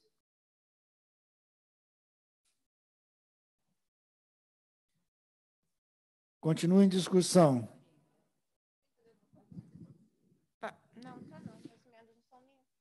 Para, para discutir, concedo a palavra à senhora deputada Marília Campos, pelo prazo de dez minutos. Ah, está discutindo o projeto agora. Agora aparecer. Eu quero. Hum, entendi, entendi. Presidente, Presidente. Sim. Presidente, eu, eu, quero discutir o parecer, é isso? Sim. Ah. Bom, boa tarde, presidente. Boa tarde, senhores deputados, deputadas, todos aqueles que nos assistem pela TV Assembleia, pelas redes sociais. Primeiro, eu quero cumprimentar todos os deputados, me permitam, na pessoa da deputada Beatriz Cerqueira, que é, estão intervindo desde a Comissão de Justiça, Comissão de Constituição e Justiça, e também nessa Comissão de Administração Pública, é, no sentido de apresentar questões de ordem, no sentido de apresentar questões de encaminhamento, de tentar fazer o debate, é, no sentido de que nós não deveríamos discutir estes projetos nesse processo agora que estamos em funcionamento remoto, em função é, de uma questão lógica de que nós estamos prejudicando é, a participação popular, não apenas dos servidores públicos, mas também da população. Então, quero aqui fazer coro. Se eu pudesse votar, eu estaria votando junto com a deputada Beatriz, junto com o deputado Sargento Rodrigues, junto com o deputado Oswaldo Lopes, que tentaram fazer da Assembleia Legislativa, nesse momento onde a gente discute a reforma da Previdência e também na emenda constitucional e também o projeto de lei 46, é, de tão importante que são, mas tentaram fazer deste momento um momento de debate, discussão, de convencimento. Infelizmente, não tem sido, é, na, na, minha opinião, nós é, não tem um otimismo é, grande relação ao resultado desse processo. Me parece que existe já uma decisão é, onde é, certamente irá votar os projetos de acordo com o interesse do governo. Mas, presidente, eu ainda quero é, insistir nesse debate. Foi muito colocado aqui a a defesa dos servidores públicos, dos direitos dos servidores públicos. De fato, os, os projetos, eles discutem os direitos, os benefícios previdenciários, os direitos dos servidores e das servidoras, mas a, aqui a gente discute também, obviamente, se votado esse projeto, as consequências que isso terá sobre o serviço público e as consequências que esses projetos terão sobre a situação financeira do, do Estado. Portanto, o que nós estamos discutindo aqui hoje na Assembleia Legislativa é, interessa aos servidores e servidoras, mas interessa à população mineira. Então, é de interesse público. Nesse sentido, deveríamos fazer uma discussão mais aprofundada, né, com maior participação. Foi colocado vários argumentos, inclusive no avulso que Vossa Excelência apresentou, de que deveríamos é, é, fazer o debate é, discutindo a questão dos fundos, discutindo a questão dos direitos, discutindo a questão das alíquotas, por uma questão emergencial. E a justificativa dessa urgência, ela se dá em função de duas questões. Primeiro, em relação à lei que, segundo o relatório, exige que a gente até 31 de julho, faça esse debate e delibere sobre essas questões. Segundo lugar, a, a, sob a alegação de que outros estados já fizeram a reforma da Previdência. Olha, presidente, essas argumentações que Vossa Excelência apresenta só se justifica para a discussão de alíquotas. Por quê? É, a lei que estabelece prazo para até 31 de julho é uma lei que vale apenas para modificar promovendo a adequação das alíquotas de contribuição previdenciária. E os outros estados, né? São Paulo, Bahia, Rio Grande do Sul, Rio de Janeiro, por exemplo. São Paulo fez, é, promulgou a, a, o, o, projeto de lei complementar da reforma da Previdência, eles promulgaram em março. Então, em processo de debate, como Rio de Janeiro também, como Rio Grande do Sul. E nós estamos aqui discutindo a alíquota, o governo queria que a gente discutisse reforma administrativa, estamos discutindo reforma da Previdência. Eu lamento profundamente né, essa tramitação desse projeto da forma como está. Mas uma outra questão que foi colocada, que eu quero discutir ainda com mais profundidade, é, vários deputados têm colocado isso, que compreendem né, a defesa daqueles que não querem discutir essa questão agora, porque são classistas, defendem os trabalhadores, os direitos da população. Mas que até para pagar a aposentadoria, até para pagar um salário, precisariam fazer essas reformas, porque do jeito que está hoje, o, o, a situação é muito grave no estado de Minas Gerais. Então, precisaríamos fazer a reforma para ter o equilíbrio das contas, é, particularmente o equilíbrio da Previdência do nosso estado. E eu queria aqui, então, discutir, senhor presidente, porque foi muito falado em cálculo atuarial. Pois bem, o IPSENG fez o cálculo atuarial e enviou e anexou no projeto de lei o cálculo atuarial. E vocês vão perceber, todos os deputados, inclusive o deputado Leonídio, o deputado Roberto Andrade, que estão aí de forma remota, fica, deveriam ficar mais atentos a esse debate do cálculo atuarial que foi apresentado pelo IPSEM, que está anexo nesse, nesse projeto. O projeto PLC 046, ele não promove o saneamento. O projeto 046, ele cria o fundo de capitalização no nosso estado, que em 2013 foi extinto por votação majoritária dos deputados e deputadas dessa casa, por acreditar que o fundo previdenciário ele comprometia a saúde financeira do nosso estado. Ou seja, já naquela época se compreendia que o fundo de capitalização ele agravava a situação financeira do estado. E digo por quê? Porque o projeto que discute direitos, que discute alíquotas, que são complicados, complexas as discussões, na questão do fundo de capitalização, o que, que vai acontecer com as contas se esse projeto vier a ser aprovado? Olha, nós vamos ter um fundo financeiro que vão estar lá os atuais aposentados, pensionistas, né? alguns trabalhadores é, que estão na ativa. Só que esse, esse fundo financeiro ele não receberá novas contribuições de servidores. Portanto, cada vez mais a despesa desses trabalhadores aposentados e pensionistas, que só vão crescer, vão ser arcadas integralmente com recurso do Tesouro. Como se não bastasse, o Estado cria o fundo de capitalização. Para esse fundo de capitalização, o Estado vai contribuir 22% e as novas contribuições irão para esse fundo de capitalização que só poderá ser gasto daqui a 30, 40 anos. Então, vejam bem, o Estado que já está numa situação financeira difícil, essa reforma que está sendo promovida, ela determina que o Estado comece a poupar. Então, além do Estado arcar com todas as despesas, ainda vai contribuir por uma poupança que poderá ser gasta daí a 30, 40 anos. Também o, o, a, o projeto ele fala da, do fundo complementar de, de complementação de aposentadoria, onde o Estado terá que contribuir com 7,5%. Fora isso, o Estado ainda vai contribuir para o INSS com 22% daqueles servidores que são contratados de recrutamento amplos, são comissionados. Esse vai ser o retrato da questão previdenciária do Estado de Minas Gerais. E a tabela da, do IPSENG, do cálculo atuarial, ela deixa muito claro.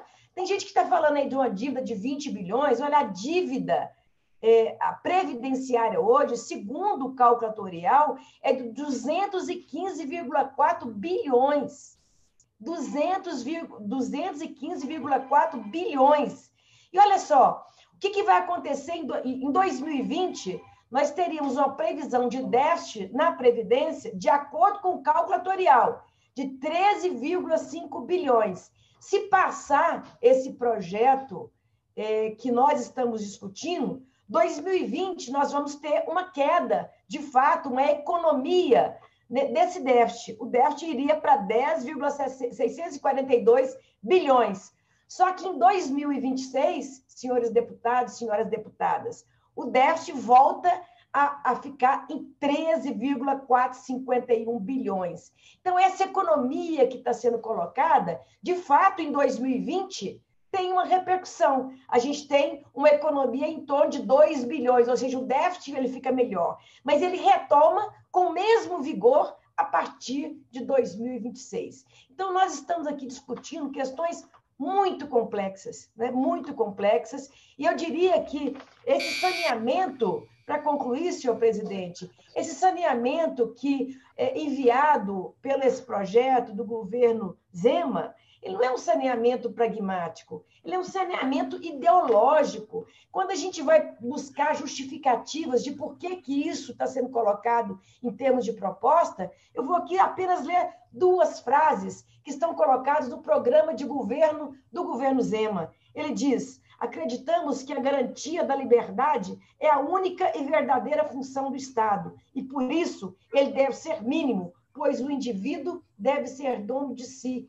então, ao Estado não cabe prestação de serviço. Então, nós estamos aqui discutindo direitos, sim, dos servidores públicos, mas nós estamos discutindo também serviços públicos. E, na opinião política desse governador que foi eleito, escondeu esse programa de governo, porque em nenhum momento foi debatido isso, ele quer, na verdade, é reduzir cada vez mais a prestação do serviço público né, em Minas Gerais. Então, na verdade, nós estamos discutindo a redução do serviço público, que é o que a população não quer. Hoje a população quer mais saúde, mais educação, mais cultura, mais emprego, e a proposta do governo Zema é apenas colocar que a função do Estado é apenas garantir liberdade. Olha, minha gente, eu faço um apelo aos deputados, particularmente os deputados aí que estão de forma remota, deputado Leonídio, que é tão sensível às questões sociais, deputado Roberto Andrade, deputado Oswaldo Lopes, que está aí, já manifestou o seu posicionamento. Nós estamos discutindo, não são apenas direitos, que são fundamentais, nós estamos discutindo o impacto que isso terá sobre as contas públicas do nosso Estado. Essa proposta de regime de capitalização, ela foi extinta, esse projeto de lei, em 2013, com voto da grande maioria dos deputados e deputadas dessa casa. E é isso que está sendo ressuscitado hoje. Portanto, o meu apelo é que a gente discuta, neste momento, somente aquilo que é exigência legal, alíquotas e mesmo assim, na minha opinião, nós não podemos e não devemos onerar aqueles que ganham menos. Nós não podemos cobrar alíquotas de aposentados e pensionistas que estão abaixo do teto. Essa é a regra do INSS e essa é a regra também que deve prevalecer para o servidor público e para a servidora pública. Essas são as minhas palavras, presidente, acreditando ainda que o que está em jogo aqui né? é o futuro do nosso Estado. Está em jogo aqui a autonomia do poder legislativo. Nós não podemos romper com essa autonomia. Nós não podemos fazer aquilo que o governador quer e exige. Até porque eu sei que os ideais deste governo que foi eleito não são os ideais da maioria dos deputados e deputadas dessa casa. Nós queremos políticas públicas, políticas sociais, e para isso tem que ter serviço público, tem que ter servidor público com direitos respeitados pelo governador e pela Assembleia Legislativa do nosso Estado. Obrigada, presidente. Obrigada, senhora deputada, pela contribuição. Nós informamos que vamos suspender a presente sessão e retornaremos às 14 horas e 20 minutos. É, o próximo inscrito é o deputado Eli Grilo, na sequência, a deputada Beatriz, deputado Oswaldo Lopes.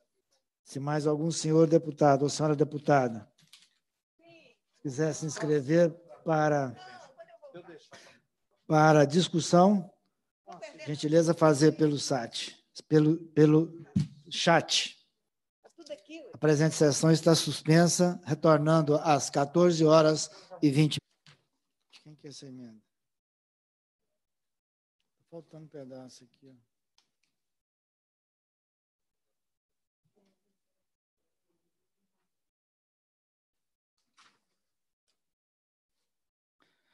Sobre a mesa, proposta de emenda número 10 ao substitutivo número 1 ao projeto de lei complementar número 46 de 2020,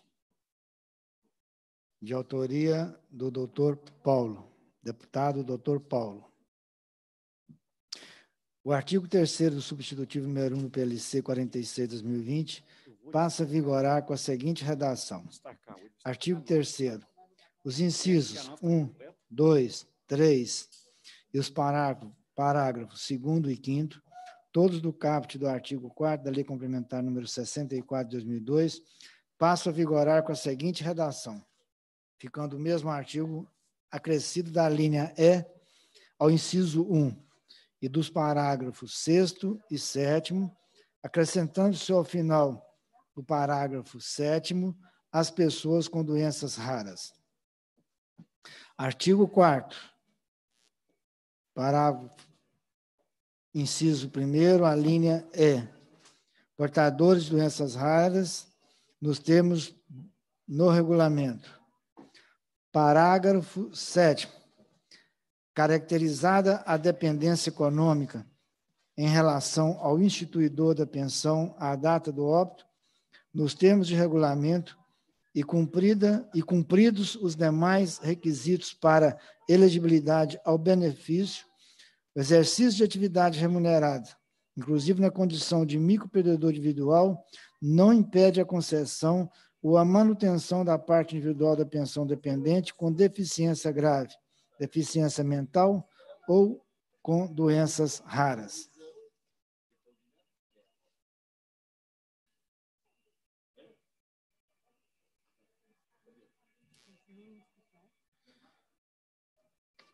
Continua em discussão. Presidente. Conceda a palavra. Sim, deputado. É, Vossa Excelência colocou em discussão o parecer? Está em discussão o parecer, continua em discussão. Presidente, eu então, queria. Sim. Eu queria é, fazer aqui um questionamento a Vossa Excelência, e com base no questionamento, apresentarei uma questão de ordem, eu acho que muito propícia. A pergunta, com o início dos trabalhos no plenário, e o plenário sobrepõe as comissões, porque o plenário tem prioridade, eu pergunto a Vossa Excelência, e obviamente Vossa Excelência solicitará as informações da assessoria. Neste momento, a...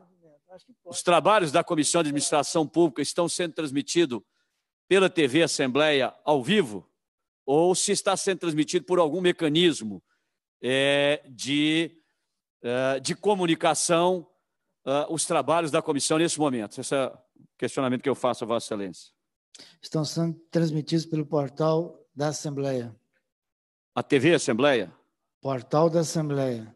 Portal da internet. É. Bom, presidente, como Vossa Excelência é, é, percebe claramente, é mais uma imposição que nós estamos sofrendo nesse processo nós não conseguimos votar na parte da manhã, porque nós exercemos aqui o nosso direito de obstrução utilizando o regimento interno, e agora, nesse momento, está sendo transmitido os trabalhos do plenário. Então, os deputados e deputadas que estão no plenário estão é, sendo transmitidos ao vivo pela a TV Assembleia.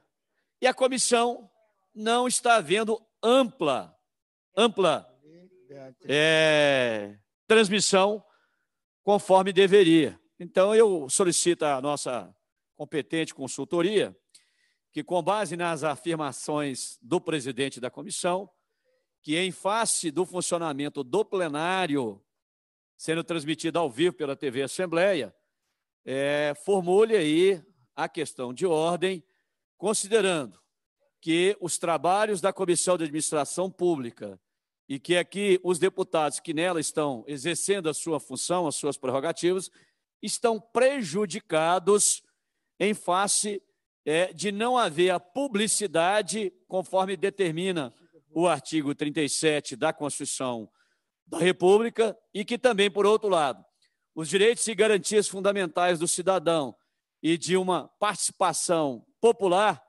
também não é permitido, porque além disso nós temos a proibição. Então nós temos aqui, é, presidente, uma limitação enorme em relação aos trabalhos parlamentares. Os trabalhos dos deputados e deputada desta comissão estão prejudicados. Então, o processo legislativo está eivado de vício e ilegalidades. Por que eu estou fazendo isso, presidente? Eu acabei de, como disse Vossa Excelência, que me atrasei aqui um pouquinho para chegar até aqui, presidente, porque estava apresentando, presidente, está aqui a questão de ordem. E a questão de ordem apresentada, ela traz no seu bojo exatamente essas duas premissas. Como nós podemos ter um trabalho sendo realizado pelas comissões, onde o artigo 3 presidente, da deliberação 2733, de 13 de março de 2020, diz o seguinte: fica suspensa a realização de outras atividades que envolvam a participação de público externo, tais como os eventos institucionais destinados a subsidiar o processo legislativo, dentro e fora das dependências da Assembleia Legislativa, incluindo seminários, fóruns técnicos, ciclos de debates, debates públicos, reuniões de comissões com convidados e outros eventos. Então, nós temos uma reunião aqui da comissão que não pode receber convidados. E nós estamos aqui discutindo uma matéria, presidente, importantíssima para um conjunto de 600 mil famílias. Então, não é justo, não é legal, não é razoável, que talvez a palavra mais, é, eu diria, chamada para esse processo, que continuemos com esse debate, presidente, sendo vedada a participação popular e sequer, sequer está sendo transmitida ao vivo pela TV Assembleia, que nesse horário está funcionando o plenário. E nesse horário, os deputados estão fazendo uso da palavra no pinga-fogo, inscritos, conforme determina o artigo 156 do regimento interno, que terá os seus prazos de inscrições aí até o artigo 66. Então, presidente, nós estamos prejudicados. Foi por isso que eu apresentei essa questão de ordem. Como vai funcionar os trabalhos, presidente? Os trabalhos vão funcionar sem a transmissão, Vossa Excelência acabou de afirmar que não há transmissão pela TV Assembleia. Como ficam os trabalhos? Qual é a publicidade que está sendo dada a esse, a essa, os trabalhos dessa comissão? Não há participação popular, não é transmitido pela TV Assembleia, então está aí mais um prejuízo para 600 mil servidores públicos de uma proposta que os afeta diretamente. Então, presidente, eu entendo que, por mais que a gente queira continuar com. Uh, por mais que um conjunto de deputadas e deputados queiram tocar essa matéria, porque a gente percebe, por exemplo, Vossa Excelência, por exemplo, o deputado Raul Belém está aqui, o deputado Leonídio Bolsas, o deputado Roberto Andrade, esses querem tocar. Esses querem, são os quatro aqui na comissão que estão aprovando aquilo que é de interesse do governo e estão votando contra aquilo que nós tentamos aqui, é, por várias vezes, obstruir, ou pedir informações, ou pedir para retirar de pauta. Então, quer dizer, há um grupo de deputados aqui, diferentemente do que pensa o deputado Leonídio Bolsas, ele diz que não tem ninguém contra o servidor, não. Não tem ninguém contra, não. Pode até não ter contra, só não está a favor. Só não está a favor. Porque o deputado vota constantemente contrário a uma participação popular. O deputado não vota os requerimentos que a gente pede para retirar de pauta para a gente poder ter prazo para discutir. Está a favor do servidor? Está a favor de quem? Quem está votando, e aí eu não tenho esse, eu não tenho essa, esse milindre que alguns deputados têm. Eu não tenho esse milindre. O deputado João Magalhães, presidente e relator, o deputado Raul Belém, o deputado Leonídio Bolsa e o deputado Roberto Andrade estão votando com, com os interesses do governo. Não estão votando com os interesses dos servidores. O que, que o servidor quer nesse momento? Ele queria, pelo menos, participar. Ele pode? Não. Existe proibição? Existe. Nós acabamos de fazer a leitura aqui agora. Se ele não pode participar do debate público, e o deputado está em casa, votando de casa, e as portas aqui da Assembleia todas lacradas, eu pergunto: quem é que está no prejuízo no debate? O servidor, porque a proposta é do governo. Aí vai dizer: não, tá bom, não está votando contra o servidor, não. Está votando a favor do governo. Então está votando a favor do governo. Então nós temos quatro deputados que estão tá votando a favor do governo. Se não está votando a favor do governo, está votando a favor de quem? Porque esse texto aqui é horrível. O parecer do deputado João Magalhães, ele é péssimo. Ele é horrível. É um texto, um parecer que prejudica 600 mil famílias. Eu apresentei uma emenda. Vou fazer um apelo novamente. Está aqui, onde está a minha emenda? Emenda número 9. Eu pedi para destacar a emenda número 9. Que diz a emenda número 9, presidente?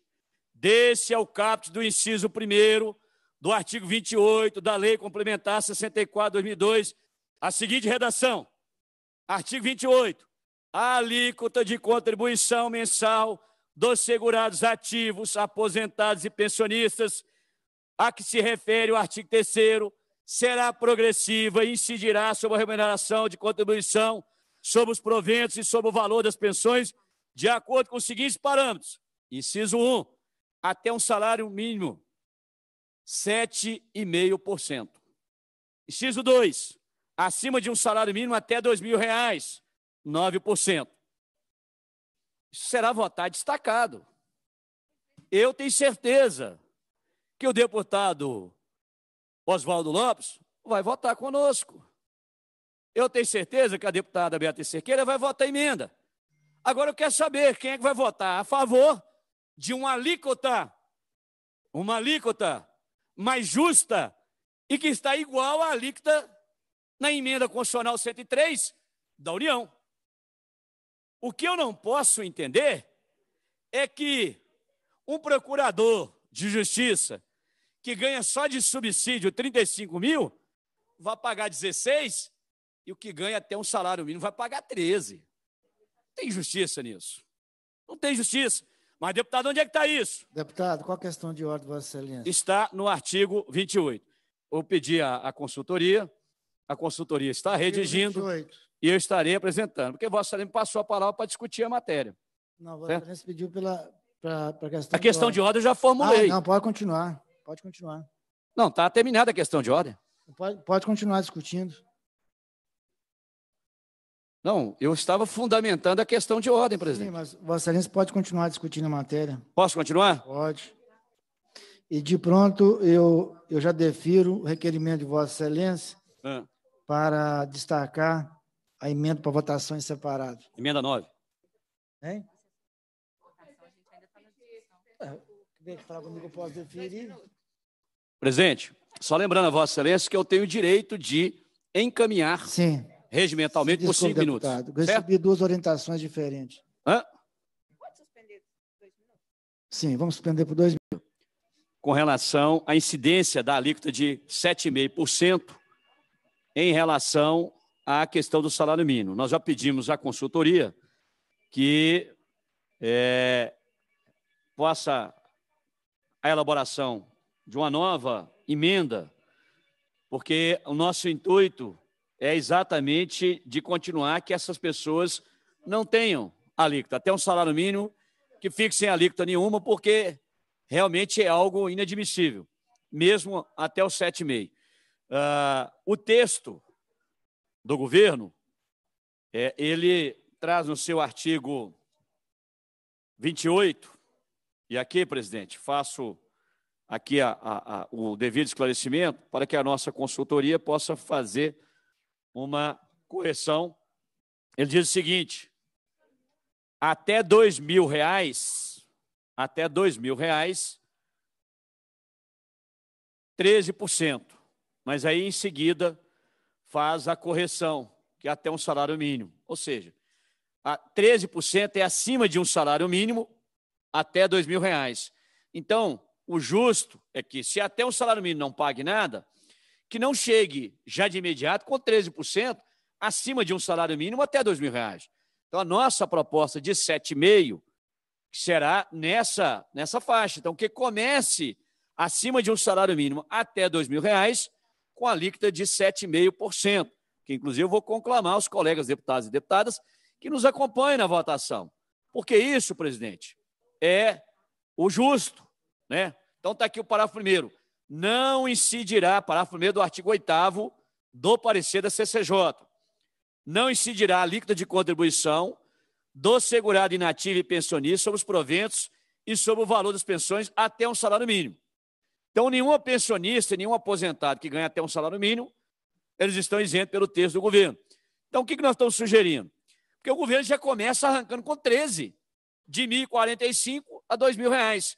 Então, a nossa proposta seria de uns, acima de, de 1.045, ou seja, 1.046 até dois mil reais, que seja uma alíquota de 7,5%. 1.045 e um centavo. E um centavo. 1.045 e um centavos até dois mil reais, que a alíquota seja de 7,5%. E não comece com 13%. Porque senão, presidente, é muito injusto para com a classe que ganha menos. Olha, a, acima de 16 mil reais está 19%. Mas e quem ganha 35? Há uma distância aqui de 16 para 35 e 19 mil reais. Então, ah, cabe aqui, presidente, uma elasticidade muito maior. Muito maior. Então, já que nós estamos aqui discutindo é, na comissão, nós sugerimos essa emenda e, obviamente, já Vossa Excelência já, já, já deferiu o destaque para a emenda, né? retiramos a anterior, reapresentamos essa daqui. Né? Eu não sei se a emenda número 8 é, também tem que ser retirada. A emenda número 8 tem que ser retirada. Retiro a emenda número 8 e número 9 e apresento a emenda a seguir, redigida nos termos que aqui já proferi. Presidente, não podemos continuar o debate, é, e estava explicando a Vossa Excelência, porque nesse momento está funcionando o pinga-fogo, a transmissão da TV Assembleia. Não dá para fazer transmissão via, via internet. Imagina os municípios do interior que não tem nem internet, que não tem telefonia celular. Como é que esses trabalhadores estão? Porque lá tem escolas, nós temos servidores públicos lá. Servidores públicos. Né? Tem duas categorias de servidores no Estado que estão presentes em 853 municípios que são os, os trabalhadores da educação e os policiais militares. Estão presentes nos 853 municípios. Pergunto: será que lá em, em Mamonas, Gameleiras, tem sinal da internet? Será que lá nos municípios, em Juvenília, que está depois de Montalvânia, 35 quilômetros, será que chegou esse sinal? Ou Formoso, que está a 863 quilômetros de Belo Horizonte, que é o município mais distante, Bonito de Minas, Chapada Gaúcha, nós não podemos entender que esses servidores públicos que estão lá naquela ponta do Estado estão participando. Então, presidente, a questão de ordem por mim levantada e que está sendo redigida e que a doutora Michele pode fazer com certa tranquilidade, que eu já fiz de forma verbal, né, presidente? ela não precisa sair aí é, desesperada, porque eu já fiz com todos os argumentos aqui, não, não, não procede, presidente. Não procede a continuidade dos trabalhos nesse sentido. Então, eu espero que Vossa Excelência possa acatar a nossa questão de ordem, né? suspender os trabalhos, para que, pelo menos no funcionamento dessa comissão, a TV Assembleia possa estar transmitindo que há um prejuízo claro da participação popular. Há um prejuízo claro da questão que envolva os mandatos parlamentares. Né? É, se, como eu disse ontem no requerimento, não sei se está aqui, presidente, eu não sei se está aqui na, na frente, mas o slogan da Assembleia, poder e voz do cidadão, castrada pelo acordo de líderes castrada, segundo, está aqui, ó, o artigo terceiro da deliberação da mesa. Artigo terceiro, ficou suspensa a realização de qualquer atividade com a participação do público externo. Poder e voz do cidadão está comprometido. A participação popular está comprometida. Não podemos continuar com os trabalhos desta comissão sem a participação das partes interessadas. Presidente, ah, vamos realizar audiência pública. Vai. Qual que será a participação do sindicato? Ah, não vai ser via remota, porque não pode entrar na Assembleia, porque tem uma decisão da mesa que não pode. Aí o governo vem aqui. Os dois representantes do governo virão. Gustavo Barbosa e a mente brilhante que ajudou a enfiar a reforma administrativa chamada Matheus Simões. Eu não sei se brilha muito, não, né? Eu não sei se essa mente é muito brilhante, não. Que é o mentor, né? Das, do saco de maldades, que é o senhor Matheus Simões, que está por trás daquele pacote da reforma administrativa. E, por ironia do destino, servidor de carreira da Assembleia. Ironia do destino, né? Servidor de carreira da Assembleia, foi a mente brilhante que preparou aquele pacote de maldades né, da reforma administrativa que acabava com quinquênio, com biênio, com o adicional, né, o ADE, o adicional trintenário, com advérbio, que nós votamos, inclusive, na legislatura passada. Ou seja, não dá, presidente. Vossa Excelência não pode continuar. Vossa Excelência não tem né, como continuar com uma reunião onde os direitos das pessoas estão sendo aqui castrados. Há uma clara redução do, do chamado das atribuições e prerrogativas parlamentares. Quer ver uma coisa, presidente? Por que, que o deputado Oswaldo Lopes está em casa? Ele queria ficar em casa? Não. Um deputado membro efetivo da comissão, participativo, combativo, mas não pode por causa da pandemia do coronavírus. Tem restrições. Por que, que o deputado Roberto Andrade não está aqui? Porque também tem restrições. Olha, aí é muito, muito ruim. Então, quando eu falo que as atribuições e as prerrogativas estão reduzidas a quase zero, é por isso. O Roberto Andrade, o Luiz, o, o Leonídio Bolsas. Preciso encerrar em um minuto. Né? Então, presidente, eu preciso retomar a palavra Vossa Excelência, porque Vossa Excelência tem que mudar de fase aí. Então, retoma, Volta a palavra, Vossa Excelência. Ok, deputado.